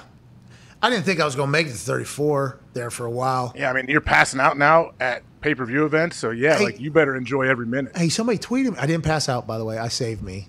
Shout out to me, dude. Saving me from full pass out or whatever. Somebody told me that old F1 driver guy who had COVID is saying that this similar Larson? things. No, that's uh, Oh, NASCAR. NASCAR, obviously. My bad, my bad. Different cars. Schumacher? I don't know. Somebody put a tweet out. I actually responded AJ with Foyt? Uh, no, AJ Foyt IndyCar. Okay, and uh, his grandson or son is now potentially owner of the uh, Indianapolis Colts. Wow. Future. Yeah. Oh, yeah. Married one of Irsay's daughter. Cool guy. They own a wine vault now. I think they just drink wine and have a good time every Oh, night. sweet. Yeah, it's great. They, he's great dude. Great guy. A wine vault? What do you mean? It's a, that's what they call it. I think the store is called the Wine Vault. And Oh, it- okay. It has like all the wines. I think they have all the wines, you know, and you just go and hang out. It's, they're still involved in the race community a little bit. I even responded with like the him interesting Batman thing because I never thought of it because, you know, after we talked about how much caffeine was in those Celsius that I was drinking, 300 milligrams or something like that, and uh, coffee is 80 milligrams. So I'm doing like four coffees. I'm doing eight coffees in two hours with not really eating much. I mean, that is. That's potentially what it is. Yeah. Uh-huh. Yeah. So maybe it was uh, backlash and, and maybe some out lying. No. Liar. Out. That long COVID you? Standing COVID effects. Maybe outstanding. No, because outstanding means good. Underlying? Withstanding. Outlasting. Out. Long lasting. long term. Long. Here we go. Come on, let's work this out. Rippling. Sure. Residual. Residual effects from COVID, maybe. I mean, that was not the word I was looking for, but it does work in this Uh-huh. particular system. Maybe it is, but also maybe the eight cups of coffee worth of caffeine that I'm drinking right before I go on to the air. yeah, I mean, if you see some guy who's drank eight cups of coffee and hasn't eaten yet, you're like, oh, this guy's on meth. This guy's Well, an absolute maniac. A lot of people in the wrestling community do say that about me on Friday nights. Oh, they do? Huh, this No, guy's no, on it's meth. just Pat. No, yeah, yeah, that's that's who he is. It's like, yeah, I almost just fucking died there. Let me come back to life real quick. Online, it's called long haulers. long haulers. There it is. COVID COVID nineteen long haulers. That's what I'm talking. And I'm in it for the long haul now. You're a warrior, man. Truckers? You know what you are? You're a war daddy. Oh, You are- you are a fucking Hey, you want a war daddy on your team, on your special teams? I'll tell you that. Hey, we got a war daddy right down here. This guy's going to go bust whatever wedge is down there. You need a ward daddy out there. And I mean, I guess this war on COVID, I was, I was in, in front lines that day. Uh-huh. I mean, I wasn't not front lines like you get it. I was not front lines No. with saving people. I was just saving myself. you were in it, on the front lines. I was in the battle. I was gonna say, I guess you don't really want to say you're in the trenches either, because then that would. The, the, the front, uh, the first responders. You get it. I fucking beat it. Yeah. Hell yeah. Champion. I mean, there's some long haul, yeah, long haulers happening, maybe. Mm-hmm. But dude, I beat it. I feel good about it. I'll be able to talk about it one day. Like, hey, the world stopped. In Yeah, for When you get it again, you'll beat it again. Well, exactly. But with the first time when the when we were able to continue to work socially distant Yes. and travel and do this whole thing for about 15 months, I did not get it. I was traveling. I was getting tested three times a week. I did not. We somehow navigated it, and then. After getting vaccinated and after the thing happens, I do get it in. I got into it too. I mean, 104 and a half degree fever ain't nothing to sneeze at. We're on the other side, man. You know, we're on the other side. So that's the story to my son and my grandkids. Hey, your your grandpa fucking took his right hand, looked COVID right in the mouth, and fucking punched him in the face. Hell Hell yeah. That's what your grandpa did. Never forget it. And that's why that's why you're getting the vaccine you're getting this year. Mm-hmm. You know, Boom. That's right. COVID or whatever. Because my antibodies, you know, came through. And they told me I could suck COVID through a straw. Hell yeah. Yep. Last call. You think little? Is it Duber? Who? What's the kid's name now? No, we've moved on from Duber. What is it? Midas Michael McAfee. Okay, so old Triple M. Do you do you think it'll be cool for him to sit down someday and watch all of like because you have your whole life is documented? Wouldn't it be cool for him to sit down and watch? Like, I want to see what my dad was like. Yeah, I mean, let's see if he's not a fucking shitbird or not, though. You know what I mean? you know what I mean? I'm a little worried about that. My spawn is going to be a problem. My spawn is going to be a problem. Why? Why do you think so? Because I've I've seen me deal with like parents and people of authority. You know, so I just assume that my spawn's probably going to be similar. and Now I'm on the other side of it. It might be opposite though. You know, it's like if your dad's an alcoholic and you don't drink a drop ever in your life. It could be the complete opposite. Yeah, like Foxy. I have something on that. Foxy's an alcoholic. It- They always say like, um, you are. I mean, it's unbelievable. This guy, biggest booze hound I've ever seen. I, Solid. I mean, I Oh, don't get to see Ty as much. I assume he's got him outwitted in the uh, booze hound standings or whatever. But Foxy's making a lot of drunks proud right now with how he's going, including his dad, I believe. Right? Oh well, Evie, Evie, you've been you've been having drinks. Hey, Evie. Every Friday night on a plane ride home, I am guaranteed having a drink on the way home. It's oh, not one. One drink. Nothing wrong with that. Triple is one. Good for you. You're flying on a private jet and you're not paying for it. You should have 15. Bingo. That's usually my method. Yeah, that's what Ty does. Which- the boys do try to drink the planes dry. It seems like, Yeah. and, Money's worth. and uh, yeah. yeah, I don't know. They've never really broken down. Yeah. Good news, guys. Hey, this drink was only seven hundred and twenty dollars. Well, that's what I'm saying. We have not gotten a line by line breakdown on what we are Oh, those paying aren't for. complimentary. So when you fly privately, there's nothing that's complimentary. the whole thing should be complimentary for what you have to pay for that plane. Well, that's So what you just said there at the end would make it not complimentary. You know what I mean? Right. No, you pay for the flight.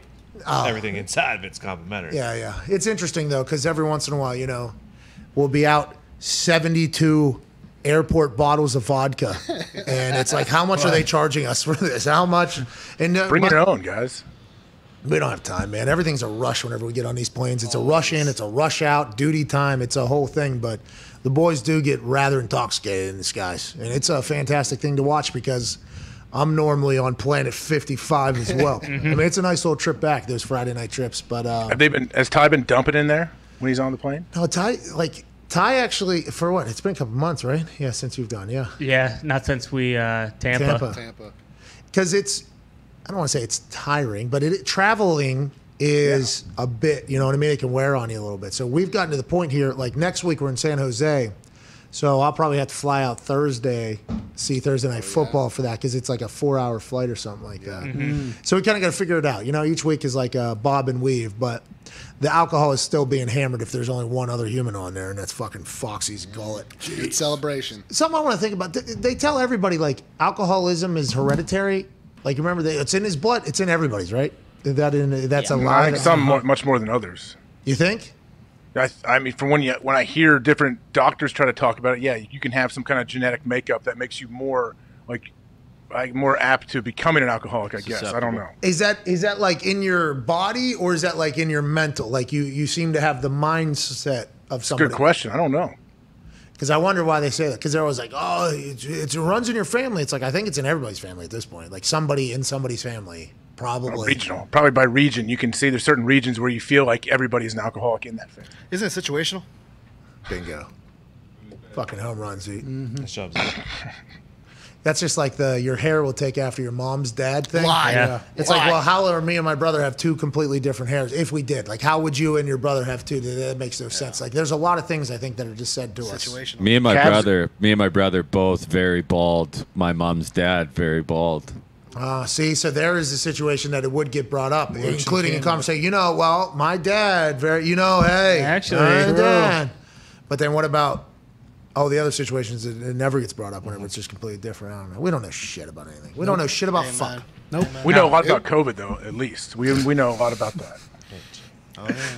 We don't know shit about fuck. No, we don't. All right. we, we honestly, we, I think that's what we learn more and more every single day, especially going back to your point about Midas watching it, especially when you're just live all day, every day, basically. Yeah. You know, as life is going on. We learn a lot, you know, and Head back to the archives. Yeah, oh yeah. What are we talking? That's where this is, right here too. By the way. Yeah. Oh, Midas. You know what Midas is gonna have to do because I'm Right trying to be a better dad. You got to read the show before you can watch it, pal. That's right. Learn it. read, read what we read our history. Okay, Midas. Don't take your dad's way of doing things. Don't just watch the movie and make it much quicker. Read through what we did before you decide to turn on the little YouTube you, got going on out there, you little punk, little fucking prick. And also, go put up 100 free throws. Boom. Hell yeah. Go kick some soccer balls against the wall. What?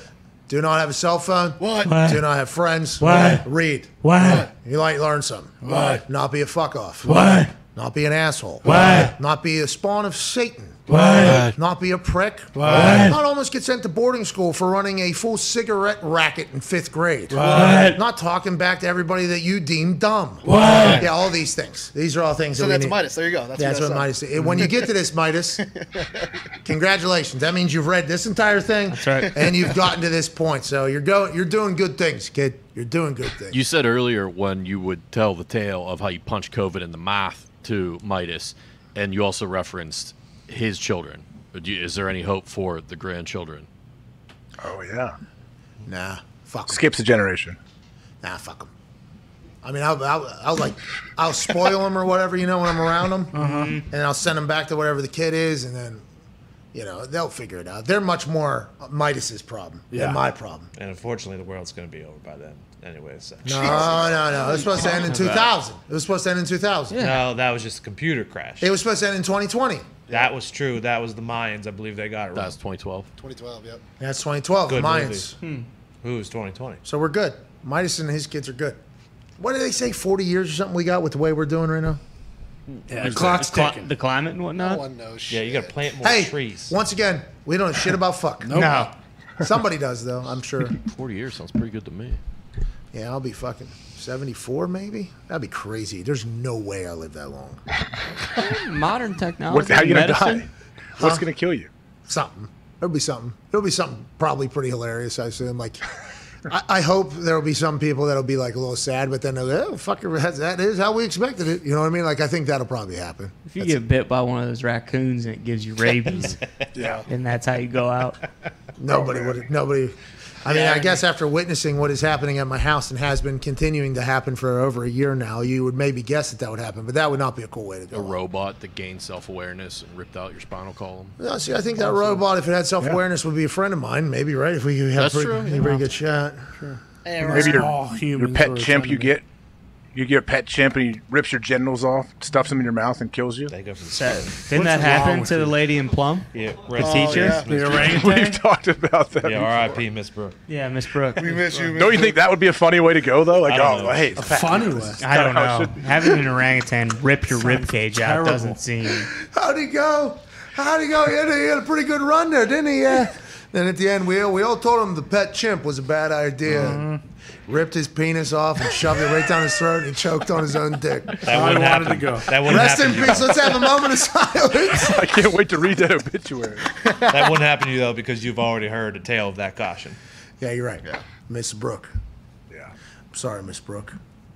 It was in her class that the carton of cigarettes was found. Mm. And she was a hard nosed teacher, so she had to lay it on thick. Were you selling him no, to the no, monkey? no. Is that why he beat the hell out of her and killed her? He had a little bit of a nicotine. yeah. More That was the only reason why you got busted because she was running out of her supply at home of cigs Yeah. for that thing. Yeah. She, I do believe, she was most upset about the brand of cigarettes I was selling, Correct. as opposed to. Oh, These aren't even Camel Blues. I'm joking.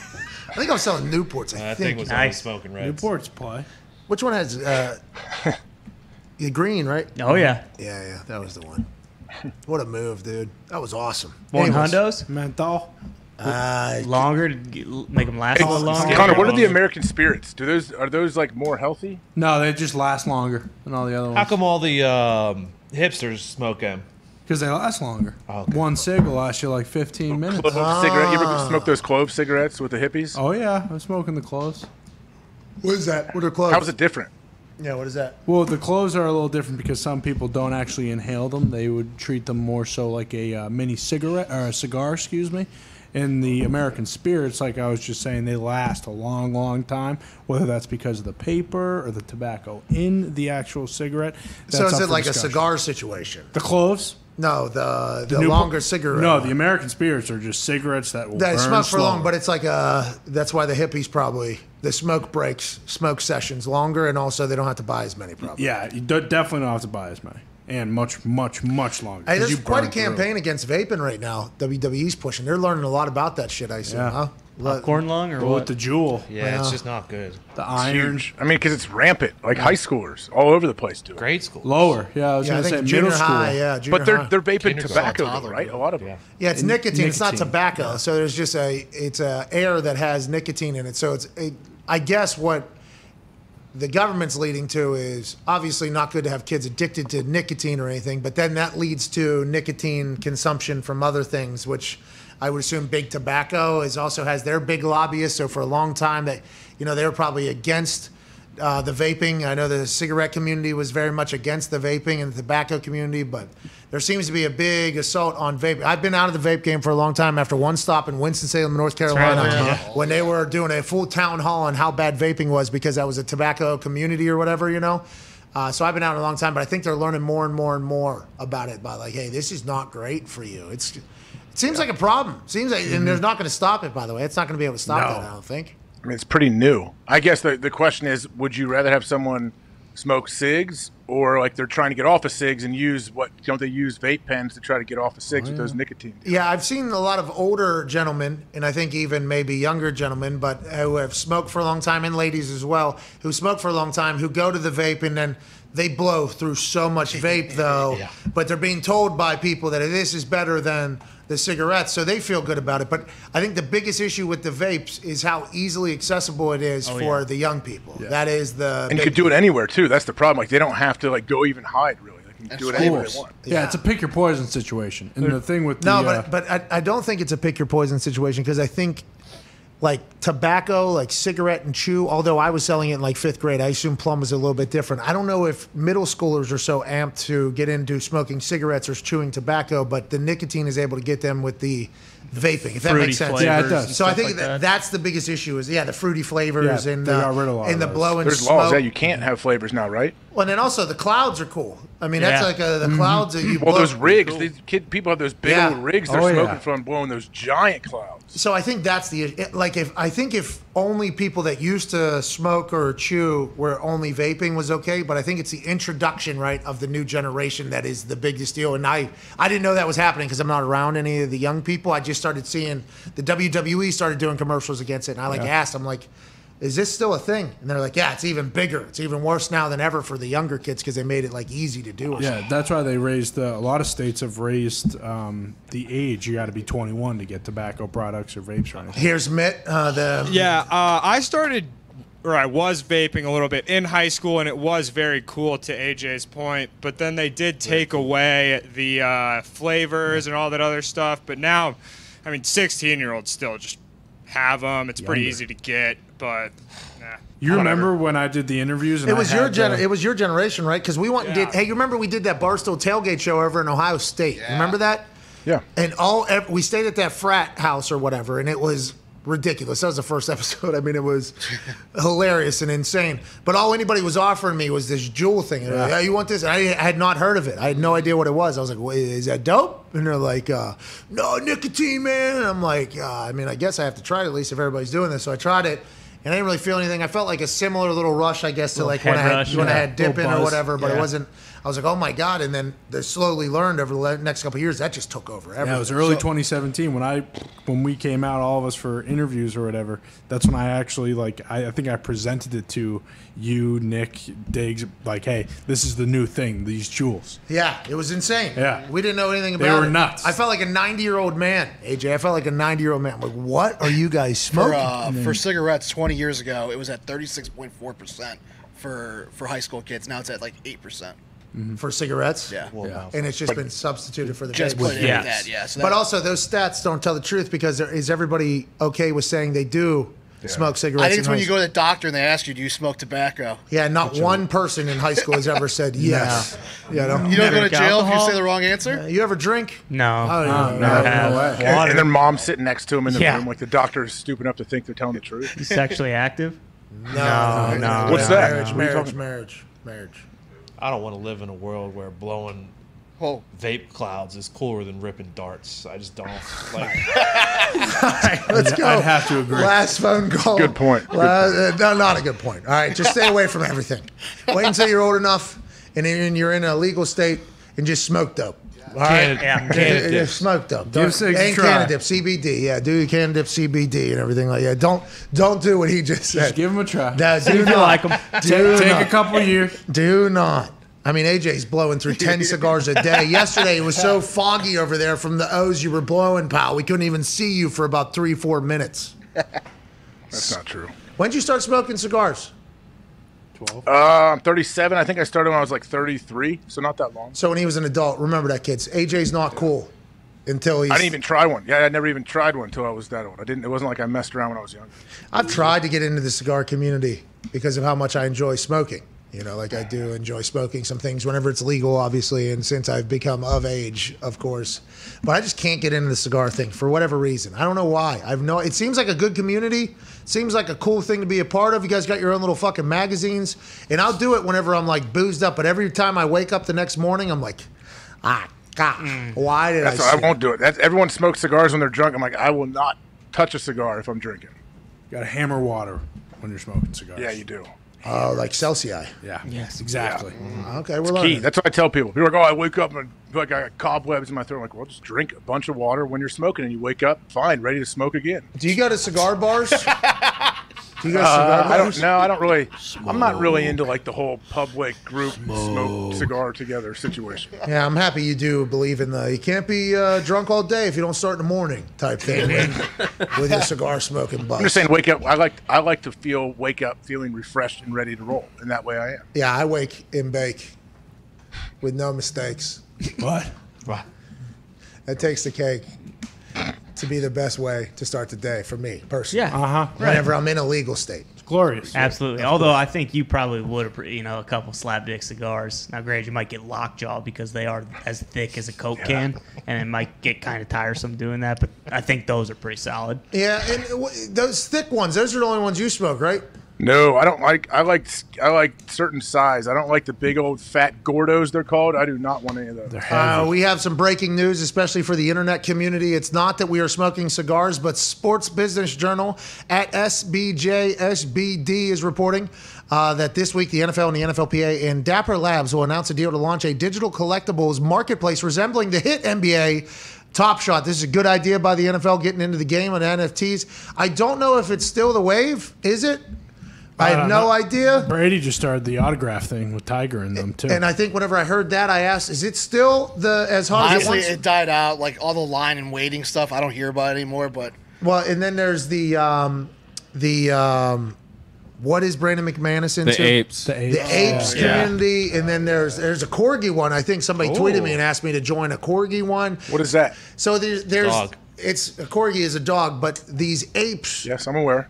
It's an NFT, I believe, that you invest in, and there's only a certain amount of these apes. It's just like every other form of, um, you know, digital currency or whatever. There's only so many of them, so if you own one, it, becomes more uh, expensive and then more valuable. And then you hope, I guess, at some point that that'll be able to become a form of payment, which is kind of what happened with Bitcoin. I think a lot of people thought it was going to become the payment of the internet, which I think is still the goal in the internet, uh, the money of the future and everything like that. Then the NFTs, the cards became the big deal. I mean, that Top Shot took over. I mean, that was the conversation piece. It was around the same time as the GameStop AMC bust or boom, the whole thing like that. So I think people were into making money. They're at home for a long time. I can be an entrepreneur here. I can make some cash, invest in things. I, I haven't heard much about the NFT cards though. That NFT world growing because I think all those things are considered NFTs, the apes and the corgis and everything else that's potentially out there. But in the sports card, I'm not sure. But I thought this was going to have to be the case because they own all the rights. So like, people are asking me to, hey, you should put an NFT out or whatever, and I'm like, I guess. I should, but who do I have to go to to get the rights to the photos and to the footage and everything like that? How do I go about doing that? The NFL would be the only ones that were able to give that away, I think. So maybe this would be beneficial for a lot of players, a lot of teams, a lot of coaches, because now the NFL's on board, the NFLPA is on board. So I don't know if there'll be a resurgence or what the case will be, but I'm excited that they're getting into the modern day. It just might be a little bit late, but at least they're getting into the game, you know? Yeah, at least they're trying. I mean, I don't. I don't sit here and try to pretend to understand NFTs completely. Like I understand what the, when they when it's explained to me and whatever, but I don't know if it's going to be like Hey. as giant as people think. hey, sell me this pen. All right. You don't have a pen. You need this pen. Supply and demand. Okay. That is how some people will sell a pen. That is the NFT game. There's only a certain amount of them. So obviously the value goes up, the demand goes up because the supply is not as high. That's why the Bitcoin thing is such a big deal because the rules that were written, there's only this many Bitcoin forever and ever. And then there was another, and then there's a whole controversy, obviously. Same thing with the apes, and I think with these cards as well. Like a highlight, we got a Zion dunk. Like we own that dunk. So if that was to go on to be very expensive at some point, we'd be able to sell that to somebody that wants to own that or has a Zion collection or whatever they're going to do. Like you're just collecting things you hope that'll one day be valuable and they're non fungible. That's the NF and the NFT. What's going on, Bailey? Did I hit that right or no? No, that's that's very good. I just wanted to let you know. Uh, I don't think we should recap on the Zion dunk. It it really has gone in the toilet recently. No. No. Fuck! Uh, but you know we have it for whenever it explodes. So we'll go down with the the NFT. How do you sell ship. it then? If you want to sell it, how is there an app you have to This go through? How does that work? OpenSea, there's there's all these different places on the internet you go to, and there's auctions and bids and everything like that. I believe in that one there was a waiting there was a waiting Oh, list yeah. for a lot of the at one point. So maybe it's so early in the game that it hasn't been completely figured out. But I feel like the sports one has not been talked about much. No, and I think there will be like some demand for this. Like I Yeah, just think about you like Rodgers throwing that first pass to Davante the other night. Like those type of moments. Like I, I think people will want to have that kind Yeah, of and stuff. if you're, yeah, I mean Tom Brady this weekend. Exactly. There's going to be a highlight or Throwing a, moment, you know, touchdown and then fist pumping or And they're creating, uh, you know, they have a bunch of these motion portrait things that you can put on the, in your house. So like people, if they own they, they can put it on the thing. It could be uh, in your room or whatever, and then you hope it adds value and you can sell it and everything. I don't. It's just a collector's game, I think. But uh, it, it feels like the sports one died off a little bit, and everybody got interested in other shit. But if the NFL gets in, everybody knows it's going to blow up. I just wish it would have been a little bit ago. You know? Yeah, we should just jump. We should remember that we got to jump in immediately, just like with the NBA top shots. Get it, and then once the demand's at its peak, get out because that's and we'll what's know happen. when the demand's going to be at its Yeah, peak. exactly. Because there was a time there with those top shots where we were like, "Is this fucking serious? Yeah, anybody could have gone. Is this going?" And then you could sell that thing, and then here we are moments later, and he said that the Zion dunk is in the toilet. Call your best friend uh, Gary Vee. He has the answers on all the NFTs. He's I mean, a that's lot- what I was gonna say. I figured he has it all, right? Ten thousand hours, dude. I don't know if I got it, but I'll fucking do it. I guess. Let's go to Lee Battle to close out this beautiful Aaron Rodgers Tuesday. Lee, what's going on, pal? Hey, Cuzzy boys, Mr. Hawk, happy Aaron Rodgers Book Club Tuesday to you down there. Down there. What's going on, Lee? Great to hear you, pal. Hey, Cuzzy, I just want to know is like this become like a Godfather situation where you're the Don of special teams and Mike Leach is going to have to come apologize to you publicly, or the Bulldogs are going to struggle on special teams all year? Yeah, what was that all about? He buried punting. I feel like a failure. I hate it when we punt. It's like, okay, I understand. I love football. I like offense. I fly around, but you know, it's a calculated turnover. It's part of the game, especially somebody with that big of a brain. You would assume that he would love what a turnover means, especially with his respect and appreciation for war and gaining territory and everything that you. I mean, it would. It made no sense what he said, Lee. I didn't appreciate that out of Coach Leach, man. Well, then one of the refs, who is obviously indebted to one of Cone, uh, Tone's cousins that works in sanitation down around Memphis, just terrorized the brand where we went from having a punt down inside the 10 to a touchdown. And then we executed the self kick, uh, onside kick perfectly. And then a phantom uh, block came in somewhere. Oh. So, and then we jumped, and then against LSU this weekend, we jumped the barrier. Which when did that rule come into play? Yeah, I, nobody knows. And then how about if you're a Mississippi State fan, which is what we're talking about now currently, obviously everybody knows that Lee Battle, big, big Bulldog fan down there. Oh, Starkville. yeah. How do you feel knowing that like Lane Kiffin over there at Ole Miss is generating a lot of buzz, and I know the Egg Bowl is a big fucking deal down there. Tone really upset me when he said he wanted Matt Corral to be the quarterback for the Steelers now, and it's just like I can't even get started on that. Why?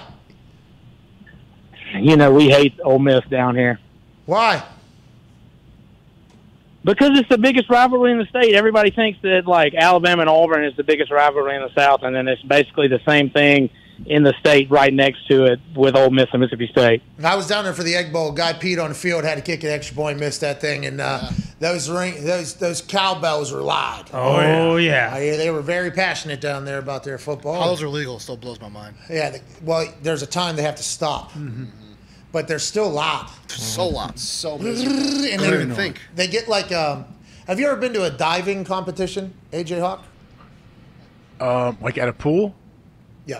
I mean, I used to be on swim team when I was a kid, so I would I could see the diving competitions going on. Okay, well, here in Indianapolis, I got a chance to go to a uh, Olympic qualifying diving event. Whoa! I actually passed a thing to one of the divers and said, "Congratulations, you made the fucking Olympics." Oh. okay, so that actually happened, and to do, to do so because there's big pool down here, massive in the diving community. I think like a lot of people train here downtown Indianapolis at IUPUI. It's it's a thing. It was very cool, but that was my first time ever getting to see it.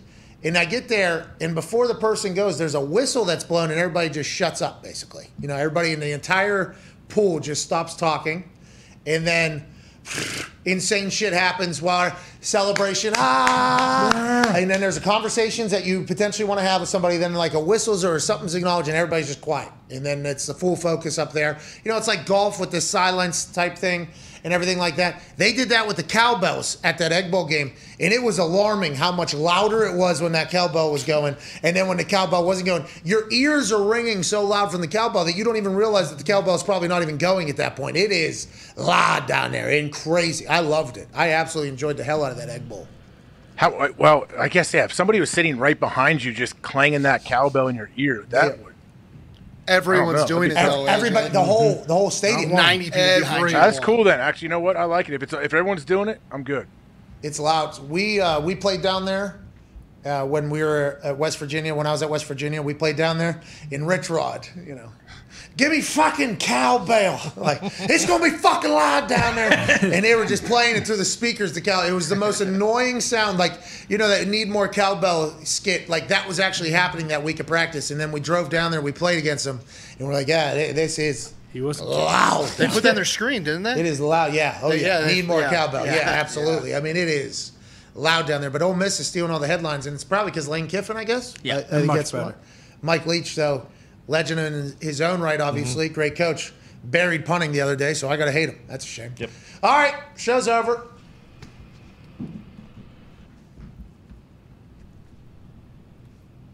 Look at this Tucked it away. Jeez. Gross. His finger's broken from flying through the air and landing on the ground. I've never broken a finger, honestly. It's just bullshit. All right, we can't end the show with a blatant falsehood. It's all ligament stuff. I've never broken a bone in my fingers. All right, well, congratulations. Nice job, man. Your bones are the best, dude. I still think you missed your call on to being like a fighter or a boxer because I feel like your face could probably beat up people's hands because your bones don't break and your jaw's so goddamn big. Mm-hmm. But I want to let you know I appreciate you every single day. I appreciate Aaron Rodgers for joining us. I appreciate Austin Ekeler for joining us. I can't thank you all enough for watching this for the last three hours and 48 minutes. Jesus Christ, get me out of here. It's been a long show. 30,000 people watching. What are you doing? All right. you all are the best. This life is dumb. From AJ, myself, to Toxic Table, Hammer Dahn, which begins in 15 minutes at youtube.com forward slash hammer down. All the boys in the back. Thank you so much. You're the best. We'll see you, Mignana, for Coach Us Up Chuck Wednesday, dude. Can't wait. Can't wait. What time's Chuck come on usually? I'm not sure. It go work 130. About 125. 125, 125. Sweet. 125. Can't wait. Can't wait for that. He's probably watching right now. Chuck, what's up? Can't wait to ask you the hard hitting questions tomorrow, like we do every single goddamn day.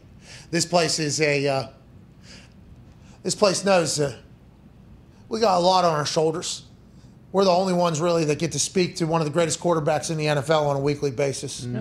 And we hope that we get everybody's questions answered.